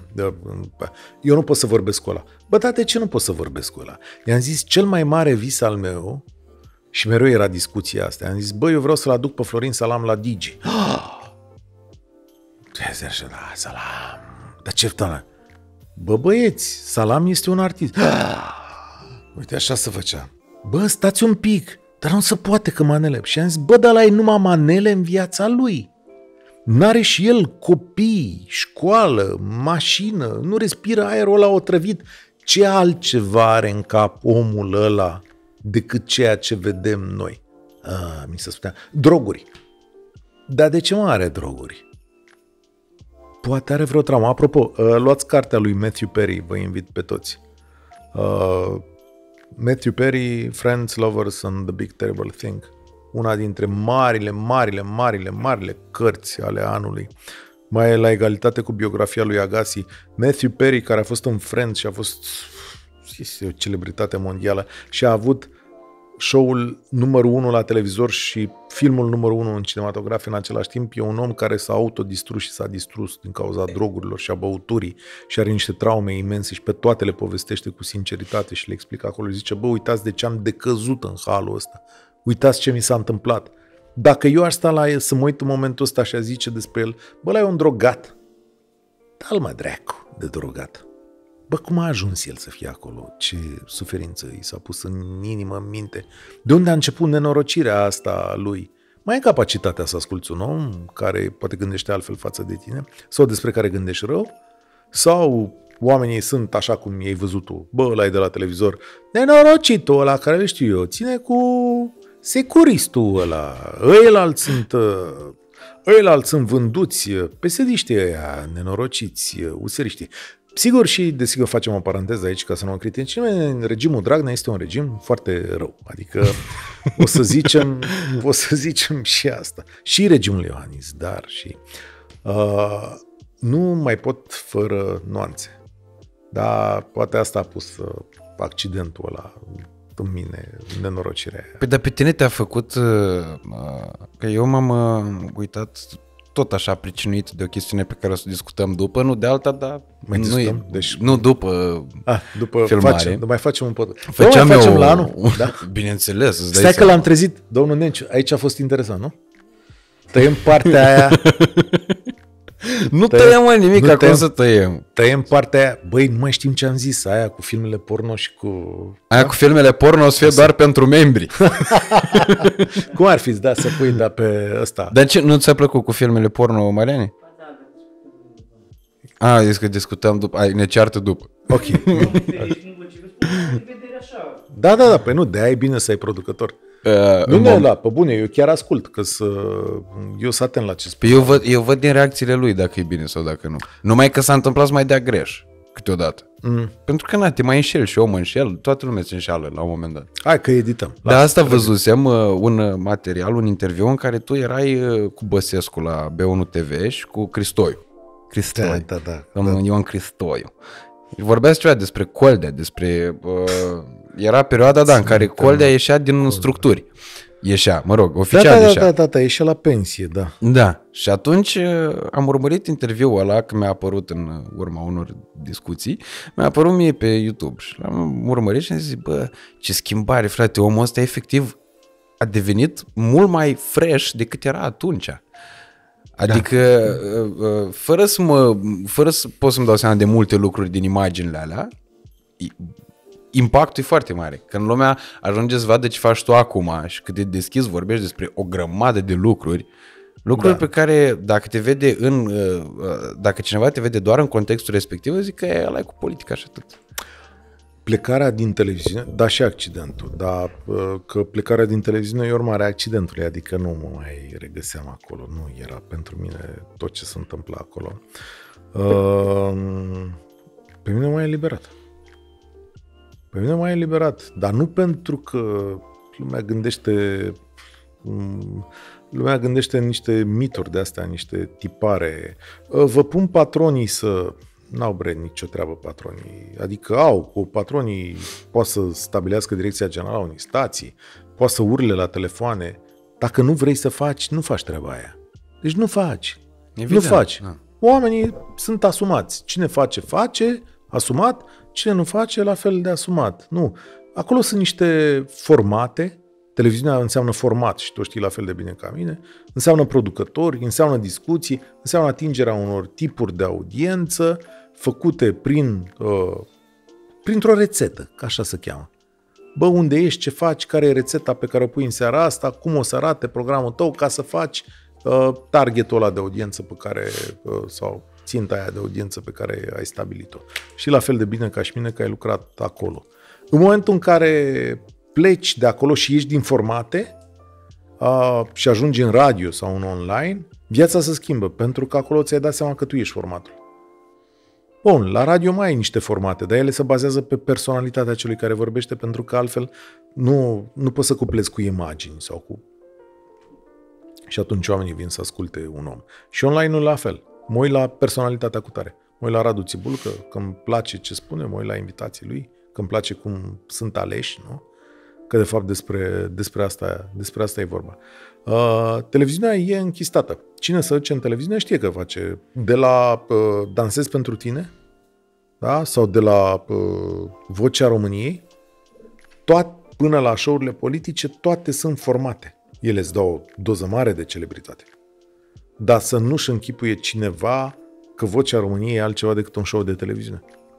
în care toate lucrurile se întâmplă șnur ca să provoace o emoție publicului de acasă. Și că oamenii respectivi joacă niște formate, inclusiv certurile, zâmbetele, trăirile pe care le au. Adică să nu crede form... cineva că Tudor Chirilă cu Irina Rimescu chiar se ceartă. Da, să ceartă acolo, dar las că să mai pupă după aia. Sigur că în sufletul și în inima lor rămân poate niște cicatrici la un moment dat. Da, ele se mai refac, să mai trec, să mai așează după aia. Uh, dar sunt formate. Televiziunea e formată. Televiziunea e restrictivă, televiziunea e așezată, televiziunea știe să stoarcă lacrimi, zâmbete, bucurie și bani dintr-un anumit tip de așezare. Exemplu, Friends. Un lucru legat despre Friends. În Friends nu există nici o referință politică. Niciodată, niciodată, niciodată. Scenariul din Friends nu vorbește de niciun partid, de nicio chestiune controversată politică, de nimic, nimic, nimic, nimic. De ce face lucrul ăsta? Pentru că trebuie să fie iubit de toată lumea, indiferent de credințele politice. Niciodată nu are o credință politică. Ăsta se numește format. Da? Alt format. Alt format presupune că partidul cu tare este rău sau ideologia cu tare este rea și ideologia cu tare este bună, pentru că vrea să-și ia public de acolo sau vrea să vândă o anumită informație către publicul respectiv. Astea sunt, sunt formatele, astea sunt orientările. În ce mă privește, radioul este viață. Ajungi la radio, îți povestești viața ta. Și Asta face lucrurile cu atât mai frumoase. Viața ta, credințele tale. E un pic presiunea mai mică, audiențele vin rar. Te mai pus să povestești, hm, mai ai timp să repari. N-ai timp să repari, pleci mai departe, asta e. Mie dintre toți realizatorii România în direct și am doi de referință, Robert Turcescu, Moise Guran, pe Turcescu știu de când eram foarte, foarte mic și mergeam cu mașina prin țară, doar Europa FM se prindea. Uh-huh. Și atunci uh, taică mi avea o solență care n-avea uh, cu CD. un buton. Nu, n-avea cu CD, avea cu casete și casete nu prea se mai făceau în perioada aia 2005 și atunci trebuia să asculți radio, ascultai ce prindeai. Ca să nu asculti slujba, ascultai Europa FM. Și după aia Moise Guran, pe care îl ascultam eu conștient, mi se pare că România în direct astăzi e cea mai um- umană dintre toate versiunile posibile pe care le-a avut până acum. Da, poate că da, că eu sunt mai preocupat și mai atent. Eu nu mă duc să fac politică la radio și eu am alt principiu. Uh, viața mea eu nu sunt un lider, frate, în sensul ăsta în care eu nu sunt un guru să le spun oamenilor ce e rău și ce e bine, dintr-un simplu motiv. Viața mea este diferită de viața lor. Eu îmi duc viața în, profesională, într-o clădire de sticlă și oțel în care iarba este... Ai fost vreodată la noi? Uh, știu poze. Uh, e, pe lângă permise pe acolo, nu? Da, să vezi în interior. Deci iarba este tunsă la milimetru, nu exagerez. Deci totul vine cineva cu o forfecuță, totul este impecabil, totul... Am fost odată la voi acolo la Impuls, la canal. La ca, da, la asta la e România. Da, am fost acolo și era în față... Un chioșc. Bă, nu arăta bine la voi, adică, iartă-mă, adică voi erați, erați mult mai adaptați la România pe care o transmiteați la canal de... Păi da, uite și la invitații care veneau da. pe acolo, la oamenii care veneau. Adică, la noi este... Este vis, adică noi suntem în altă lume, în altă societate. Totul este impecabil, frate. E, sunt niște oameni care spală geamurile în fiecare săptămână, niște alpiniști, niște astea. Sunt niște doamne din Filipine care fac curat la baie, miroase numai flori, e totul e impecabil. Normal că eu când intru acolo zic că toată România este bine, adică pff, e bine mă în România, cum nu e bine? Uitați ce e aici. Păi lucrează filipinezele după noi, avem restaurant, avem aia, aia, avem parcare subterană. Cum pot să le zic eu tuturor românilor că încep să râd? Că e bine. Deci dacă mie mi-e bine, înseamnă că tuturor le este bine? Nu experiențele noastre sunt complet diferite. Oamenii mă ascultă în mașini vechi, în mașini noi, în orașe mici, în orașe mari, în orașe sărace, în orașe bogate, în diverse circunstanțe de viață. Eu sunt acolo să-i ascult curios despre experiențele lor de viață, nu să le spun eu că România este cea mai șmecheră țară din lume sau cea mai proastă țară din lume, pentru că nu-mi convine mie. Mm-hmm. Ăsta e cel mai ușor lucru. Adică, și acum aș putea zice, stimați români, ne-am întâlnit astăzi la radio să vă zic că guvernarea Iohannis este cea mai proastă sau cea mai bună. După caz, sau cum e. Uh, sau, cum mi-a zis cineva, uh, deci există chestia asta. Toți funcționarii publici din România sunt pile, nenorociți și șpăgari. Și eu am venit într-o zi și am zis, bă, după părerea mea, majoritatea funcționarilor publici din România sunt niște oameni onești care își văd de viața lor și încearcă să facă un pic mai bine, cum încearcă fiecare dintre noi la locul nostru de muncă. Ferească Dumnezeu și prea măicuța și prea cinstită ce am putut să-mi iau eu după acestea. Cum spui, bă, striblea că funcționarii nu fură? Toți fură. Toți medici fură, toți funcționari fură, toți sunt șpăgari. Frate, avem experiențe diferite. Hai să ne ascultăm pe noi. Nu putem fi chiar o nație de tâmpiți, cea mai rea din lume, cum nu putem fi nici cea mai bună din lume. Suntem niște oameni care încercăm să facem noi mai bine, nu prea ne reușește, o avem un pic pe asta cu tăiatul scurtătorilor un pic mai mult. Ne place să mai completăm, că la noi nu se fură să completează de la muncă. La noi corupția e relativ răspândită, dar nu toată lumea e o hoață, știi? Adică hai să mai vedem și, și părțile alea. Și atunci trebuie să se nască un echilibru. Da, și poate experiența mea personală cu accidentul ăla mă face mai sensibil și mai atent la lucrurile, la lucrurile astea. Au vreau să mă duc să militez pentru nimeni, serios. Nu cred că nici eu măcar nu sunt cea mai înaltă garanție de moralitate pe care trebuie să vă dăm și nu cred că nimeni Dar din n-ai politică... pretins vreodată Da. treaba asta. Și nu cred că nimeni din politică sau administrație are vreun ăsta. Dom'le, ăștia, ăștia, ăștia, ăștia, ăștia vi spun eu. Nu, nu sunt nici aia, nici aia. De ce îți bagi mâna în foc pentru cineva? Ideea e că, uite, de exemplu, dacă uh, noi am făcut uh, niște uh, treburi experimentale în momentul în care am făcut live-ul ăla în, uh, când a început războiul și când a făcut Regina, atunci a fost idealul domnului Nincione. A zis că, domnule, nu vrei tu să-l chem pe Striblea să vorbim despre asta cu Regina, că, uite, mi se pare un eveniment extraordinar de important și el ar fi omul care ar putea să vorbească despre asta. Nu pentru că ai fost în război și te califica să vorbești despre Ucraina, nu pentru că ești din familia regală, te-ar fi calificat să vorbești despre regină, ci pentru faptul că uh, ești un om uh, cu o cultură extraordinar de bogată și Mai care nu citesc. inhibă, care invită la dialog, care prezintă nu pe un ton de ăsta, nu știu, moralizator, cum nu știai, vei. Da, chiar așa. Cum? nu Bă, știi? telespectatorile, cum nu știai? Păi de unde dracu să știu? De ce eu le știu pe toate? Dar și eu sunt ca un copil mic, deci le descoper pe unele dintre ele și mă... Ah, zic, ce tare este asta, frate! Ce tare este asta! Mie- Pe mine mă bucură toate descoperirile astea de, uh, de copil mic. Lumea, lumea e absolut formidabilă. Eu întotdeauna am închipui viața și lumea ca o cofetărie. Eu fiind mâncău, și mie plăcând în mâncarea, mie zic, mă, zic ca la cafetărie aici. Ia să vedem aici ce e bun. Ia uite o expoziție, ia uite un concert, ia uite o performanță, ia uite o carte. O performanță ca un performance, mă înțelegi? Mm. Uh, ia uite o carte, ia uite o lume. Bă, dar ia lumea așa cum e, ia să vedem asta. Și întotdeauna încerc să îmi ocup timpul să fac diverse, să fac diverse lucruri, știi, să-mi iau din timpul meu. Uh, vreau să stau azi acasă? Nu, nu, azi mă duc acolo. Joi seara, am și râs, m-a întrebat fiul meu, bă, dar când? uh, Joi seara am făcut așa. Deci am terminat emisiunea pe la două, la trei jumate am avut uh, de vorbit o chestie la radio, până la 5 am scris un text de blog, că eram eu ocupat să scriu un text de blog, după aia m-am dus la uh, o expoziție de artă la Cultera, care e una dintre cele mai mișto galerii din România și l-am văzut pe sculptorul Mihu. Deci foarte tare, foarte tare.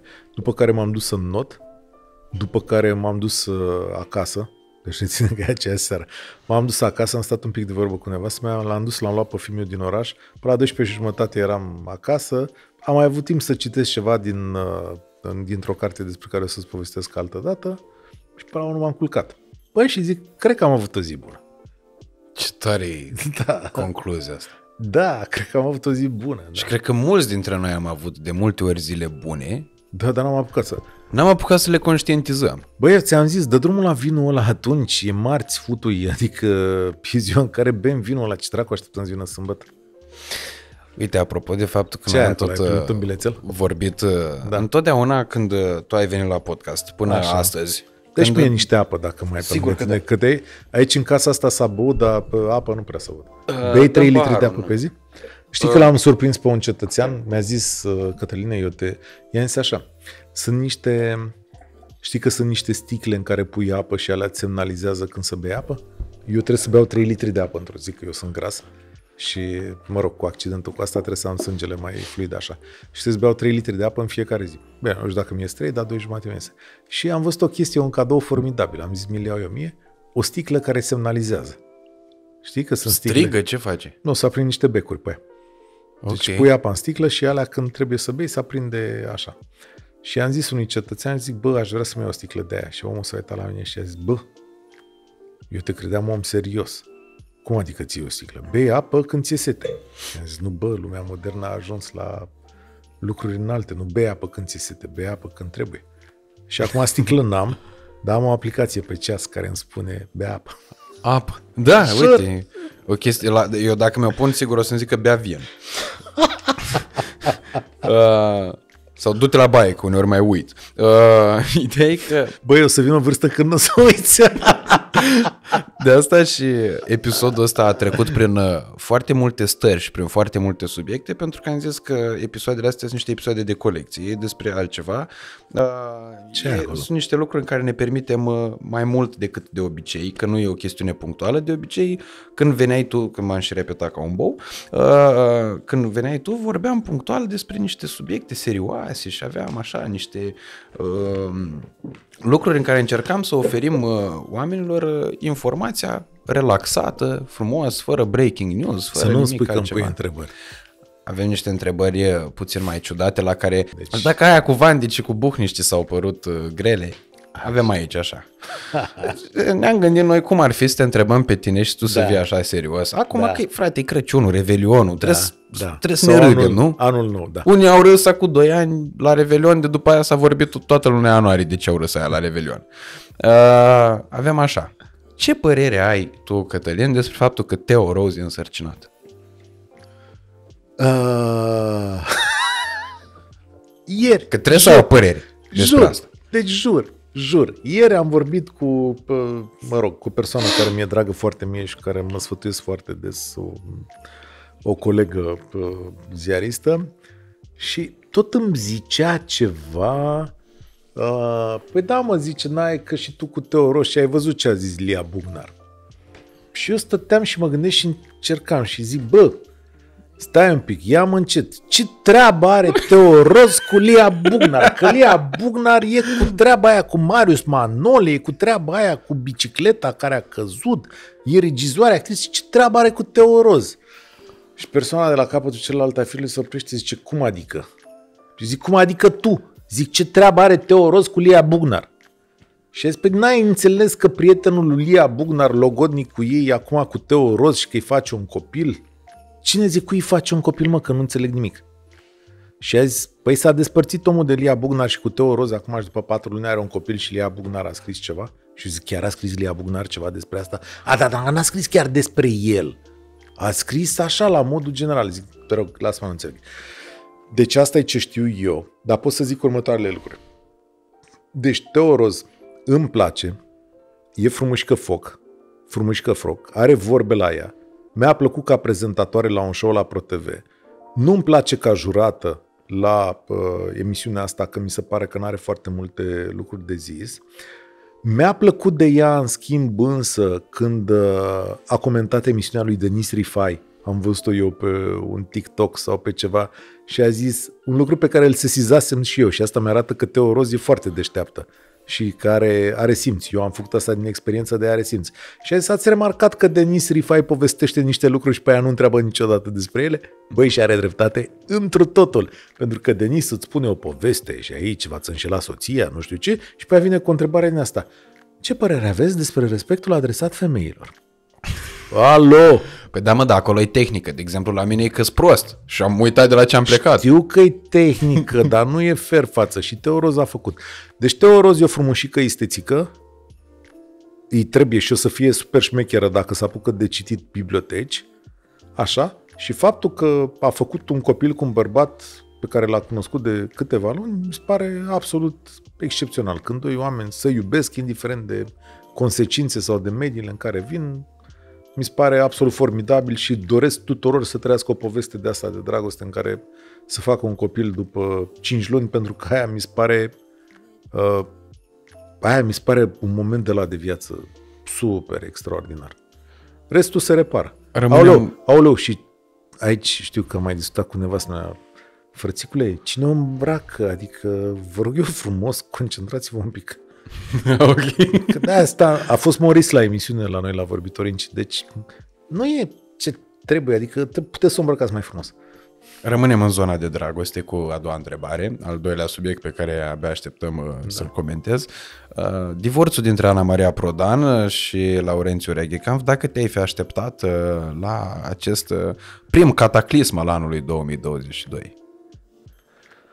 Uh, da, m-aș fi așteptat, adică mediile în care trăiam noi, uh, adică presă, bârfe, draci, laci pe unde mă mai învârt eu, știam de ceva vreme că dumnealor nu mai sunt un cuplu, de-aia apărea strict problema lor. Uh, când am aflat eu că dumnealor nu mai sunt un cuplu, în momentul în care uh, doamna l-a pocnit pe antrenorul Dan Alexa dacă mai ții minte, Așa, da. în stadion la Giurgiu și eu am emis următoarea poziție de prost, îți vezi, și am zis, bă, dracu cameramanul ăla care l-a prins momentul și mi-a zis un coleg de meserie, om bătrân care le știe pe toate, zice, dracu, zice, ea l-a sunat înainte să filmeze cum era treaba. Mă rog, în fine, nu știu dacă e adevărat, dacă nu e adevărat, dar pot să-ți povestesc următoarea întâmplare, că n-am o părere foarte clară. Eu, probabil că și asta e o mirare, eu am o viață foarte com- complexă așa, eu sunt amic cu uh, Silviu Prigoană. Mm, e o relație foarte onestă, rară între noi, ne vedem rar, dar foarte directă. Eu am fost angajat la realitatea pe vremea lui Silviu Prigoană și, ca de obicei, eu având gura mare și spunând ce trebuie spus, uh, Prigoană m-a apreciat și am rămas într-o relație bună. Practic nu te-a prigonit. Nu m-a prigonit, m-a și prigonit, dar eu i-am spus, băi, nu ne mai îmbrăca la... Mă rog, ce am avut noi să ne spunem între noi, după care am plecat. Și am rămas într-o relație bună de 20 de ani, adică, uh, cum să zice, eu îl respect, el mă respectă și așa mai departe. Și într-un moment al vieții, nu mai știu de ce, dar cred că aveam o discuție cu el, am ajuns acasă într-o seară la Silviu Prigoană. Doamne, și eram cu un prieten cu Teo, am intrat acolo, dar ne-am dat seama că e multă lume, știi? Zic, băi, ce ceva nu e corect. El se, ă, striblea, cum face el, te aștept. Mama, hai să mergem, da. Uh, și intrăm acolo și ne dăm seama că e multă, multă lume, știi? Și deschid ușa, intrăm în cameră, e acolo întotdeauna o persoană care te primește la intrarea în casă, intrăm în sufragerie, în living, cum ar fi. Păi și într-adevăr era o masă de 20 de persoane, Silviu Prigon are o casă de aia, cum vedeți ca în filme, boieri, mese de 20 de persoane, tablouri, chestii, nu povestesc mai mult. Și drept când intru, Ana Maria Prodan era în mijlocul mesei și eu mă zic, what the fuck? Adică Ana Maria Prodan era celebră și atunci și acum și zic, bă, unde am nimerit noi? Ce suntem aici? Lângă Ana Maria Prodan, fotbalistul Bourceanu și jumătatea lui, și multă altă lume celebră celebră gen Antena Stars, că lui Silviu, eu am spus mereu, zic, bă, nu sunt ăștia oamenii tăi. Da, lui Silviu aia îi plăcea. Sau cine știe ce avea în viață. Și ne-am așezat la masă, ni s-au dat două pahare de vin, adică mie unul și amicului unul. și la un moment dat, pe ușa de la bucătărie, apare Laurențiu Reghecamp împingând un cărucior cu mâncare. Asta, cum să zic, bă, gândește-te că în toată adunarea, noi, noi eram ultimii oameni veniți, am găsit toți ăștia și Prodan și Borceanu și pf, mai era omul la Doamne, eu atâta știu, doamne, cer rău, ce păcat o să zic acum. Cetățeanul la care își bătea soțiile și care a murit între timp. Știi tu, ah. celebru. Da, că știe toată lumea despre Prodan, ce. nu Nu, nu, nu, nu. Era un domn, da, care arăta foarte bine, a și murit săracul între timp, dar a fost renumit pentru violență domestică, că le-a mai bătut pe doamnele din viața lui. Era, Doamne ferește. da, doamne ferește, era acolo, Să era, Dumnezeu să-l ierte. Dumnezeu să-l era că se cu o cântăreață de muzică populară la data respectivă sau ceva. Și în toată adunarea asta, când nu te mai așteptai, când credeai că totul se termină, a apărut și Laurențiu Reghecamp cu, cu un cărucior cu mâncare și eu m-am uitat, zic, ce e asta? Roleplay. Și e, oamenii zic, zice, păi nu, că Laurențiu a gătit. Poftim? A, nu, că Laurențiu este mare bucătar, ia să vezi. Dom'le, într-adevăr, făcuse omul o friptură senzațională, deci un fel de shawarma, o chestie arăbească. A mâncat, pă, să-i dea Dumnezeu sănătate. Deci a mâncat foarte bine în seara aia, s-a băut un par de vin, am și discutat cu Silviu Prigoană ce aveam de discutat, nu ne-am înțeles și fiecare a plecat la casa lui. Dar a fost o seară extraordinară pentru că asta îl definea foarte tare pe el. Deci, după ce se termina masa, cina, s-a pus, uh, s-a dus un pian, frate, dacă îți vine a crede, la care oamenii care erau pricepuți au cântat, uh, inclusiv cuplul Prodan Reghe Camp a trebuit să cânte ceva. Noi n-am cântat, că eram mulți oameni. Noi nu eram din showbiz, eram cu alte treburi. Și uh, s-a cântat, după care lumea rând pe rând s-a retras și ne-am retras și noi la un moment dat. Uh, dacă mă așteptam după episodul ăsta să divorțeze, nu, nu știam care e viața lor. Dar am zis să povestesc această întâmplare să rămână pe, în memoria publică. A- Asta cu siguranță va deveni virală peste tot această bucată. Uh, și urmează... Deci uh, vreau să se noteze, Laurențiu Reghecamp gătește dumnezește. Urme- urmează uh, o zonă conspirativă aici. Mm. Dacă tu crezi că există vreo legătură și care ar fi aceea dintre accidentul lui Culiță Sterp și faptul că i s-a furat din seif uh, suma de 300.000 de euro în vară. Nu știu să zic asta. Nici nu știam că i s-a furat. Știam că a avut un accident. Am auzit de chestia asta că a făcut un accident. Da, Și că a fugit de la locul accidentului. da. Uh, nu, mă depășește. N-am, a, asta cu 300 de mii n-am, să știi că n-am aprofundat. Avea 300.000 de euro într-un seif Da? și au venit niște unii, îți dai seama că la pont cel mai probabil, Da. și au furat din casă când el era cu toată familia la mare. Aha. Acum n-am decât o remarcă. Ai, tu câți bani ai în safe? N-am seif. Dar câți bani cash ai? Ai vreun ban cash? Adică, Stai că-ți arăt. da. De ce? Că trebuie să iau pâine. Și ăștia de la care iau pâine... Ăștia bani. Încasezi vreodată bani cash? Nu. Nu. Iată. Deci dacă mi explici cum încasează niște oameni, mai era o fotografie astăzi cu un primar. Primarul, știi că e virală, primarul din comuna nu știu care, de nu știu unde, din Iași, chiar din Iași, primar de pe lângă Iași, s-a plâns că la service la Mercedes i-au îndreptat roțile cu niște ciocane. Știi asta? Nu. Nu? N-ai văzut chestia asta? Nu. Deci omul s-a dus la service la Mercedes și avea niște jante de alea cu, uh, cu talonul mic, știi? Da. trebuia să schimbe anvelope de iarnă și ei au folosit niște ciocani, n-am înțeles, nu mă pricep la chestia asta. Dar remarca foarte bună, cred că Zosu a făcut-o și a zis, băi, ia stați mă un pic. Zice, ăsta e primar? Da. Și are o mașină de 150.000 de euro. Da? Deci, în afară de povestea cu anvelopele, ce vă mai sună aici? De ce aia întreb?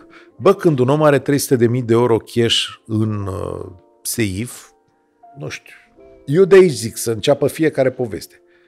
Dar de ce are în safe? Și ce face cu ei 300 de mii de euro? Bă, la accident nu mă pricep. Înțeleg că a fugit, nu-i bine să fugi, nu-i bine să bei, nu-i bine să bei niciodată, să te sui la volan. Niciodată, niciodată, niciodată, niciodată. Nu pentru că ești tu sigur. Băi, intră unul în tine. Și tot e nasol. Deci niciodată, niciodată, niciodată. Da, dracu, sunt taxiuri, sunt Uber-uri, sunt tot felul de chestii. Niciodată. Și aia următoarea întrebare pentru societate, ok? Bă, aveți cu toții 300.000 de euro cash pe acasă. Nu cu toții, da unii. Da 10.000, da 1.000 de lei, da 2.000 de lei. Și cine mai plătește cash în ziua de azi? Bine, erau bani din dedicații cel mai probabil. Hai de bre, lasă. Păi nu crezi că aduni 300 de mii din dedicații? Dacă dedică cineva toată viața. Păi mai Nu? au mai fost, Da. am mai auzit cazuri de astea. Nu știu la ce nunți mergeți voi. Bă, a fost darul de nuntă, așa, da. Că a zis că și când a fost nuntă la Elena Băsescu a fost 800 de mii darul de nuntă. Și am Da, dar nu întrebat cred că a stat în seif. Da, unde l-au fi luat femeia? Și când au venit a doua zi, nunta a fost sâmbătă spre duminică, eu duminică seara am avut emisiune și au venit politicieni de la, și de la PD și de asta aveam emisiune la televizor pe vremea aia. și am zis, bă, dar chiar nu vă e rușine 800 de mii de euro. Adică 800 de mii de euro bate la ochi. Și zic, câți invitați ați fost? Zic, păi 600, zice el. Păi zic, dacă ați fost 600, asta înseamnă că a fost 1000 și ceva de euro de persoană. Adică zic că a fost 3000 de euro de cuplu. Cuplu, da. Da. Și omul îmi zice așa, cum zice, dar ce sunt 3000 de euro în ziua de azi? Și am zis, pe bune, mă? Pe bune? Adică cum vii și îmi spui asta, zic, hai, vină la televizor și zile oamenilor. Ce să mă 3000 de euro în ziua de astăzi la o nuntă? Când te duci și faci așa la o nuntă, dar 3000 de euro. Okay. E puțin cam uh, A? complicat. E complicat, da? A, ca să nu zicem. Uh, Că poate o chem pe Elena Băsescu și o întreb. A, că tu chem tot felul de lume la podcast ăsta. Păi la Elena Băsescu până în ziua de astăzi nu m-am gândit.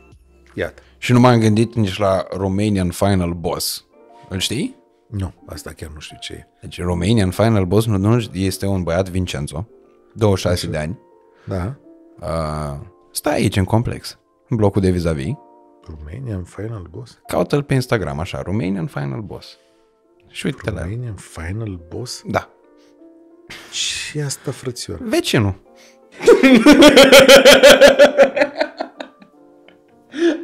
deci tu gândește că ăsta e celebru de vreo două luni. Uite câți urmăritori are, a devenit celebru internațional. De ce? Pentru că, ca să explic povestea pe scurt, Așa. un balcanic, ceva, un sârb macedonian, nu știu exact ce nație, a luat pozele uh, tipului ăsta și a pus pe ele un rap de ăsta ordinar de acum nu știu câți ani de, de prin România, ceva, un Biugi Mafia Wannabe, un Sișu și Puia după uh, șapte luni la ungheni și... Ce? Mă rog, și a pus, a scris mare acolo, Romanian Final Boss, pentru că ăsta avea la poze România, la locație. Uh-huh. Și pe el acum îl cheamă Romanian Final Boss, e foarte cunoscut. Stai aici, eu l-am cunoscut, l-am cunoscut, că nu l-am cunoscut niciodată personal, dar l-am văzut înainte să fie celebru. Și crede-mă, când te, ai văzut environmentul pe aici, e frumos, e da, liniște. Da, e cum e la noi, la corporație, așa e. Da, da, când vezi deodată un, un personaj de ăsta, te gândești că se filmează ceva. Uh, boss, cum s-ar zice la noi, nu-l găsesc, adică... Ce? A, i-au închis. Păi așa, da, că nu găseam nimic aici. Cum să nu închide, mă, și-a șters el pozele. Da, nu pot să zic nimic despre are zero posts, zero followers. A, mi-ai trimis tu pe mesaje? A, mi-ai trimis pe mesaje pe Instagram? Mamă, e complicat. Hai că aștept reacția să văd când, când, când îl vezi.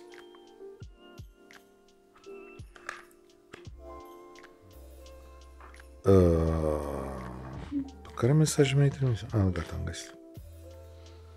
Vic- Vincenzo Darian oficial aici, mă uit? 354 de followers? De ce e important? Păi nu, că avea 200 și ceva de mii. Păi omul e tatuat complet. Ah. Dar de ce arată așa? De ce își fac oamenii ăștia tatuaje peste tot? Ăsta e vecinul tău, că liftul îmi sună cunoscut. Da, da, da. E culturist sau ce?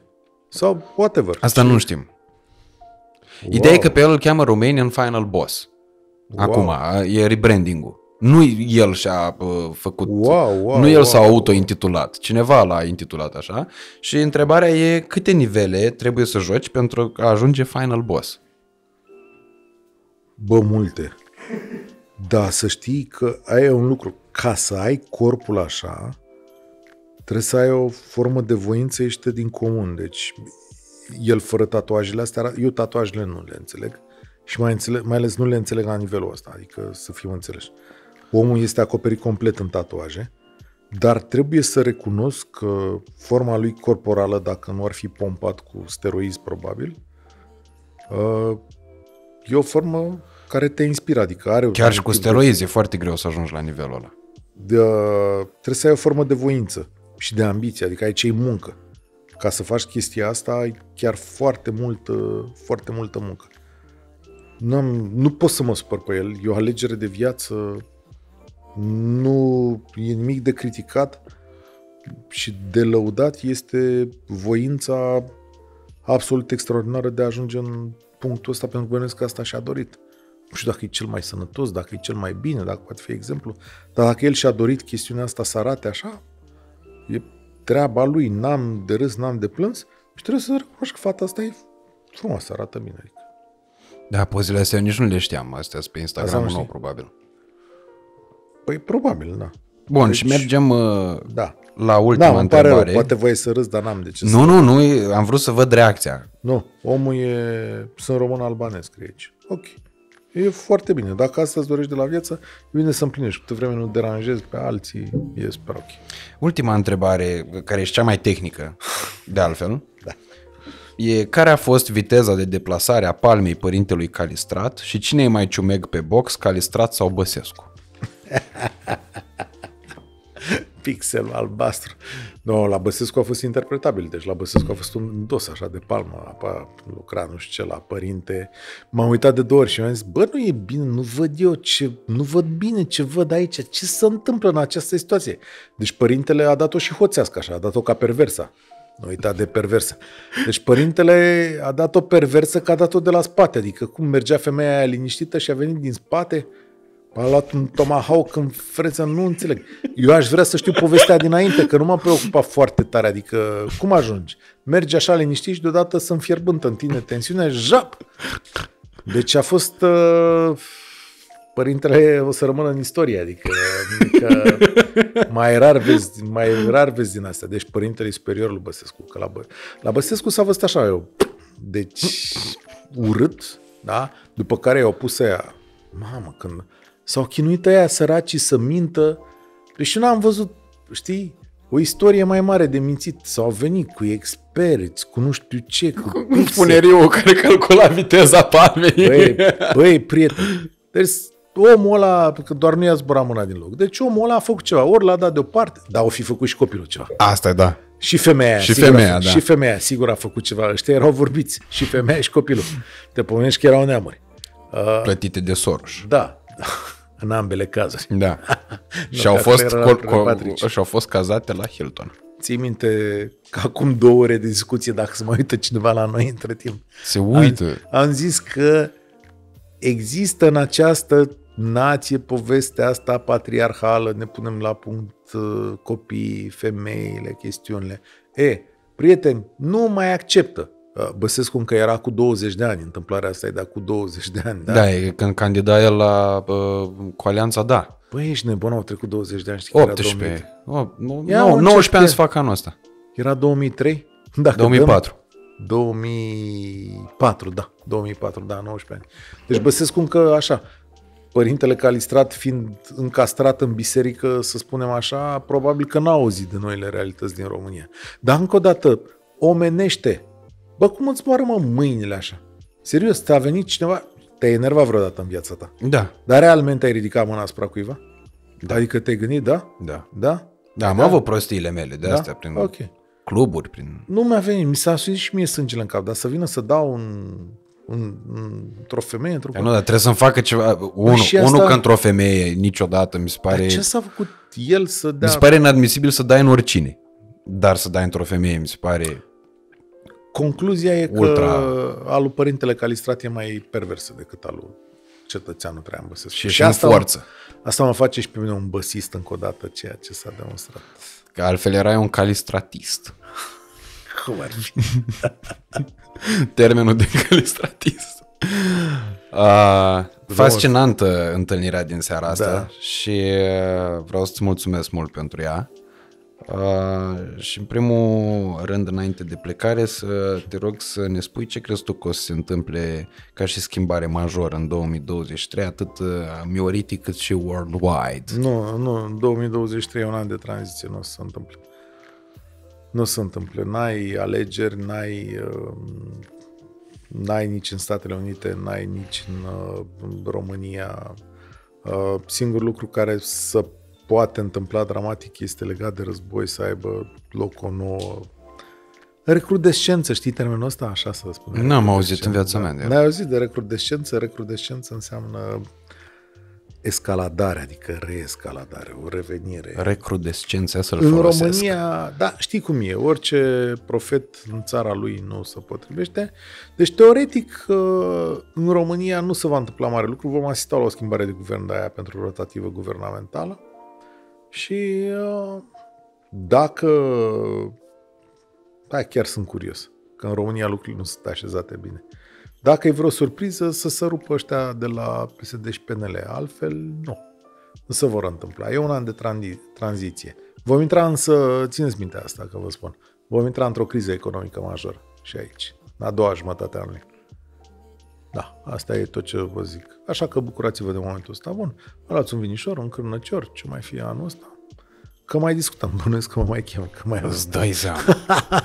Îți dai seama. Bine, acum sper să te mai chem așa, mai relaxat, să nu mai apară vreun breaking news pe care trebuie să-l Nu, discutăm. stăm din astea, vorbim despre...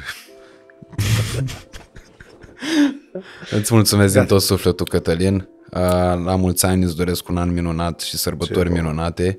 Uh, Oameni buni, vă mulțumim tare mult că v-ați uitat la noi și nu uitați să-l uh, urmăriți pe Cătălin uh, peste tot pe rețelele de socializare, Cătălin Striblea, uh, Vorbitorincii, podcastul lui Vorbitorincii, și a lui Radu Paraschivescu uh, săptămânal sau măcar o dată la două săptămâni apar episoade noi acolo și trebuie neapărat să le uh, vizitați. Sigur, dacă vă, vă uitați la acest podcast, vă uitați și la Vorbitorincii.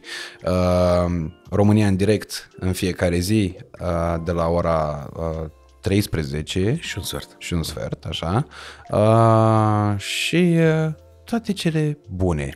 Uh, nu știu exact când va fi postat acest episod, dacă va fi fix înainte de Revelion sau fix după, dar tot ce pot să vă spun este că vă doresc uh, un an absolut minunat și uh, vă mulțumesc tare mult pentru că în principal, datorită vouă, celor care v-ați uitat la ceea ce noi am făcut aici, uh, ne-ați adus cea mai mare bucurie pe care am avut-o în acest an, ca un roller coaster. Exact așa cum a fost și acest podcast, din punctul meu de vedere, o radiografie a ceea ce s-a întâmplat la nivel mai mult macro, dar și micro în viețile noastre uh, în ultimele 12 luni care au trecut ca vântul.